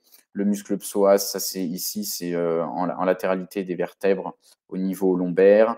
La dilatation pyélocalicielle, ça vous l'avez tous remarqué, je pense. veine rénale, la veine surrénalienne, il ne faut jamais cocher ça, c'est trop, trop précis, donc vous ne pourrez pas le voir sur un scanner, ce n'est pas attendu à votre niveau. Euh, L'injection, toujours pareil, on regarde les vaisseaux par rapport aux muscles, est-ce que c'est plus dense ou pas? Là, non, c'est de la même densité, donc il n'y a pas d'injection. Euh, voilà. Et c'était des qualifications de l'aorte et non pas des calculs. Euh, dans l'ex, réaliser un scanner, bah oui, parce que y avait, c'était un, une colique néphrétique hyperalgique, donc euh, il faut faire un bilan de, de, détection un petit peu d'éventuelles complications ou simplement de voir s'il n'y a pas un, problème. Qu'est-ce qu'on avait d'autre? L'écho ASP, ça c'est l'alternative possible. En pratique, vraiment, on réalise beaucoup plus souvent le scanner. Mais par exemple, si on est chez une femme enceinte, on va plutôt se contenter d'une écho ASP, même si c'est plus difficile. ça limite l'irradiation du, fœtus. Qu'est-ce que je peux vous dire d'autre là-dessus d'intéressant? Pas grand-chose. Euh, voilà, les, à, 1500 unités Hounsfield, on est plutôt sur de l'oxalate de calcium. Euh, L'acide urique et la cystine, c'est plutôt plus bas, vers 800 unités Hounsfield. Ça, c'est des cours d'urologie que vous devez maîtriser à, par ailleurs. Euh, en pratique, on vous demandera jamais là-dessus de dire OK, ça, ça va être 1500 unités Hounsfield. Non, non, ça c'est hyper dense. On est sur une fenêtre qui nous permet de voir que c'est calcifié, mais on ne sait pas dire là, à l'œil si c'est entre 700 et 1500 unités Hounsfield. Hum, vu que, comme je vous ai dit, on est en fenêtre un petit peu selon la, euh, la densité qu'on cherche. Là, on essaie de plutôt, euh, on est sur une, une fenêtre un petit peu euh, bah, abdominale complètement. Euh, et donc, ça nous permet de voir plutôt les nuances euh, entre la graisse et le tissulaire. Et, pas, et, donc, tout ce qui est en dehors de ces champs-là, donc notamment tout ce qui est au-dessus de même 200 unités field, ça va être tout blanc, que ce soit 200 ou 1500. D'accord? Et il faudrait fenêtrer en os pour voir mieux la différence. voilà. Que vous dire de plus? Voilà, ça c'est du cours. Je passe. L'indication scanner en urgence, donc là, on est plutôt euh, sur une colique néphrétique avec un doute diagnostique. Il faut faire un scanner en urgence euh, ou si c'est compliqué. La, complication euh, liée au terrain, il faut penser, il me semble que ça. maintenant, le, diabète ne rentre, ne rentre plus dans, dans la colique néphrétique compliquée. voilà, ça c'était quelque chose qui a changé récemment. Je ne sais pas si vous étiez au courant que ça l'était avant. Peu importe, je passe. Pyélonéphrite obstructive, ça c'est une grosse complication possible et donc c'est là où il faut faire un scanner hein, parce que si on a une colique néphrétique hyperalgique avec de la fièvre, etc., là faut suspecter ça absolument. Et euh, c'est quand on a un calcul qui est enclavé dans les, dans les voies d'excrétion rénale. Euh, là, on voit des foyers de néphrite un peu partout, euh, qui sont des hypodensités. voilà, et puis avec de l'infiltration de la graisse autour du rein, qui est en plus œdémacié. Voilà. Donc ça, c'est complications possibles. Là, on a un beau foyer d'hypodensité. Voilà, là aussi. Donc, euh, effectivement euh, de nombreux foyers parenchymataux hypodenses triangulaires. Donc en fait, pourquoi? Parce qu'en fait, euh, les, calices, les tiges calicielles et ensuite les, mm, pieds longs, enfin les, néphrons pardon, du, du rein vont être de forme triangulaire. C'est pour ça qu'on a une forme triangulaire à base périphérique, évidemment. Et donc, dans ce contexte-là, qu'est-ce qu'il faut faire? Il faut regarder s'il y a de l'infiltration. et Qu'est-ce que oui, on ne voyait pas de calcul sur cette imagerie, donc on ne peut pas cocher vrai à la B. Euh, pour la question D, on voit, on voit pas de défait des, des artères. Et, en plus, ça, s'examine plutôt au temps artériel. Là, on est à un temps plutôt portal.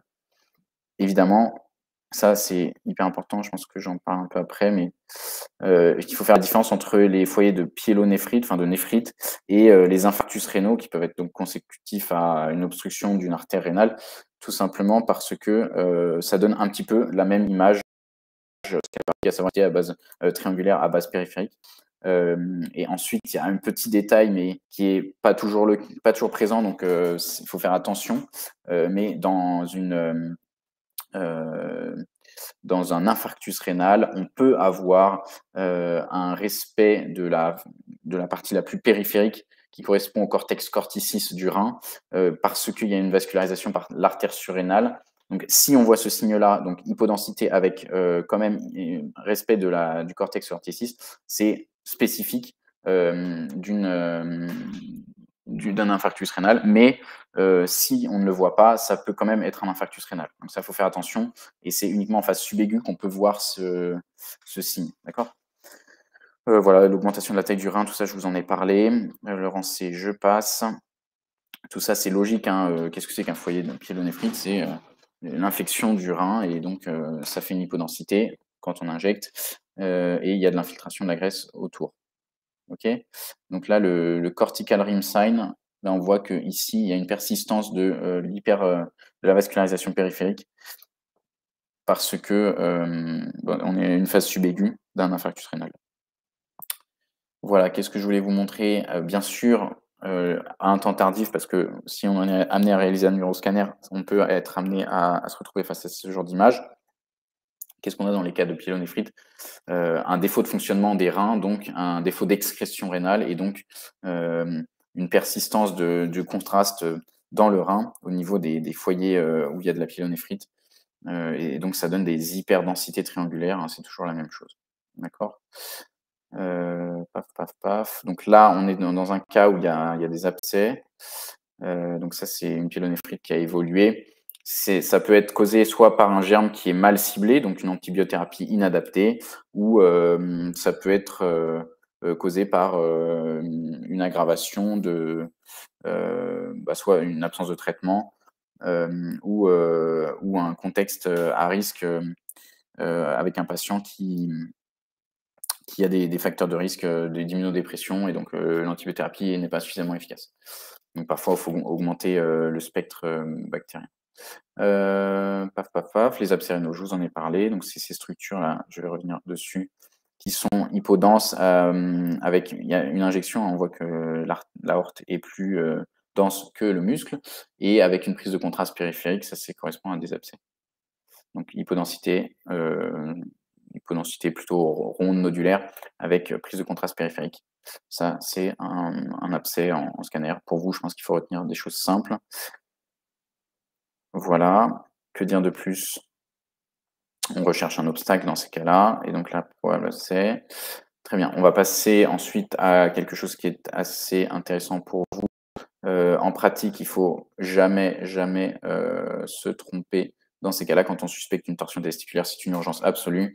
Et message clé, euh, il faut absolument un examen urologique et non pas sauter sur l'échographie. Je dis ça parce que c'est assez fréquent de se dire, OK, l'échographiste doit faire son échographie le plus vite possible. Non, c'est assez peu sensible finalement l'échographie dans la suspicion de torsion testiculaire.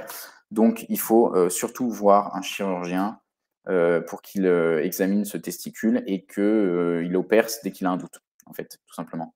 vaut mieux, comme on dit, avoir une chirurgie blanche qu'un testicule noir. D'accord?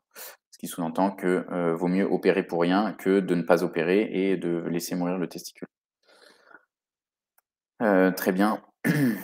Euh, ici, on était dans un cas d'hydrocèle. Donc, l'hydrocèle, qu'est-ce que c'est? C'est du liquide euh, qui se trouve et euh, donc autour du testicule. C'est en échographie hypo, voire complètement anéchogène, puisque c'est du liquide. Donc voilà, on était dans un cas d'hydrocèle. Après, il faut savoir un petit peu la, cause.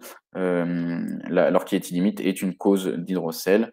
Euh, et il faut aussi rechercher une tumeur testiculaire, donc euh, faire, euh, continuer notre échographie un peu en détail pour essayer de voir s'il n'y a pas un, petit nodule qu'on arrive à détecter au niveau du testicule. Voilà. Et donc là, c'était une clinique pas en faveur d'une torsion je passe ça. Euh, ça, je vous avais mis des diapos. En fait, au début, on avait donc, comme je vous avais dit, des, questions un petit peu sur tout. Euh, l'hypertrophie bénigne de prostate, on a coupé la question parce que c'était de la clinique. Le cancer de la prostate, je pense que euh, l'IRM multiparamétrique n'est pas forcément à connaître, si ce n'est de savoir que ça fait partie du bilan dans le cancer de la prostate pour notamment faire des biopsies ciblées. Donc ça, c'est important. Donc on fait IRM et ensuite on va faire une échographie endorectale avec, avec des biopsies ciblées donc échographie et biopsie, euh, ciblée par rapport à ce qu'on a vu en IRM. IRM multiparamétrique est très performante dans le cancer de la prostate, avec euh, notamment de classification euh, PIRADS. Le cancer de la vessie, c'est pareil, on a fait sauter la question. Je vous laisse les examens à connaître. Bien de faire la différence entre la cystoscopie souple et la cystoscopie rigide. La cystoscopie rigide, c'est celle qui va permettre de faire des biopsies, donc de récupérer du matériel euh, anatomopathologique, alors que la cystoscopie souple, elle va juste permettre de voir, on ne peut pas passer de cathéter dedans et donc on ne peut pas faire de biopsie. Donc c'est important de, bien distinguer les deux. Fibroscopie, dans tous les cas, ça s'appelle une cysto, c'est une endoscopie de la vessie cysto. Ok, et donc la cystoscopie rigide, forcément, vu qu'il va y avoir des biopsies, c'est beaucoup plus gros, beaucoup plus lourd comme geste sous anesthésie loco-régionale ou générale. Euh, et ça, ça se fait quand on a une échographie qui nous fait fortement suspecter euh, une tumeur. Là, paf, on se dit, OK, on va direct poser le diagnostic euh, histologique et ensuite traiter. Un petit bilan d'extension en uro-oncologie. Je vous ai fait un petit tableau. donc ça, vous pouvez le, vous pouvez le capturer comme d'habitude. Je vous le laisse. Et je vais m'attaquer à la toute dernière partie, la gynécologie, pour pas que vous finissiez trop tard, il est déjà 21h10. Donc, euh, quels sont les critères un petit peu de malignité d'une euh, masse annexielle Bon, bah, ça, c'est euh, toujours un peu la même chose. Je crois que cette question, elle avait été bien réussie par vascularisée, cloison épaisse irrégulière. Ça, c'est des termes qui sortent du collège, c'est un peu du cours. La graisse n'est pas évocateur de malignité du tout, non. souvent, la graisse, c'est plutôt un évocateur de bénignité dans les tumeurs. Hein. Si on, veut être très schématique et qu'on ne veut pas s'encombrer d'informations, peut-être retenez ce genre de choses. Euh, là, c'était juste pour vous rappeler les différents types de prolapsus qui existent. Pareil, on avait fait sauter la question. Euh, enfin, euh, il me reste 4 ou 5 questions. On était une, une, jeune patiente qui a une masse latéro-utérine en échographie. on veut un petit peu détailler ce qui se passe. Pas de question, c'est l'IRM pelvienne qui va, va nous, permettre d'être beaucoup plus clair. Question d'après, qui est un petit peu plus compliquée. Cette fois-ci, on a la masse ovarienne suspecte et on a des adénomégalies pelviennes. Donc ça, ça veut dire qu'il y a euh, quelque chose d'anormal. Certes, l'IRM pelvienne va être utile, donc on l'a accepté quand même. Euh, on l'a accepté quand même. Sauf que euh, ce qui est très important, c'est de faire un PET scanner au 18 fluorodésoxyglucose, donc au fluor marqué, euh, parce que on va avoir besoin d'examiner toutes les chaînes ganglionnaires euh, du corps pour voir s'il n'y a pas des métastases ailleurs.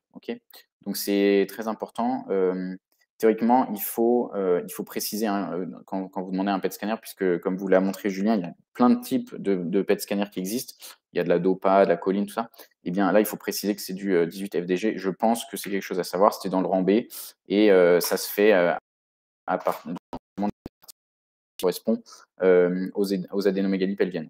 Vraiment, essayer de retenir les, cancers de mère simples, c'est-à-dire à partir de quel stade ou donc à partir de quel élément euh, clinico-biologico-imagerique, euh, je ne sais pas du tout, mais peu importe, à partir de quel moment euh, il faut faire un examen complémentaire supplémentaire, à partir de quel moment il faut opérer, euh, essayer de, scinder. Là, pour le, la masse ovarienne suspecte, donc item tumeur de l'ovaire, paf, à partir de FIGO 3, donc égal à partir d'adénomégalie ailleurs, il faut faire un TEP scanner.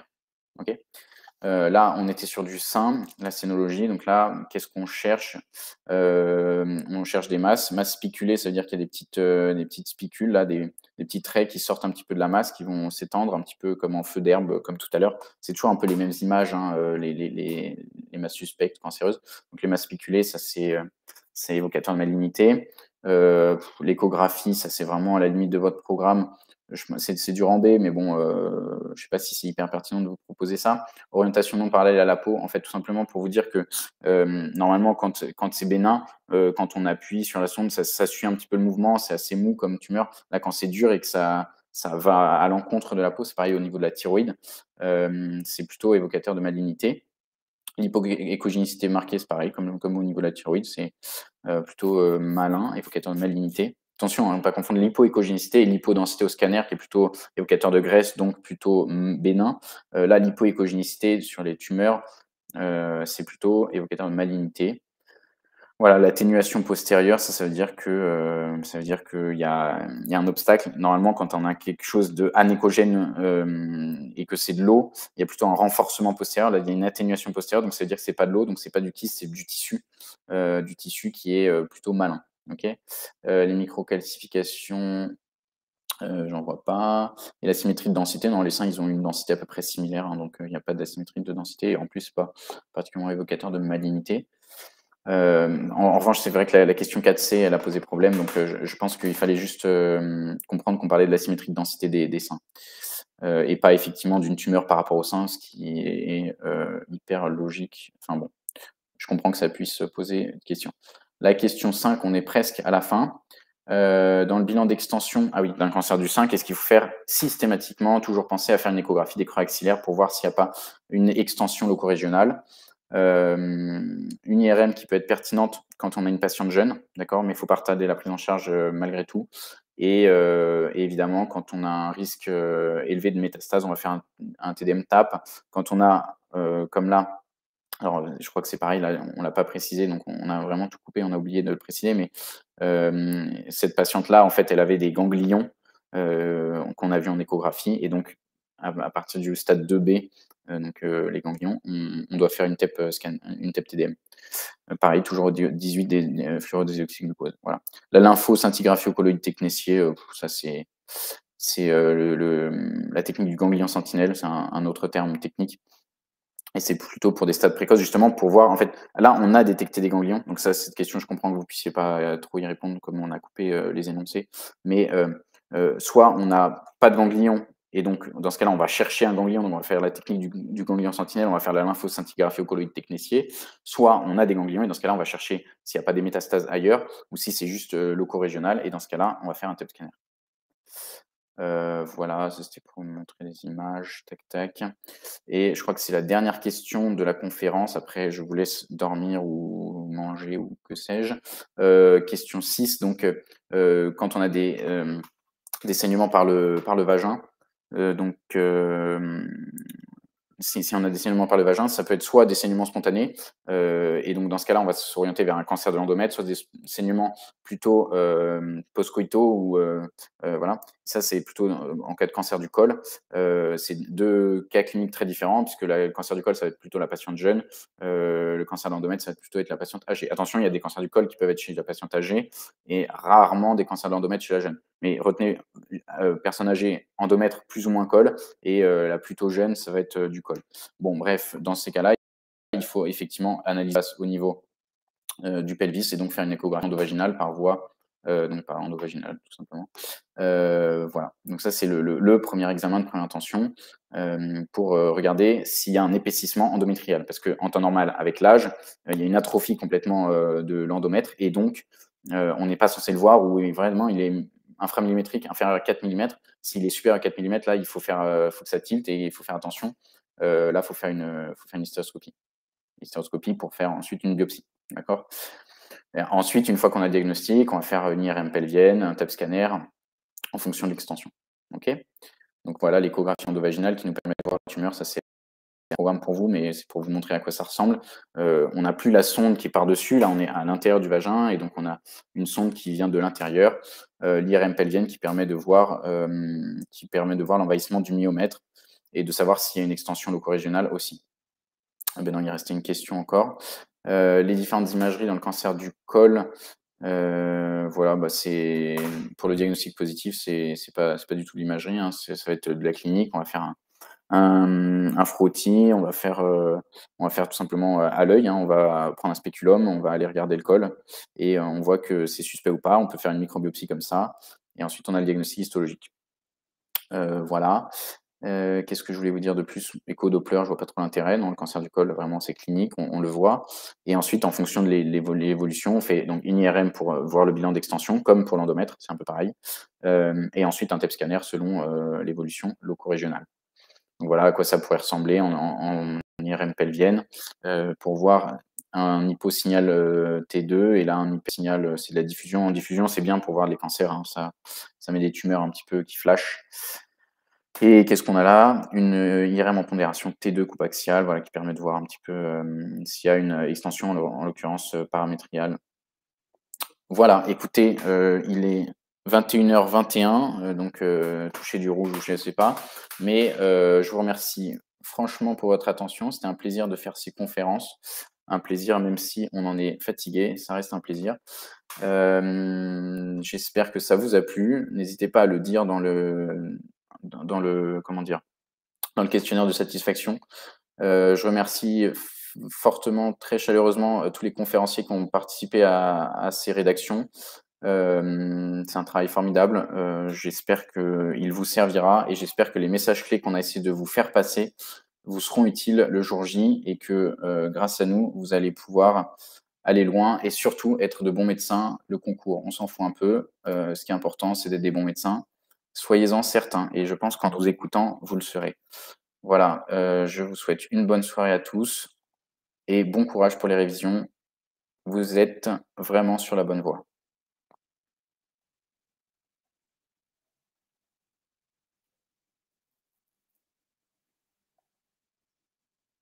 Ah oui, et choisissez radio, moi ça c'est sûr, il n'y a pas de. il n'y a pas mieux comme spé, c'est euh, hyper intellectuel. Hyper performant, hyper pertinent. Il y a plein de il y a plein de, nouveautés, euh, il y a des gestes. Enfin, vraiment, vous, il y a de la clinique en plus, et ça, c'est adorable. Euh, métier entre médecin nucléaire et radiothérapeute, ça n'a rien à voir. Un hein. médecin nucléaire, c'est euh, un mec qui va faire les examens que vous a montré Julien. Un radiothérapeute, c'est un mec qui va faire du coloriage toute la journée. c'est des oncologues, les radiothérapeutes.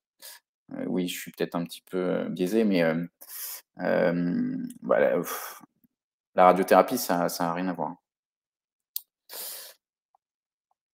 Ok. De la moula. Euh, ça dépend si on, si on travaille dans le public, on n'est pas forcément hyper riche. Bon allez, je vais euh, fermer cette conférence et j'espère que j'ai enregistré tout ça.